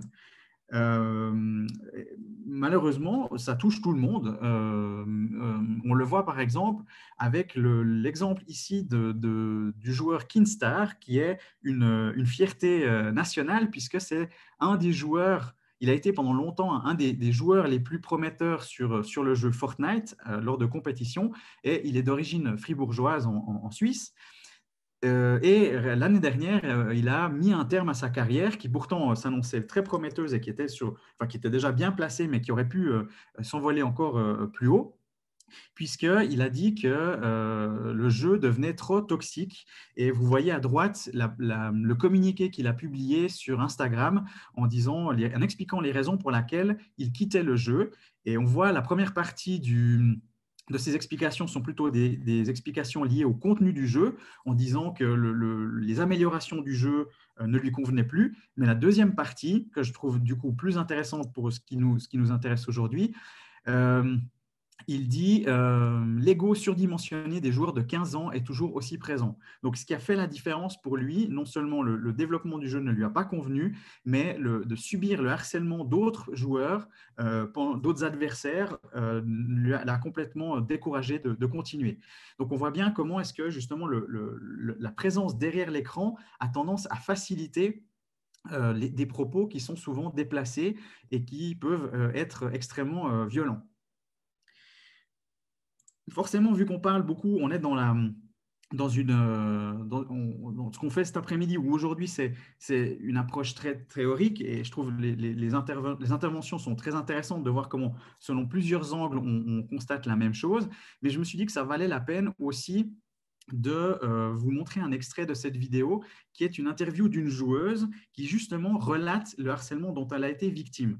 Et je pense que c'est très intéressant d'avoir les propos réels d'une personne qui a vraiment vécu ce genre de situation pour se faire une idée de ce qui peut vraiment se passer en ligne. Donc, euh, je vais vous diffuser un extrait de cette vidéo et je vais vite vérifier si... Euh, vous avez mis votre son. Hein. Justement, c'est ce que je suis en train de vérifier. Euh, alors, normalement, ça devrait jouer. On va voir. Dites-moi si vous entendez. J'ai reçu beaucoup de menaces de viol, menaces de mort. Ils menacent aussi mon entourage en disant que si je ne fais pas ce qu'ils veulent, à savoir me suicider, bah, que sur le côté, ils s'en prendront à mon entourage jusqu'à ce que j'en puisse plus moralement et que je décide juste de passer à l'acte pour que tout s'arrête. Je m'appelle Manon, j'ai 20 ans, euh, je suis streameuse et donc euh, je diffuse euh, des jeux vidéo sur une plateforme qui s'appelle Twitch. Donc en gros, il y a mon jeu qui apparaît à l'écran pour les utilisateurs, ainsi que ma webcam. Et alors, les gens peuvent interagir avec moi via un chat. Maintenant, c'est devenu euh, mon métier à part entière. Ça a commencé euh, un soir, j'étais en live et ce soir-là, en fait, j'ai reçu beaucoup, beaucoup de notifications sur ma plateforme Discord. Il y a 200-300 euh, personnes qui ont rejoint mon serveur en une fois. Ils ont commencé à poster euh, beaucoup, beaucoup de messages, enfin beaucoup de photos d'enfants qui étaient décapités, démembrés, de femmes qui étaient décapitées, etc. Je panique, je sais pas quoi faire, je me mets à pleurer en direct.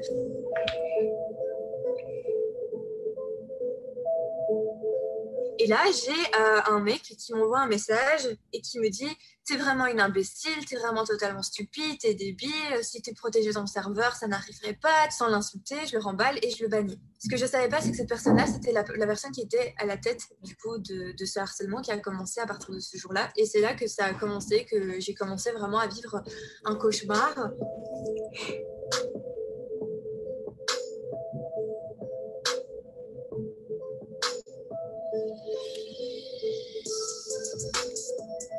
Ces personnes-là, elles ont fouillé tous mes réseaux sociaux. Du coup, elles avaient découvert que j'avais été, euh, que j'avais été abusée.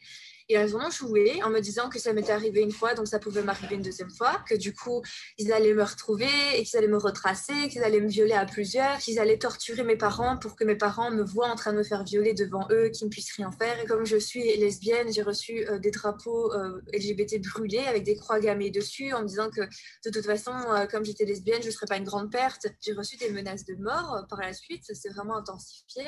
Et là, du coup, je reçois un message un soir d'un mec qui me donne le nom et prénom de mon parrain, le nom et prénom de mon père, de mon ex-petite amie. Il me sort des photos de mon père, des photos de mon parrain, des photos de mon ex-copine. A 24 heures pour en faire ma dédicace. Et là, je reçois des messages sur Twitter de quelqu'un qui me dit écoute, leur objectif, c'est que tu mettes fin à tes jours. Si tu veux que ça s'arrête, qu'on arrête de s'en prendre à ton entourage, suicide-toi, c'est la seule solution que tu as. Les jours passent, etc. Et là, je reçois des menaces envers mes collègues de travail. Ils ont retrouvé du coup un de mes collègues et ils ont commencé à m'envoyer des photos de mon collègue avec sa famille et à menacer mon collègue. Je suis mise à l'écart de mon travail parce que bah, du coup, ça s'en prend à mon collègue. Donc, on me dit écoute, le mieux, c'est que pour l'instant, tu te fasses un peu oublier, histoire que tes collègues n'en pâtissent pas trop. Tout mon univers est impacté, que ce soit mes relations privées, mes relations professionnelles. J'ai perdu des partenariats de gens qui m'ont dit écoute, vu le harcèlement que tu subis, on ne peut pas prendre le risque de travailler avec toi. C'est assez dur moralement parce que du coup, on n'est pas le problème directement, mais on a l'impression de l'être. Pendant plus de quatre mois, j'ai continué à subir du harcèlement tous les jours. J'étais obligée de prendre des, médicaments pour m'aider à dormir, jusqu'au jour où j'ai craqué. Je suis vraiment comme une crise d'angoisse chez moi. Et donc, bah, je décide de, prendre une pause de deux semaines. Et en fait, j'avais créé un groupe sur Discord. Dans les messages, j'ai dit il faut attaquer aujourd'hui ou demain parce que c'est le moment où elle est le plus vulnérable et c'est là où elle va passer à l'acte et elle va suicider. Et on aura fini avec elle. J'ai apporté plus de 1000 preuves à la police, plus de 1000 screens j'ai fait des enregistrements vidéo et audio où le mec il m'insulte de tous les noms et où il me dit juste que de toute façon euh, il finira par me tuer d'une manière ou d'une autre. J'ai clairement l'impression en fait que la police se retrouve impuissante face à ça parce que pour eux c'est du virtuel. Le seul truc qu'ils me conseillent c'était oui bah écoute tu devrais arrêter, tu devrais arrêter ce que tu fais euh, jusqu'à ce que ton dossier soit clôturé.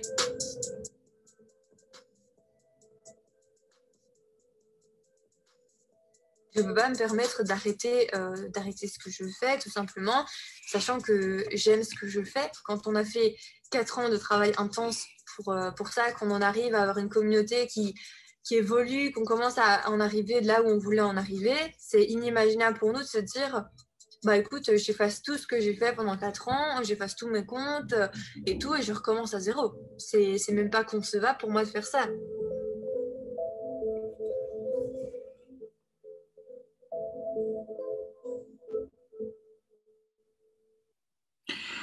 Ce qui, me paraît important là-dedans, c'est que ça fait écho aussi à ce qui a été dit tout à l'heure par Madame Cap, notamment sur le fait que on voit que le, fait qu'elle ait déjà été abusée par le passé devient une sorte de, motif pour euh, euh, reharceler cette personne.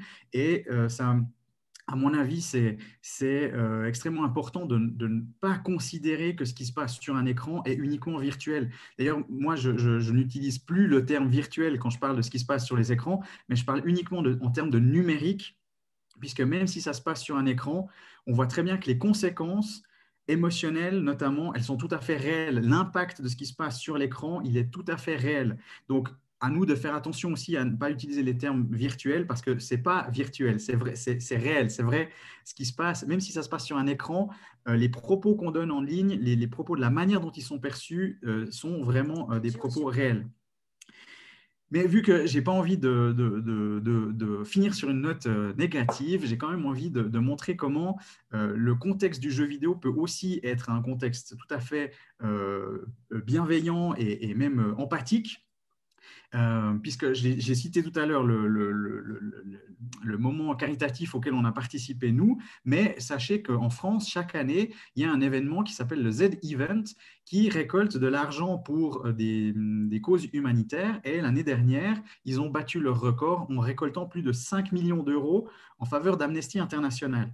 Et ça, c'est créé parce que euh, cette mobilisation est possible parce que en ligne, il y a une communauté qui se crée, il y a des espaces de communication qui se créent et on arrive à susciter des émotions tout à fait positives et de l'empathie et, de la, bienveillance à travers le jeu vidéo aussi. Donc, pour euh, conclure mon, intervention, en fait, si l'idée c'est de prévenir le harcèlement en ligne, je pense qu'il y a deux choses qui sont fondamentales. La première, c'est de ne pas considérer que ce qui se passe sur un écran est, virtuel, virtuel, mais de considérer que c'est du numérique avec des impacts réels.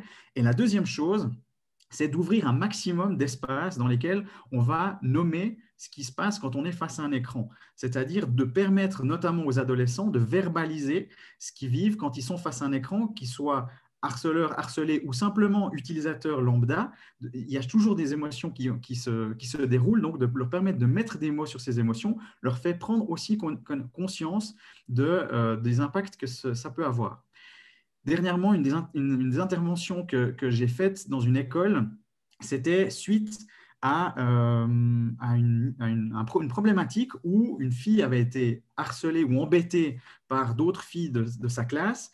Et pour se venger, elle avait euh, pris en photo les, ses copines qui sortaient de la douche euh, à, la, à, la, gym. Et elle avait publié ça sur Snapchat. Et effectivement, comme, exactement comme Philippe le décrivait avant, ça se propage rapidement, ça passe et ça fait, ça fait l'effet d'une bombe où on se dit il faut, il faut, il faut réagir.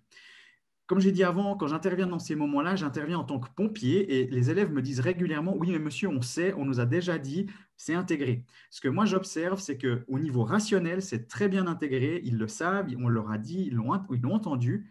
Mais dès que ça devient émotionnel, c'est-à-dire que cette fille, par exemple, qui euh, était, euh, a été surchargée émotionnellement par l'agression des autres, le rationnel, il passe à la trappe et ça devient uniquement émotionnel. Et on ne, réagit, on ne réfléchit plus, on, agit tout de suite.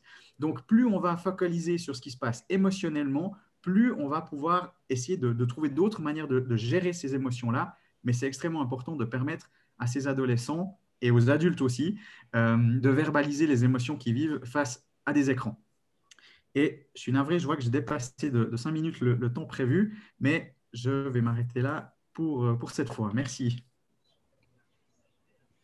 Merci beaucoup, Neil. C'était vraiment passionnant. Euh, j'ai eu à assister à une conférence de Frédéric Tordeau en France, qui est un psychologue aussi très très connu sur les questions des avatars.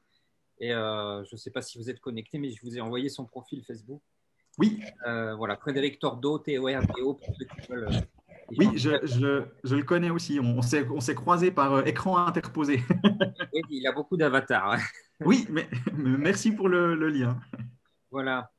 Euh, bah, Excuse, Julien, j'aimerais bien aussi signaler que euh, qu'on revient aussi, nous sommes en train de collaborer avec euh, M. Neil Webers. On a organisé l'autre fois un colloque en ligne sur radicalisation euh, juvénile, le, discours euh, de haine en ligne et on va organiser aussi avec euh, lui prochainement en décembre délinquance et école. Merci beaucoup. Merci Monsieur Weber pour votre présence. Avec plaisir. Merci Monsieur. Merci pour l'invitation. Tout l'honneur pour nous. Bon, mais je vois que la jauge évolue entre 60 et 70 participants depuis, depuis 13h30, donc vraiment ça montre l'intérêt, l'intérêt de, votre temps euh, et la qualité de nos intervenants. Je, vous cède euh, la parole, euh, Monsieur Nathanson. Merci encore d'être, d'être là. Hein. Je vous vois dans, dans la forêt, dans votre forêt depuis. Merci de nous la faire partager. Mon rosier, mon rosier. vous êtes enseignant pédagogue et je crois militant pour la paix. Vous allez nous expliquer tout ça. Oui, vous m'entendez là? Oui, oui. J'aimerais bien euh, signaler que euh, mon cher ami euh, Dominique est le fondateur de l'école de Shoah et actif dans l'Union juive pour le pays. C'est à, toi, Dominique. D'accord. Donc, moi, je suis un militant pédagogique, enfin, en dehors de ma casquette de militant de l'Union juive française pour la paix, je suis un militant pédagogique. J'ai en particulier rédacteur dans la revue Les cahiers pédagogiques. Et je voudrais parler un petit peu des, pratiques pédagogiques inclusives dont parlait Samuel Einstein tout, à l'heure contre l'ordre inégalitaire et en particulier, moi, j'ai écrit par exemple sur le travail de groupe, oser le travail de groupe, c'est une des, choses qui peut permettre aussi peut-être de, faire vivre ensemble dans la classe. Et puis j'ai écrit jouer en classe, en collège et en lycée sur le jeu pédagogique. il y a toute une série de pratiques qui peuvent renforcer quand même le, sentiment du vivre ensemble chez des adolescents. Alors, je, je vois aujourd'hui intervenir sur un aspect particulier qui est, bon, j'appartiens à un courant pédagogique qui est celui euh, de la pédagogie institutionnelle. Euh, vous savez qu'elle a été fondée par euh, Fernand Houry qui, dans le prolongement de Célestin Freinet et de la classe coopérative, a instauré des institutions dans la classe, dans ce cadre coopératif, le, le Quad Neuf, le, le ceinture d'évaluation, le conseil des élèves, dont je vais parler un peu plus longuement. Euh, ces institutions, elles sont euh, des euh, constructeurs du sens de la loi. Par, rapport à la question du harcèlement scolaire, on a souvent des attitudes des adultes par rapport au harcèlement qui sont celles du rappel à la loi, comme, comme le procureur qui fait un rappel à la loi, Or, euh, euh, ça, pose au moins deux questions pour les adolescents ou pour les enfants. D'abord, d'où elle sort cette loi? Euh, et pourquoi les enfants et les adolescents ne la respectent-ils pas? Et en quoi cette loi leur est-elle extérieure? Et puis, le deuxième élément que souligne Fernand Houry, c'est que on risque assez vite d'être dans un face-à-face. Le face-à-face entre l'adulte et euh, entre l'éducateur d'un côté et l'enfant ou l'adolescent harceleur de, l'autre. Et ce face-à-face, euh, euh, il, faut entendre ce que dit Fernand Houry sur cette, cette posture du face-à-face, c'est que pour lui, c'est euh, c'est une attitude, c'est une relation duelle, comme il l'appelle. Euh, euh, il, prononce même le mot de incestuel, c'est-à-dire non pas incestueuse, mais quelque chose qui, relève effectivement de la fusion de, l'enfant et de la mère. Il faut entendre ce que nous disent la psychanalyse. D'ailleurs, Fernand Houry lui-même avait un, frère, euh, Jean Houry, qui était euh, psychiatre à la clinique de la Borde, et, l'apport de la psychanalyse. L'apport de la psychanalyse, c'est par exemple de dire qu'il y a euh, besoin dans la relation pédagogique, comme dans d'autres relations, d'un tiers séparateur, d'un père symbolique qui permette de séparer la relation euh, en face à face d'un adulte avec un adolescent, euh, ça en fait rejouer euh, la, relation autrefois fusionnelle du bébé et sa mère avec le sein de la mère qui lui appartient. On pourrait dire d'une certaine manière, comme le bébé qui s'approprie le sein maternel est dans la toute-puissance, le harceleur aussi est dans, dans, cette toute-puissance. et on sait que rejoue à l'adolescence euh, des mécanismes identitaires euh, qui viennent de, la petite enfance. Euh, et, donc, il faut quelque chose qui, en pédagogie qui permette de séparer et de sortir de, la situation et qui permette, en fait, ce que dit Lacan, c'est le rôle du père, le rôle de séparateur, c'est ce qui permet à, au bébé de finalement accéder au langage et, et à la culture. Euh, mais ce père qui sépare, ce n'est pas forcément le mari euh, pour, pour Lacan, il, parle de père symbolique. Hein, euh, et je pense que dans la pédagogie institutionnelle, on peut penser que les institutions mises en place par l'enseignant jouent ce rôle, ou, même le collectif que peut constituer le, le, conseil des élèves peut constituer ce, ce, père, ce père symbolique. bon, je, vais essayer de, quitter ce discours un, peu, un peu théorique, mais il faut, il faut penser, il faut avoir à, l'esprit qu'il y a, cette, cet aspect, cet arrière, cet arrière-fond dans les institutions de la pédagogie institutionnelle. Le Conseil des élèves, euh, c'est une institution euh, qui se réunit euh, à date fixe, ce qui veut dire qu'elle se réunit pas dans l'urgence ou dans la pression de, la passion. C'est le vendredi matin de 9h à 10h et on n'y discute de problèmes que s'ils sont inscrits par écrit dans un ordre du jour, sur un cahier d'ordre du jour. Et euh, dans, la première colonne, on indique quel est le problème qu'il faut discuter. Dans la deuxième colonne, on fait des propositions euh, qui vont être faites à la classe. Et il y a une troisième colonne qui reste vide et qui sera euh, ce qui sera voté par l'ensemble des élèves.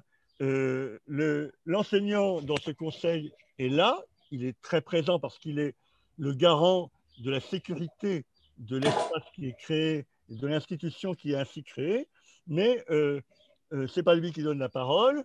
Euh, il, intervient, il modère, il, réduit ses interventions au minimum. Et la, parole est donnée par un président de séance élève.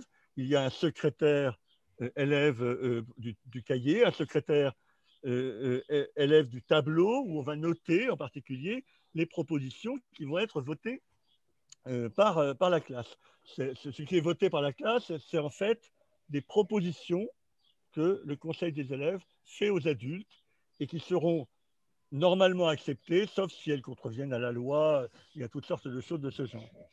Euh, alors, comment ça se déroule dans un cas de harcèlement euh, Là, je fais appel à euh, mes souvenirs d'intervention dans une classe qui s'appelait le quatrième aide et soutien des élèves de 13-14 ans. en gros, on récupérait des collèges environnants euh, tous les mômes dont les, collèges ne voulaient plus parce qu'ils étaient euh, trop faibles, trop, trop remuants, etc. Et on avait un effectif un peu réduit, mais euh, on savait qu'à l'avance qu'on aurait des problèmes et donc à l'avance, on, on, avait créé ces institutions. Alors, dans cette classe de 4e AS, Michael est persécuté alors avec ce qui a déjà été décrit, c'est-à-dire il y a deux persécuteurs en particulier, euh, qui sont parfois assistés par quelques-uns, hein, euh, et puis euh, le reste qui regarde, qui est témoin sans, sans rien dire, jusqu'au jour où quand même Michael se décide, lui, à mettre la question à l'ordre du jour du conseil. Évidemment, bon, le conseil, quand les élèves arrivent au conseil, ils adoptent en général une, position assez rationnelle. Hein, ce qu'ils essayent de voter, surtout quand ils ont l'habitude de voter des choses, est assez, euh, assez raisonnable. Et là, euh, la première fois que la question est abordée, on va évidemment voter quelque chose d'assez vague, disant que tout le monde doit se respecter dans la classe, mais on sent bien que personne n'y croit pas trop, euh, et puis que de toute façon, Michael, il faut avouer qu'il est pénible, et puis il est génial, il, il, il, le cherche un peu aussi. voilà. Euh, et, donc, il faudra, pour que cette situation soit réglée, premier conseil qui aborde la question en octobre, euh, la question sera réellement euh, résolue par la classe au quatrième conseil en, au mois de décembre. et là, en fait, à un moment donné, Michael réagit dans, un, dans une étude, les harceleurs sont derrière lui, il se retourne, il prend le, la feuille sur laquelle les élèves étaient en train de, prétendre écrire quelque chose d'intéressant, et il la déchire, et à ce moment-là, les deux harceleurs euh, immédiatement mettent ça à l'ordre du jour du conseil pour, pour, euh, pour qu'on euh, leur donne raison et que, et que le, groupe leur donne raison et, et, appuie leur démarche de harcèlement. Et, et là, personne n'est dupe dans la classe. Et cette fois-là, euh, ce conseil-là, qui a résolu pour l'année pour l'année entière, ce harcèlement précis, qui n'était pas un harcèlement, un harcèlement de, grande, de, grande dimension, hein, euh, admettons-le, mais c'est simplement parce qu'il y a eu le vote d'un désaveu de la manœuvre des harceleurs qui, sans qu'il y ait d'ailleurs de vote de sanctions, qui le simple fait qu'il y ait eu ce débat totalement ouvert et qu'une phrase ait été votée qui en fait euh, euh, la responsabilité du processus sur les harceleurs, euh, les harceleurs eux-mêmes ont été à deux doigts de la voter. Enfin, ils sont, finalement, ils se sont abstenus et l'ensemble du groupe de classe a voté le, désaveu. Et, du coup, et du coup bon, je pense que le Conseil là, a joué le, rôle de séparateur dont je parlais tout à l'heure, entre le les, harceleurs et le, harcelé, et le phénomène euh, a disparu pour l'année suivante, pour l'année entière. Bon, ce n'est pas, euh, pas un miracle, c'est simplement l'idée que la loi se construit, euh, se construit doit, doit, se construire avec les, les enfants. Il me semble que c'est l'intégration des règles de vie collective par les enfants eux-mêmes qui permet euh, de, de, sortir de ces situations. Alors, j'aurais bien, mais le, temps m'est compté, j'aurais bien une deuxième, euh, une deuxième, euh, un deuxième exemple, une autre année, où là, le caïd de la classe, celui qui se fait porter le cartable par les autres, celui qu'on trouve bizarrement dans le couloir avec une, une, liasse de billets de banque dans les mains. Enfin bon, il commence à tourner mal. Il y a quelque chose qui, devient extrêmement. Bon, euh, et le processus, euh, tout un processus aussi dans lequel le conseil, le conseil des élèves euh, a réussi à démonter par le vote. Alors, si je me souviens bien, en fin d'année, ils ont voté une, phrase du genre, il s'appelait Jonathan, Jonathan, on l'aime bien, mais on veut plus qu'il nous, tape dans le dos, dans le couloir, euh, même si c'est pour rire. Enfin, un truc qui paraissait euh, euh, tellement misérable par rapport à ce que faisait subir réellement Jonathan aux, gens qu'il persécutait ou, dont il était le caïd. bon, il, là, encore, le, vote, y compris les lieutenants du, dit Jonathan qui ont voté cet élément-là, euh, eh bien, ça a joué un rôle euh, très important, y compris dans l'évolution ultérieure euh, de cet enfant qui, par ailleurs, était lui-même, on l'a déjà dit, il avait vécu des choses extrêmement dures puisqu'il avait échappé à deux accidents automobiles, l'un au cours préparatoire et l'autre en sixième. Dans le premier, son petit frère était mort à côté de lui, et dans le second, son père était mort. Bon, on peut imaginer ce que ça peut induire comme déstructuration.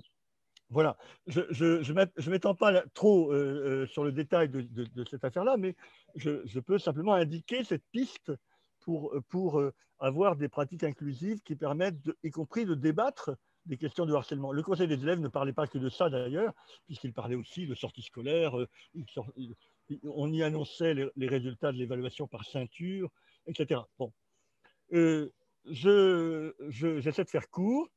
Et donc, je vais conclure là-dessus, euh, dans l'idée que euh, dans, le, dans le harcèlement scolaire, comme dans d'autres situations éducatives, euh, on n'impose pas la conscience et la loi contre les élèves. il faut le faire avec eux, et si possible, il faut que les institutions soient présentes avant l'apparition des problèmes, de manière à permettre de, de les gérer.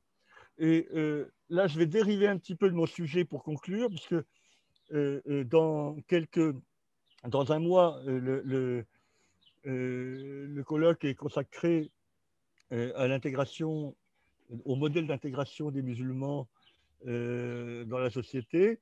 je dois dire que je vis en France après l'horrible assassinat de Samuel Paty euh, à une période où on essaye d'imposer la loi et la, laïcité, etc., euh, en passant par la mise en garde à vue euh, d'enfants de 10-12 ans qui ont eu une parole malheureuse lors de la minute de silence pour Samuel Paty.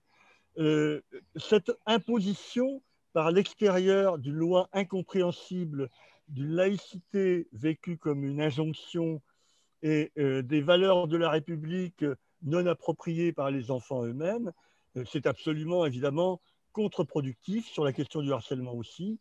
Et euh, je sais, et, donc pour moi, contre le harcèlement scolaire, la question est, bien de construire avec les élèves une loi qui permette aux enfants d'apprendre et de grandir. Merci beaucoup, euh, Dominique. C'est très clair. Ça me fait penser à toute euh, la démarche d'investigation du grand philosophe américain John Dewey, hein, qui ne parle pas de valeur, mais de valuation. On vient démontrer que la valeur s'expérimente, sinon, euh, sinon elle est, elle est, que pédagogie punitive, hein, c'est-à-dire l'absence de pédagogie. Merci. Je, cède la parole immédiatement à notre ami Karim Ifrak qui pourrait faire presque deux interventions en une, mais je te rappelle que tu es là encore le mois prochain, Karim, donc ne sors pas tout lors de cette conférence. Et je suppose que tu vas nous parler de, ta spécialité, hein, qui est euh, notamment les questions de, radicalité euh, en islam euh, d'instrumentalisation politique de ces questions vis-à-vis du, phénomène scolaire. tu es voilà, spécialiste en herméneutique des, des, textes du Coran et tu es professeur euh, euh, je ne sais jamais si c'est le HSS ou le, PHE, mais bon, c'était la même maison. Tu vas nous expliquer. Merci à toi, Karim. Tout à fait. Très bien. Merci beaucoup. Euh, tout d'abord, très ravi d'être ici avec vous au milieu de ce panel, de ce beau panel constitué de hauts experts. Et bien évidemment, juste avant de monter dans le vif du sujet, mes remerciements à CRI Voix des victimes, euh, et pour cette invitation et pour avoir eu euh, euh, l'idée de cette belle initiative. mon intervention aujourd'hui, elle va, elle va se focaliser sur la question du, du harcèlement scolaire lié à la radicalisation pouvant mener à la violence. L'idée, c'est quoi? L'idée, c'est de se pencher assez brièvement sur ce que je, je, considère être un angle mort dans le processus dans le processus scolaire et dans lequel, bien évidemment, le, le, harcèlement scolaire pourrait, je dis bien pourrait, venir jouer un rôle qui malheureusement n'a jamais été, euh, à ma connaissance, euh, étudié et, réfléchi. donc pour vous dire que mon intervention, c'est pour ouvrir quelques pistes de, réflexion euh, notamment qui pourrait mettre en liaison le harcèlement scolaire et la radicalisation euh, pouvant mener à la violence. Le harcèlement, à travers une, définition sommaire, serait une violence qui emprunte plusieurs visages et niveaux. Euh, elle touche la dimension verbale, la, dimension physique, la dimension psychologique, voire dans certains cas tout cela à la fois. À cela, euh, vous ajoutez un mode opératoire à répétition, inscrit dans une durée plus ou moins longue.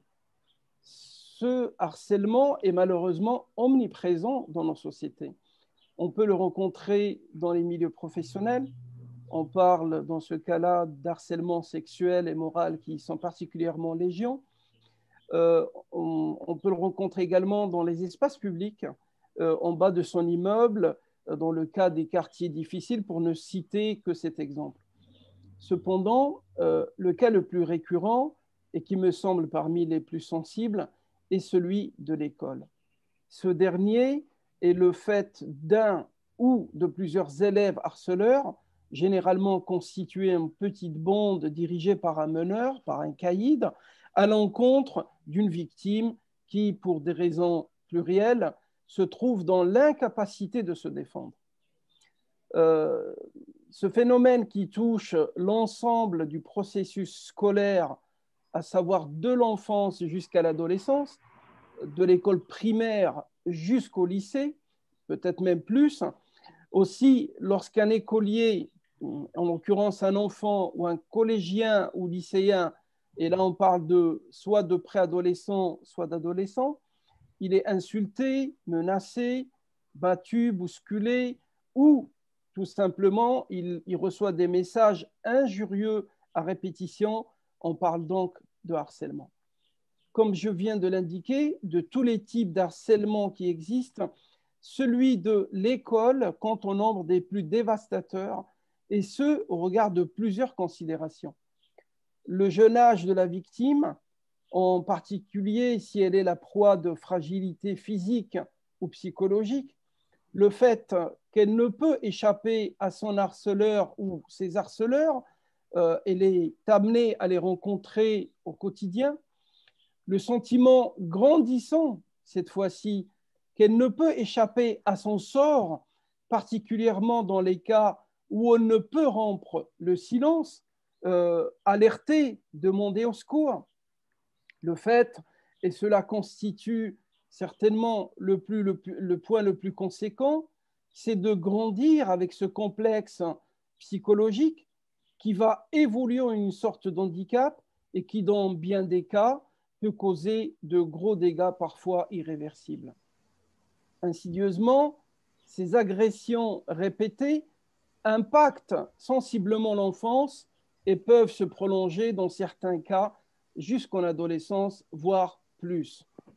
En France, pour ne citer que cet exemple, ce sont plus de 700 000 élèves, des écoliers, des collégiens, des lycéens, et qui sont issus de toutes catégories sociales confondues, qui sont victimes d'harcèlement à l'école.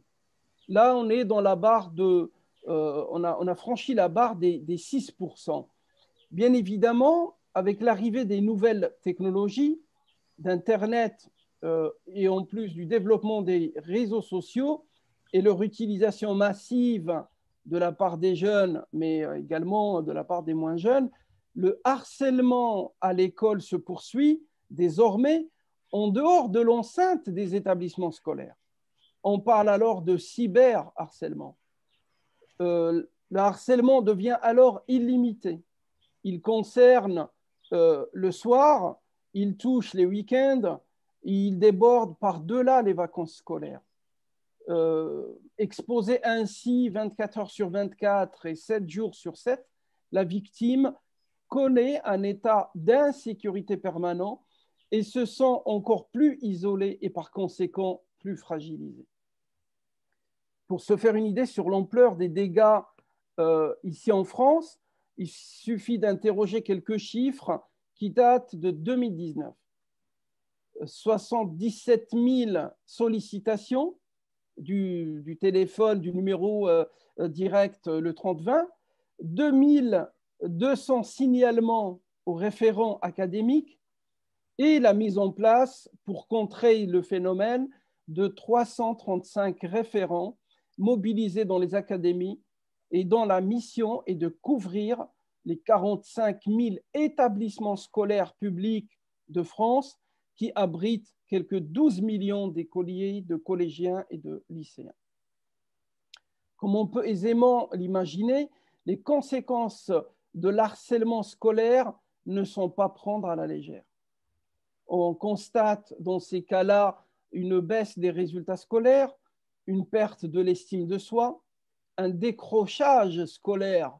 Et à partir de là, on commence à mettre une espèce de parallèle ou de passerelle avec les, processus qui mènent à la radicalisation et qui elle-même plus tard mènera à la violence. Donc le décrochage scolaire, la désocialisation, cette rupture progressive avec la société et bien évidemment le risque de devenir soi-même harceleur.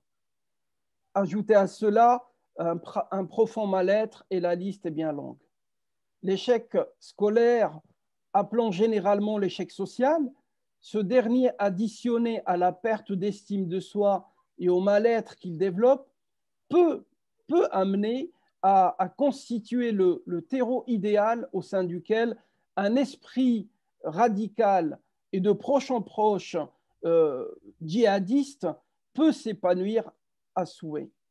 Selon une note confidentielle sortie il y a quelque temps euh, et qui a été produite par l'unité de coordination de la, lutte antiterroriste ici en France, alors celle-ci, elle a permis de réaliser une espèce de portrait robot de quelques 265 djihadistes français ayant rejoint les rangs de Daesh et donc de dessiner quelques trajectoires communes. Il, se trouve que la majorité écrasante de ces 265 djihadistes français était constituée de jeunes.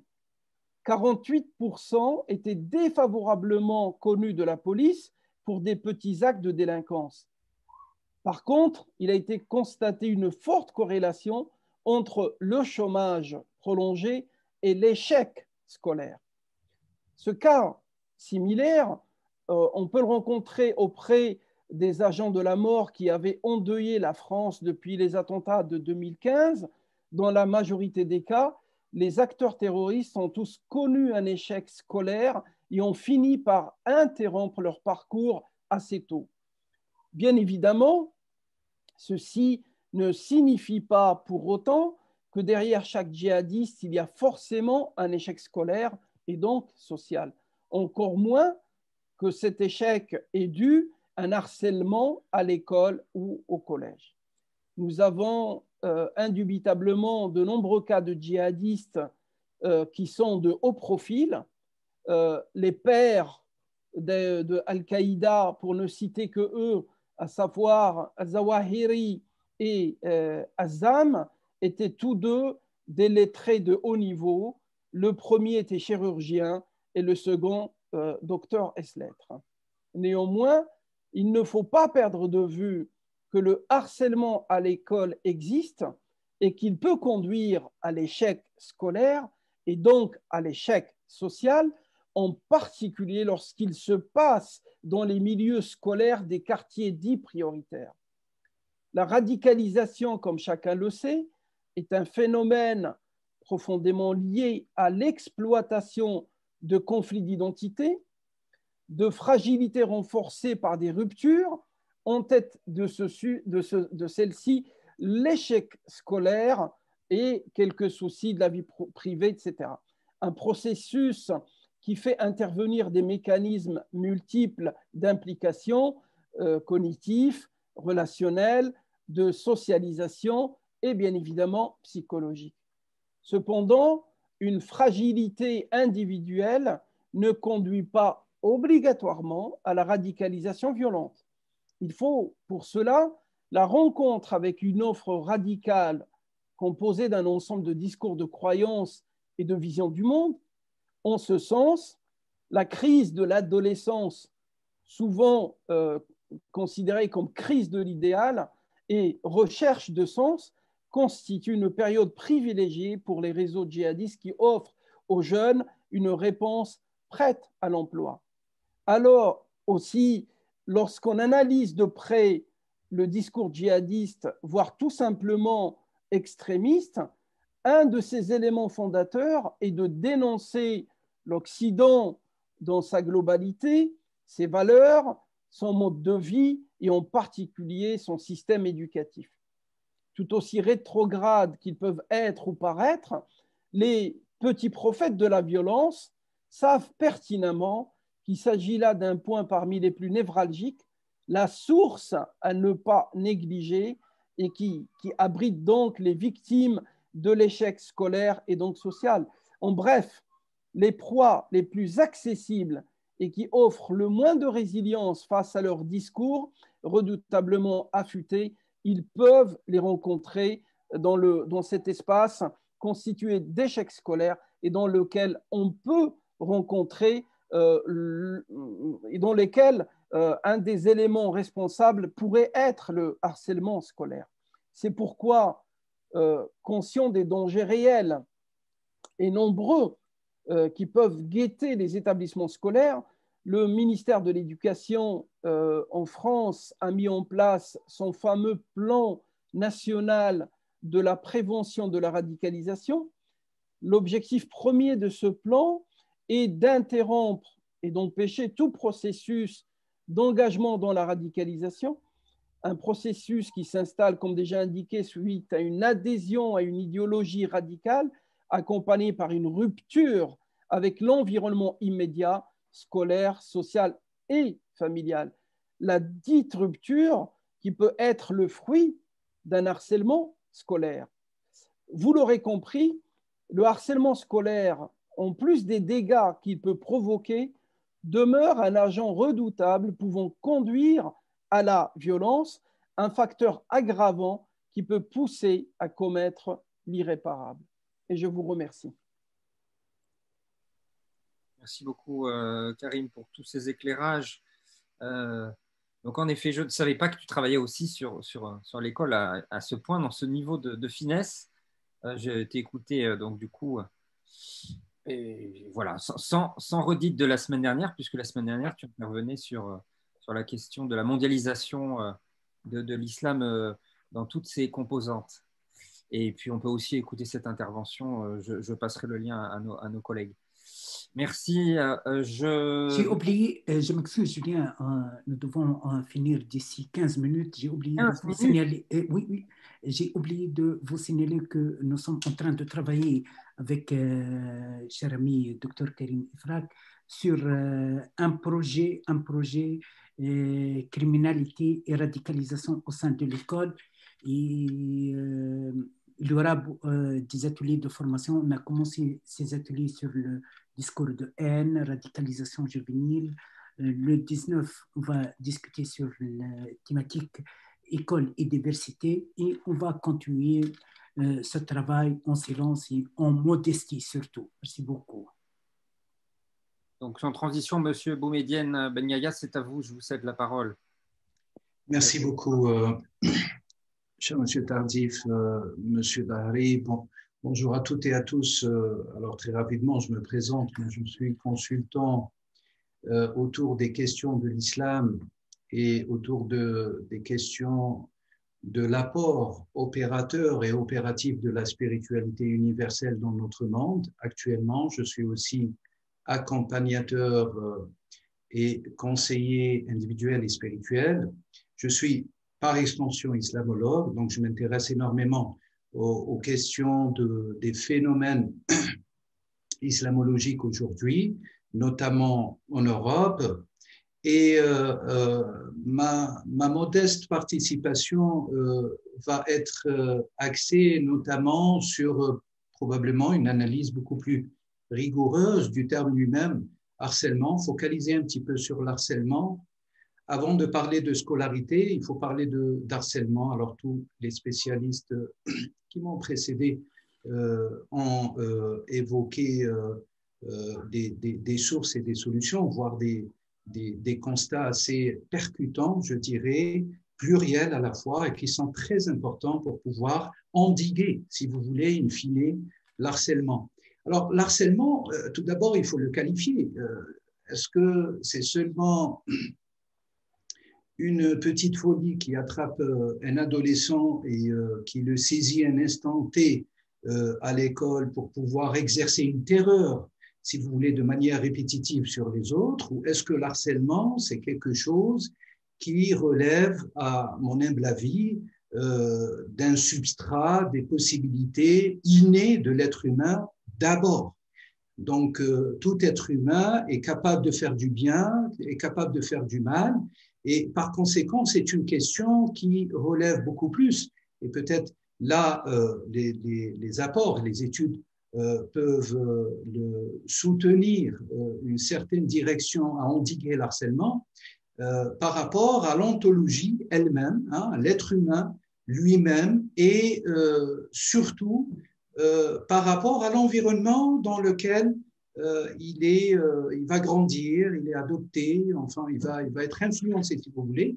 Et euh, j'ai beaucoup d'expérience à titre personnel par rapport à des personnes qui viennent pour un accompagnement, pour, pour l'écoute, tout simplement, si vous voulez, et qui, qui ont été victimes d'un certain harcèlement parce qu'il y a une pluralité d'harcèlement, notamment chez les adolescentes, ou les adolescents, voire parfois même chez les adultes, et ça, bien sûr, est, quelque chose d'incontestable.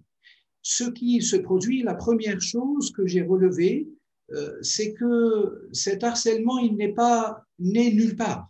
Il vient d'abord, et le socle de la vie, c'est la constitution d'une famille. Souvent, les parents, voire les tuteurs, si vous voulez, de manière légale, Et là s'impose à nous tous peut-être un scrutement beaucoup plus fin concernant la responsabilisation des parents, hein, notamment aujourd'hui où, nous avons des valeurs qui se perdent, euh, des valeurs universelles, des valeurs humaines, des valeurs morales, euh, des valeurs spirituelles, si vous voulez, et euh, où les parents parfois produisent quelque part ou participent, peut-être pas de manière totale, mais de manière en tout cas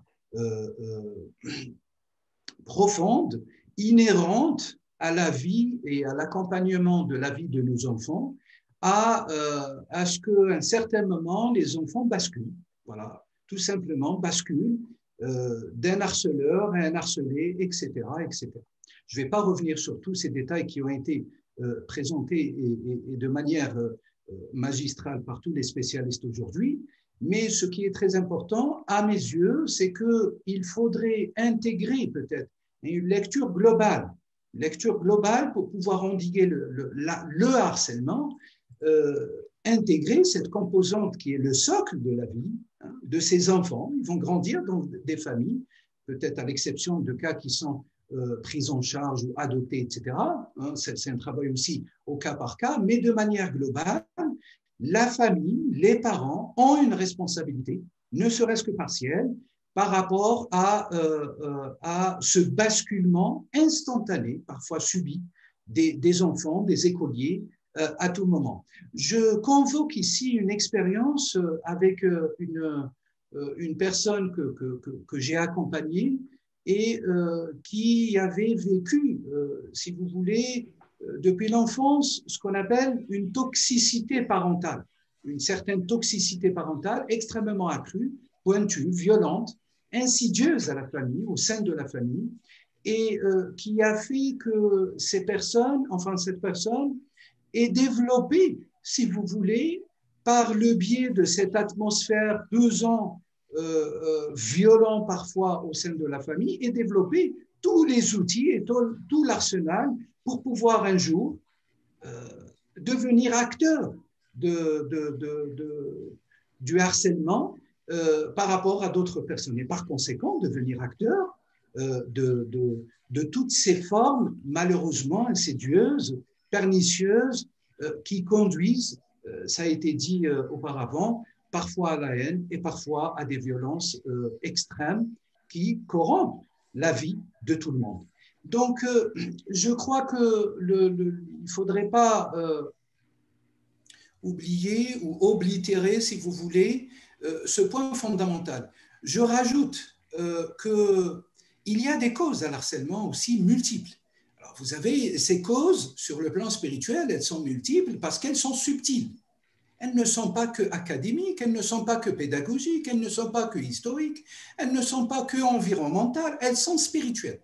Elles sont subtiles, hein, elles relèvent de ce qu'on appelle le, la sphère de, de, des sentiments, de ce champ incroyablement explosif au sein de l'être lui-même et qui exprime de temps à autre des comportements pour nous, hein, pour nous, pour la norme, si je reprends le terme, euh, euh, des irrégularités, si vous voulez, ou des étonnements, voire même euh, qu'on pourrait qualifier par parfois des crimes.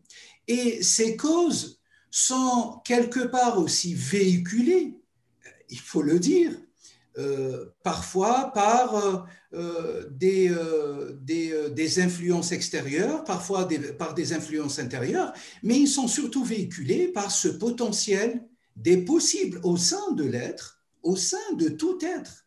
Hein, ce n'est pas une spécificité pour les uns ou pour les autres.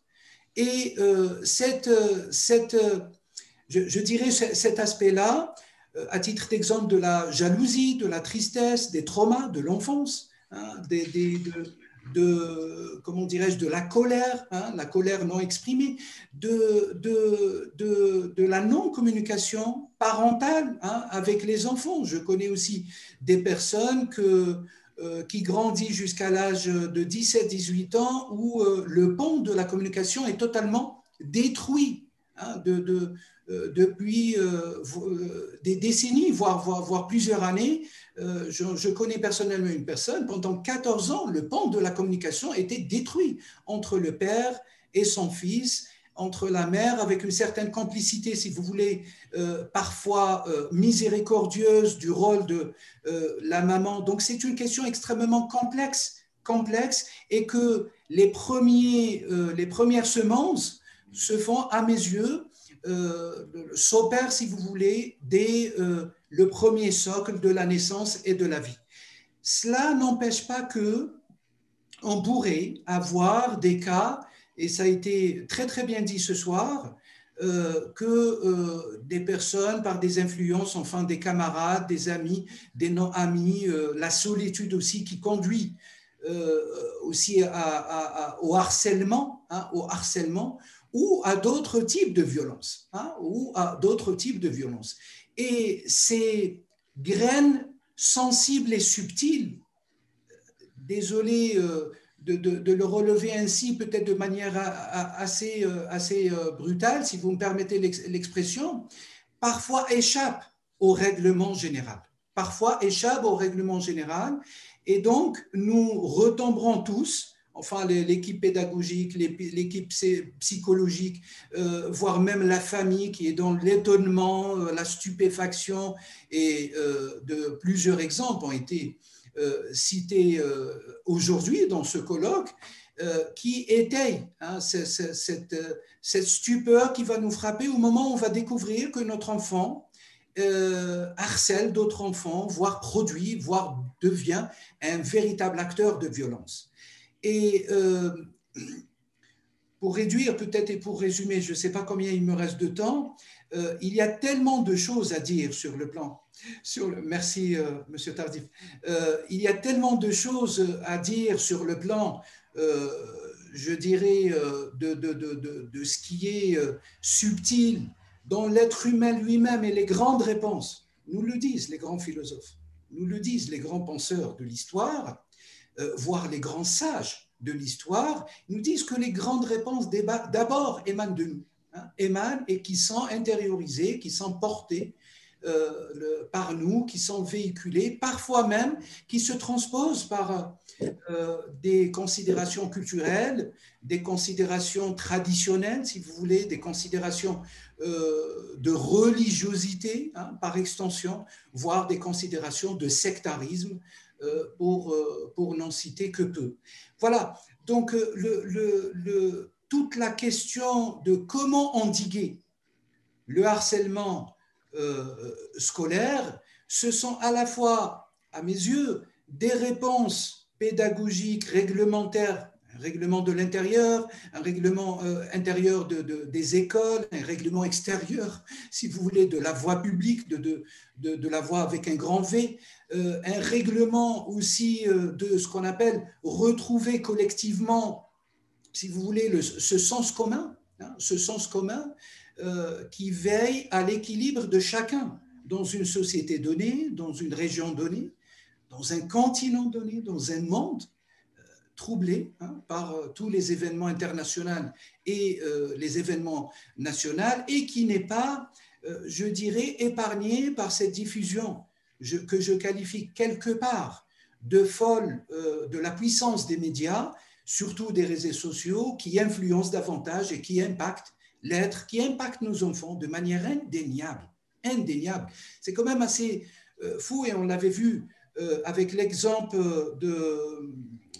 d'un expert, d'un spécialiste qui parlait de, du harcèlement euh, cybernétique ou cyberharcèlement et où un titre de l'exemple, l'exemple du gaming, qu'est-ce qu'il pourrait produire comme monstruosité derrière nos écrans? Donc, c'est une question extrêmement difficile, c'est une question plurielle, c'est une question épineuse qui euh, caractérise euh, une notion non pas comme un phénomène passager qui va frapper une société pendant un certain moment et puis après on passe à autre chose, mais c'est un caractère vital, existentiel qu'il faudrait qu'on prenne euh, de manière sérieuse et rigoureuse et sur une longue période, sur, un plan diachronique si vous voulez, euh, afin de réunir tous les éléments de la société, de la psychologie, de l'ontologie, de la famille, euh, politique aussi, par extension, de la sociologie, c'est de la philosophie, de l'histoire aussi, qui parfois viendraient jouer les troubles hein, pour produire euh, ces comportements euh, qui sont répréhensibles quelque part et qui conduisent à produire des victimes et des monstres. Parce qu'un harcelé, une fille qui est harcelée, peu importe, enfin, pour, pour, euh, pour euh, ses vêtements, enfin sur le plan vestimentaire, ou une personne qui est harcelée pour son, son caractère linguistique, parce qu'il y a aussi la discrimination linguistique qui a été relevée ce soir, ou pour euh, l'origine, ou pour, pour des considérations ethniques, hein, par, exemple. À la fois, elle peut être une victime et à la fois, elle peut devenir, basculer, mais très très rapidement, et avec en plus une expérience parce qu'elle a subi. Donc c'est une question d'impact ontologique extrêmement profond, extrêmement profond sur l'être. Et euh, je crois que toutes les bonnes volontés, tous les pouvoirs possibles de notre existence doivent être réunis dans ce sens-là pour endiguer l'harcèlement. Je pourrais donner quelques pistes, mais enfin, je crois qu'on n'aura pas le temps d'aborder les choses de manière... Euh, beaucoup plus euh, profonde et de prolonger les développements. Mais ce qu'il faudrait peut-être retenir de manière générale, il ne faut surtout pas oblitérer ce caractère euh, qui se surajoute de l'apport familial à mes yeux, de l'apport du contexte, du contexte de, la vie des personnes qui sont victimes ou qui sont acteurs d'un certain revêtement criminel et qui peuvent être des pistes des outils efficaces pour pouvoir indiquer de manière, euh, je l'espère, pérenne euh, de nos champs, euh, de, du champ de, ce que subissent nos enfants. Voilà, je vous remercie infiniment pour, je, renouvelle mes remerciements pour le CRI et pour votre attention et à très très bientôt, mes chers. Merci beaucoup, M. Boumedienne. Je, je, voilà, je dirais simplement, notamment les travaux sur la complexité de notre cher Edgar Morin qui va fêter ses 100 ans, qui rejoindrait euh, voilà, le prolongement de, vos, propos hein, sur euh, les sept sagesses de l'éducation de demain. J'ai plus le titre exact des travaux qu'il a, a fait pour l'UNESCO, mais ça va dans ce, prolongement-là, hein, la, pensée, complexe. Il nous reste euh, deux intervenants physiques et, une vidéo. Donc, je, vais, voilà, nous allons écouter notre ami euh, suisse, euh, Joël, euh, Joël Conan, c'est à toi bientôt, maintenant. Ensuite, nous aurons ben, mon président, mon cher Alain Eranos. Et puis, nous terminerons par la vidéo de, de la professeure Chérine Fahim, qui, qui est spécialiste des, neurosciences, qui était là déjà lors de notre séance de mars sur, sur la, la violence juvénile. Euh, c'est à, vous, euh, cher, euh, collègue Joël. Bonjour à tous. Je ne sais pas si le microphone. Pour le partage. Super. Je vous remercie et puis je remercie infiniment les organisateurs de cet atelier de m'avoir inclus dans le programme. Je suis d'origine ivoirienne, de nationalité suisse, comme ça a été dit. Je travaille en tant qu'éducateur depuis une vingtaine d'années dans la région lausannoise, auprès premièrement des enfants en difficulté placés par le SPJ, le tribunal des mineurs, etc. Et ensuite dans un établissement euh, dirigé par le CESAF, donc spécialisé. Et aujourd'hui, je travaille auprès des ados de 16 à 18 ans qui sont en train de chercher ou de rechercher un apprentissage ou une place d'apprentissage pour euh, un éventuel travail. Je vais rapidement vous informer que je vais vous présenter des schémas que j'ai eu l'opportunité de travailler avec ces jeunes-là pour tenter de régler le problème du harcèlement. Il s'agit des outils qui ont évolué depuis le mois de janvier jusqu'à aujourd'hui. Nous avons clore la dernière séance ce matin et ça a apporté à plusieurs de ces enfants beaucoup de réponses, beaucoup de solutions. Et c'est la raison pour laquelle je me suis permis de venir dans cette orientation précisément parce que en étant plusieurs intervenants, ils nous ont étayer sur le bien fondé de notre approche, sur la technicité d'accompagner ces éléments. Je vais vous emmener sur la pratique, sur l'importance de travailler avec des petits groupes de classe pour tenter de remédier à leur niveau et au niveau des enseignants cette question du harcèlement scolaire. Comment est-ce que nous faisons le lien entre l'école, les enfants, les parents et les professionnels, je veux parler des psychologues et des psychothérapeutes. Ce qui m'a permis de pouvoir développer ceci, c'est depuis 2015, j'ai écrit un travail sur la citoyenneté auprès de nos ados et en partageant cela dans certains établissements à Morges et à Rolles, avec ma responsabilité d'éducateur et mes responsables en tant que directeur, on a tous pu asseoir de mettre en évidence ce cours sur la citoyenneté sur toute l'année à hauteur d'une période par classe et ce qui a permis à plusieurs élèves de pouvoir, ceux qui n'ont pas facilement la parole, au bout de trois mois ou de six mois, de pouvoir dire ce qu'ils sentent, ce qu'ils vivent, ce qu'ils souffrent. Je vais essayer de qualifier un peu la souffrance qui, pour moi, est comme les griffes d'un chat qui joue avec une souris. Lorsque les harceleurs sont autour d'un enfant qui représente pour eux une victime, cet individu-là va souffrir de toutes sortes. Je ne sais pas si l'organisateur peut mettre en place euh, le PowerPoint qui nous permettra de mieux illustrer les éléments que je vais poser.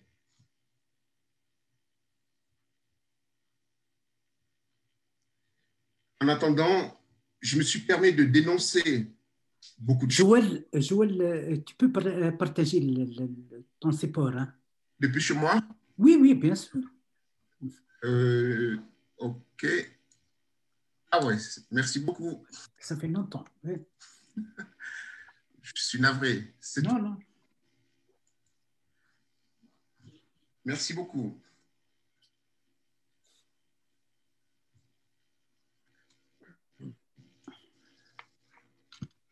Étant donné le temps qui est avancé, je vais commencer par le premier schéma que j'ai dû travailler avec les jeunes. On a un jeune qui souffre, qui est toujours à l'écart, qui mange toujours seul. Et puis on a tous les autres qui sont en groupe de 4, de 5, qui se retrouvent pour manger. Et au final, on s'est dit qu'on va quand même faire quelque chose pour intégrer celui qui est toujours mis à l'écart. Et donc, dans mon cours de citoyenneté, j'ai permis à chaque élève de se prononcer sur la situation. Nous avons essayé de décrypter le réel problème. nous sommes partis des éléments imagés, des petits clips d'une minute de vidéo ou des faits divers pour tenter de ne nommer personne de la classe de régler le problème. Et en partant de là, les mots qui ressortaient souvent, parce que ce jeune homme a une odeur nauséabonde, on lui dit ne t'assieds pas à côté de moi. J'ai mis à 35 kilos pour que vous pesez un peu le poids de ce que ça fait dans la vie d'un individu. Ensuite, tu pues. L'odeur que tu portes est insupportable, donc éloigne-toi de moi. L'autre va dire file-moi ton dessert pour pas dire à l'enfant tu es trop grosse, tu ne nous ressembles pas tu différent. Tu es mal habillé, tu es moche. Ne me regarde pas, sale faillot. Et ainsi de suite, les mots peuvent fuser de toutes sortes avec le poids que ça représente. Et donc, l'individu qui est au milieu, lui, il va vivre quelque chose de très fort. Il va se sentir rejeté, et lorsque nous avons pu discuter avec toute la classe, un des élèves que j'ai situé, celui qui est en haut, qui a dit lui, il a dit, mais monsieur, j'aimerais bien qu'on puisse intégrer ce jeune homme-là dans notre groupe, mais c'est difficile parce que je ne le supporte pas.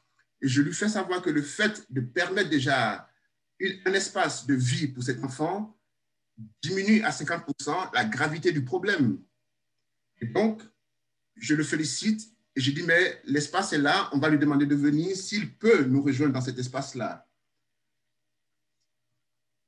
Je vous épargne du texte pour aller très rapidement. Nous allons y revenir.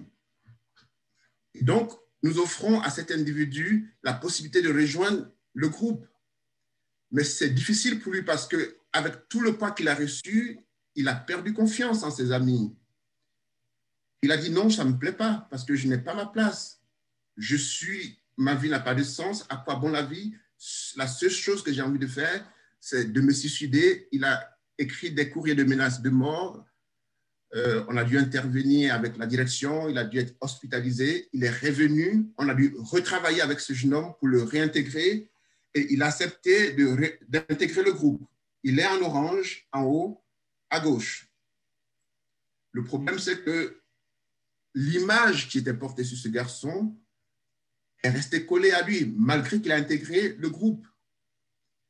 Et en articulant chaque élément, donc je parle de chaque jeune, pour tenter de trouver une solution pour ce garçon-là dans la classe, ils ont dit, on va parler avec lui, on va discuter et lui offrir un terrain d'échange. Avant cela, je leur ai montré cette image pour qu'ils me donnent un peu leur point de vue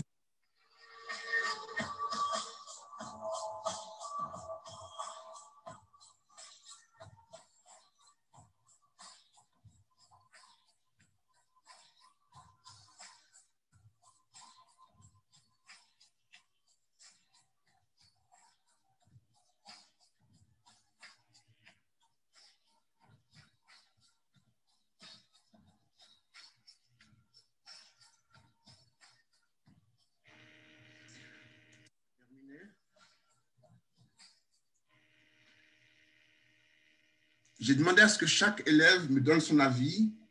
Et c'est là qu'une fille me dit, avec l'orientation des flèches, j'ai l'impression que la vie, elle tourne. Et aujourd'hui, c'est de lui que nous parlons, mais demain, ça peut être l'un ou ça peut être l'autre, ça peut être moi-même. La réflexion que j'ai posée avec ces jeunes, c'était de savoir comment faire pour régler le problème. Et il y a un qui m'a dit, lorsqu'on a demandé de discuter, je suis allé vers lui et lui exprimer mon point de vue. Et en parlant, en l'écoutant, j'ai compris qu'il n'était pas le problème du groupe, mais il était plutôt une souffrance. J'ai employé le mot rejet tout à l'heure. Une personne qui est déjà rejetée peut aussi vivre ce que j'appelle le rejet imaginaire. Quand je passe, que je vois les autres qui me regardent, parce que j'ai été rejeté dans mon ancien établissement, je me sens rejeté et je pense qu'eux aussi me rejettent parce qu'ils ont rigolé sur un événement. Je me l'approprie et je fais de cet événement le mien.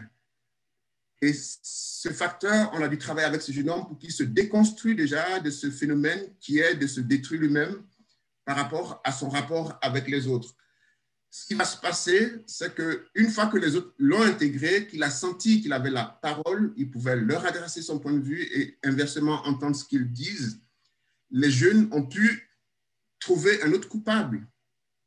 Et on a nommé ce coupable le citron. Nous avions, il y a deux semaines, une stagiaire qui est venue pour passer une semaine pour voir si elle, pouvait, elle pourrait intégrer l'école l'année prochaine. Elle m'a dit, monsieur, j'ai un sentiment, c'est de presser ce citron et de le jeter à l'extérieur du cercle. Je ne la connaissais pas parce qu'elle faisait que deux jours dans ma classe. Et elle me dit ceci, la colère que je n'ai pas pu déverser sur ceux qui m'ont fait du mal, j'ai envie de la prendre à l'image de ce citron, le presser, faire passer tout son jus et le jeter en dehors du cercle. Parce que c'est ce problème qui m'a fait souffrir. Donc, on commence à ce moment-là à nommer les choses le groupe. Et donc, avec les éléments que j'avais, les propos de chaque jeune, on a travaillé pour qu'on puisse nommer les problèmes et qu'on mette en dehors de ce cercle le problème. Et donc, on a cette image qui nous caricature ce jeune homme ou cette fille qui était représentée par le mot rejet, imagé par le citron, mis à l'écart. Sa présence a pris forme dans le groupe sa couleur du rejet a changé, mais elle n'est pas parfaite ni totale parce que ça va prendre du temps, ça va prendre un chemin long pour qu'elle puisse être entièrement réhabilitée sur le plan moral, sur le plan intellectuel, sur le plan scolaire. Beaucoup de choses doivent se faire et c'est à ce moment-là que l'œuvre des thérapeutes rentre en course. Et finalement, nous avons pu rejeter sur ce citron qui est au milieu le poids de la souffrance de cette jeune fille, de ce jeune homme. Et ensuite, jeter à l'extérieur du groupe, ma réflexion au final que j'ai posée avec les jeunes, c'était de leur faire comprendre que en identifiant le problème, nous résolvons la moitié de la situation de la souffrance de l'individu. Et ensuite, nous pouvons évaluer la gravité de la souffrance. Si c'est un harcèlement scolaire, si c'est un, harcèlement qui est lié au fait que la personne est de couleur différente, ça a été évoqué par les précédents intervenants.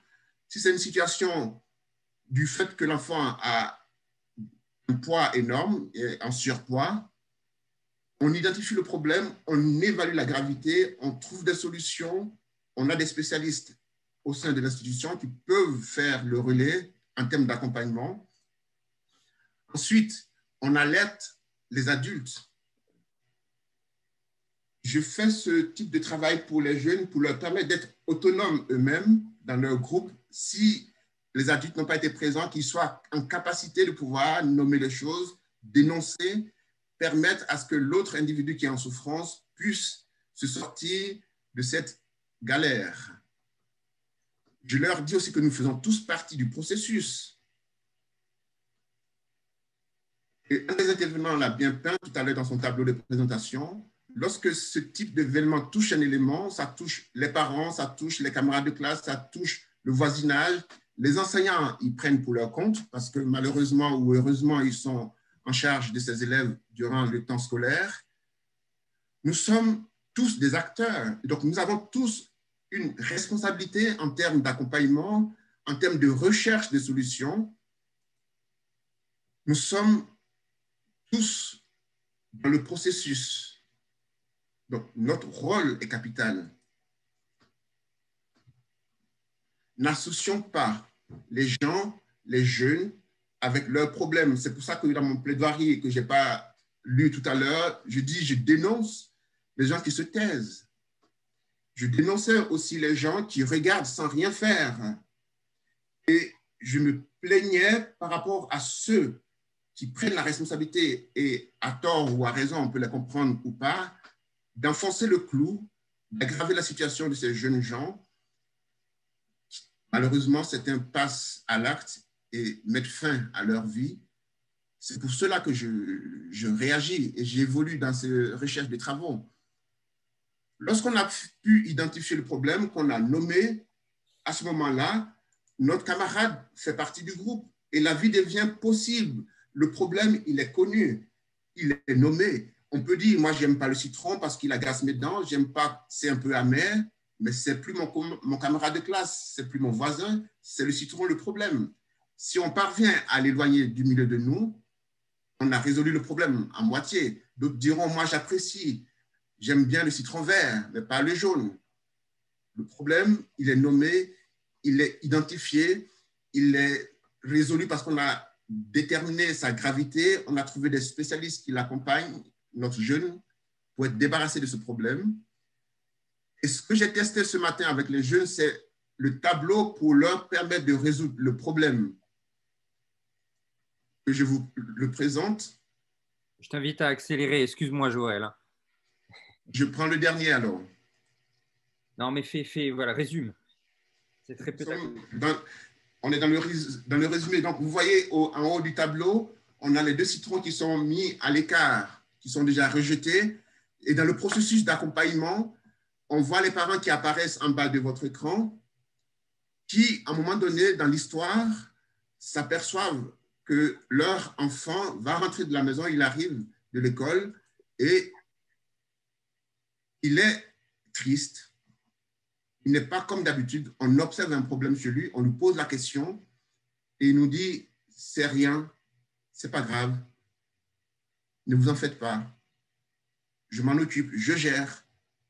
Et lorsque nous avons posé la question à ce, garçon, il a dit, lui, il n'a pas voulu continuer d'alerter les parents parce que le premier jour où il leur a parlé de son problème, papa est parti à gauche, maman est partie à droite. Et lorsqu'il a relevé le problème à l'école, qu'on a eu le conseil de classe, personne n'a pris soin de s'occuper de lui et les bourreaux l'ont repris. Donc, il s'est tu à jamais jusqu'à ce qu'il ait, ait la possibilité d'en parler en classe. Et donc, dans le processus, les parents vont apparaître, ils vont voir le mal-être de leur enfant, ils vont chercher à comprendre où est le problème.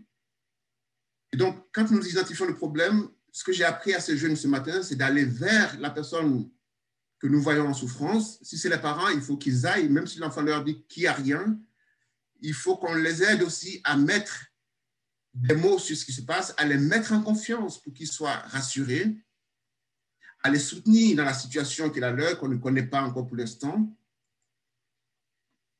Si, alors j'ai mis le mot excuse parce qu'avec les jeunes, certains sont allés vers le jeune homme pour s'excuser, d'autres sont allés pour lui demander pardon par rapport à ce qu'ils lui ont fait. On n'est pas dans ce cas de figure. Mais dans notre parcours, lorsque nous apercevons cela, notre rôle premier, c'est d'abord d'identifier le problème, d'aller vers de créer la confiance, de soutenir. Ces facteurs que nous allons mettre en place permettront à l'individu, à ce jeune, aux enfants qui seront harcelés, de prendre la confiance et de nommer, de nous guider pour l'aider à pouvoir se sortir de cet état infernal. Je mets des bulles sans mots, sans phrases, sans mots-clés, parce que les jeunes, à un moment donné, eux-mêmes ont mis d'autres mots encore pour agrémenter le contexte du problème. Là où on a passé plus de temps, c'est sur ça que je vais m'arrêter pour mieux peindre le tableau, c'est ce qu'on appelle le renouvellement de l'intelligence. Il y a un qui dit, moi je l'ai agressé, quand j'ai parlé avec lui, que j'ai compris sa situation, j'ai vu qu'il n'était pour rien dans la situation, je me suis excusé, je lui ai demandé pardon, j'ai changé mon regard que je porte sur lui. Je vous peins un tableau très rapide, mais ça nous a pris depuis le mois d'août 2020 jusqu'à aujourd'hui pour arriver à ce concept et qui a permis à la plupart des jeunes de pouvoir s'identifier dans la situation, de pouvoir nommer leur propre situation et de pouvoir comprendre l'autre, l'accompagner. Aujourd'hui, si vous les voyez en train de manger ensemble, de rigoler, de discuter, on peut dire un miracle s'est passé, mais le travail a été fait par eux. Ils ont été courageux. Ceux qui ne parlaient pas ont pu parler. Ceux qui, avaient la parole la plus facile ont pu se taire pour écouter ceux qui n'avaient pas la parole. Un de mes credos, c'est d'aller chercher l'élève qui est dans le coin de l'école, de la classe. Merci. Et de le ramener dans le terrain de jeu, de pouvoir discuter afin de lui accorder l'opportunité de pouvoir se libérer de cette charge. Je m'arrête. Merci beaucoup, Joël. C'est encore une, très belle illustration de, la charge mentale. Euh, on l'avait travaillé sur, euh, sur les enseignants et sur les élèves euh, et sur, le, sur les jeunes en général. Bravo pour cette pédagogie qui, qui, en effet, implique clairement le, le jeune dans, dans, la prévention. Bravo pour cet effort et ton engagement sur le terrain. Je, passe la parole à Alain Ruffion, euh, qui est déjà intervenu au mois de mars, qui est donc le président de l'Institut Eranos, dont j'ai la fierté d'être euh, un des membres. Euh, voilà, c'est un, un, doctorant en sciences de l'éducation qui, qui, va terminer là, cette année. en tout cas, je l'espère, je le booste pour qu'il termine cette année sa, thèse à l'Université Le Mirail et que voilà, on puisse continuer euh, sur, nos chemins autour de l'éducation à la paix et à la spiritualité. Je, te laisse la parole, cher Alain. Bien, écoutez, merci. Euh, merci pour cette invitation et, merci pour toute la richesse des, interventions de cet après-midi. Euh, alors, je ne vais pas être très long puisqu'on a, on a, on a fait un marathon, hein, carrément. Et en tout cas, c'était très riche en enseignements. Alors, j'ai plutôt une bonne nouvelle c'est qu'en fait, quand on fait des travaux de recherche sur les facteurs de risque et les facteurs de protection dans les comportements délinquants et violents, au sein desquels on peut euh, faire des transversales entre évidemment euh, le pire, c'est-à-dire le terrorisme, et euh, d'autres mots comme le harcèlement scolaire ou les discriminations dans, toute la, dans toute la gamme. on a des ressources évaluées scientifiquement depuis une vingtaine d'années alors, on les a nommés de manière différente. Ça peut s'appeler les compétences psychosociales, les soft skills. Aussi aux États-Unis, on parle de SEL, Socio-Emotional Competencies. et on a beaucoup, beaucoup de ressources pour travailler justement le fond du problème. Alors, il y, a, plein de choses qui ont été dites intéressantes sur le fond du problème. En tout cas, à la base, on a un comportement de domination, on a un comportement de revalorisation de soi en prenant le dessus sur quelqu'un d'autre et en entachant la valeur de l'autre dans le harcèlement pour prendre du pouvoir, pour prendre du plaisir et pour être dans une quête narcissique euh, qui passe par la violence et la domination. Et ça, on peut y remédier évidemment en travaillant l'estime, la confiance en soi, en travaillant les comportements prosociaux, en travaillant euh, un certain nombre de, forces de caractère qui sont présentes et qui ont été aussi travaillées en psychologie positive depuis des années. Et tout cela va contribuer, quand on fait ce travail d'intériorité et qu'on fait ce travail de, ressourcement des jeunes hein, en collectif, euh, on obtient de très bons résultats. On obtient à la fois un meilleur climat scolaire, de meilleurs résultats académiques. Euh, on obtient également une meilleure coopération entre les élèves, euh, globalement un meilleur sentiment de bien-être, et on fait baisser les taux de dépression. Et in fine, on fait baisser la violence et le harcèlement dans les établissements scolaires. Donc en fait, on a beaucoup de ressources, elles ne sont pas toujours connues, elles ne sont pas toujours développées dans, les cursus. Et euh, j'étais euh, assez agréablement surpris euh, en, début d'après-midi de voir le, soin qui était pris par les autorités suisses pour pour développer les compétences psychosociales euh, dans le système scolaire. Et donc, en insistant également sur le fait qu'il fallait que ça fasse partie des cursus et que les enseignants soient partie prenante euh, du début jusqu'à la fin des processus et qu'ils soient vraiment impliqués dans le, dans le, euh, enfin, que ça devienne intrinsèque au parcours éducatif de pouvoir intégrer les compétences psychosociales. Et je pense que c'est ça l'avenir si nous devons terminer par, euh, ou presque terminer euh, par une perspective, je pense que la, meilleure réponse que nous pouvons faire à long terme, c'est vraiment d'intégrer dans les cursus les compétences psychosociales et d'avoir cet apport dans la formation initiale des enseignants pour qu'ils n'aient pas le sentiment qu'on leur ajoute encore une charge de travail et que ça vienne euh, un peu comme la cinquième roue du carrosse qui tient de la bonne volonté de certains enseignants, de certains établissements. Donc il y a vraiment à inscrire ces compétences psychosociales. Euh, pour en citer quelques-unes, hein, on a l'intelligence relationnelle, l'intelligence émotionnelle, euh, l'intelligence coopérative et collective, donc, euh, le précédent intervenant, c'était assez représentatif hein, de, ce qu'on peut appeler un travail à la fois sur la dynamique de groupe, sur la communication non violente, sur tout un tas de ressources qui sont passionnantes à développer et qui contribuent de toutes les façons, pas seulement à l'équilibre intérieur d'un élève et à sa meilleure régulation socio-émotionnelle, mais ça contribue également à améliorer encore une fois les résultats académiques, le climat scolaire et in fine tout l'écosystème socio-éducatif. Donc on voit qu'on a vraiment un enjeu collectif dans le développement de ces compétences psychosociales. Euh, et en tout cas, euh, encore une fois, je suis prêt à, partager un certain nombre de mes recherches parce que, en fait, toute la partie euh, prospective de ma thèse revient sur des méta-analyses pour, pour finalement isoler ce qui a le mieux marché en termes d'outils de, prévention euh, utilisant l'intelligence socio-émotionnelle. Donc, en fait, on, a, on a des ressources euh, vraiment très, très intéressantes à partager. Et donc, j'espère que le réseau qui, qui s'étoffe de plus en plus hein, au travers de cette association de la voix des, des, victimes qui nous invite à chaque fois, qu'on aura l'opportunité de retravailler ensemble pour travailler sur des projets de partage pédagogique et d'expérimentation pédagogique et de, de, pouvoir aller plus loin hein, que les constats et les analyses qu'on a partagés cet après-midi. Euh, voilà, écoutez, je, je, vais m'arrêter là parce que je pense que euh, on n'a plus le temps de, de, rentrer trop dans les détails. Mais en tout cas, euh, encore merci pour, pour votre écoute et votre invitation.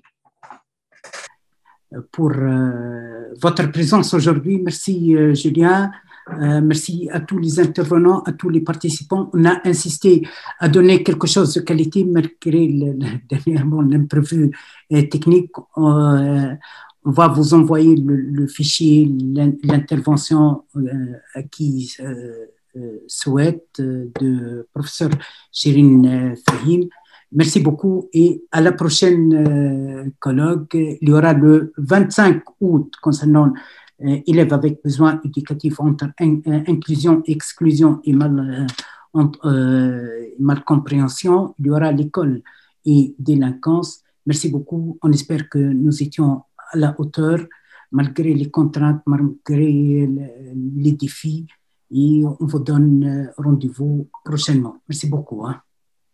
Merci. Merci. Très bien. Julien, merci pour ton animation également. Oui, Julien, c'est merci. merci. Bonne soirée à tous. Merci, merci, merci beaucoup. Merci beaucoup. Merci infiniment.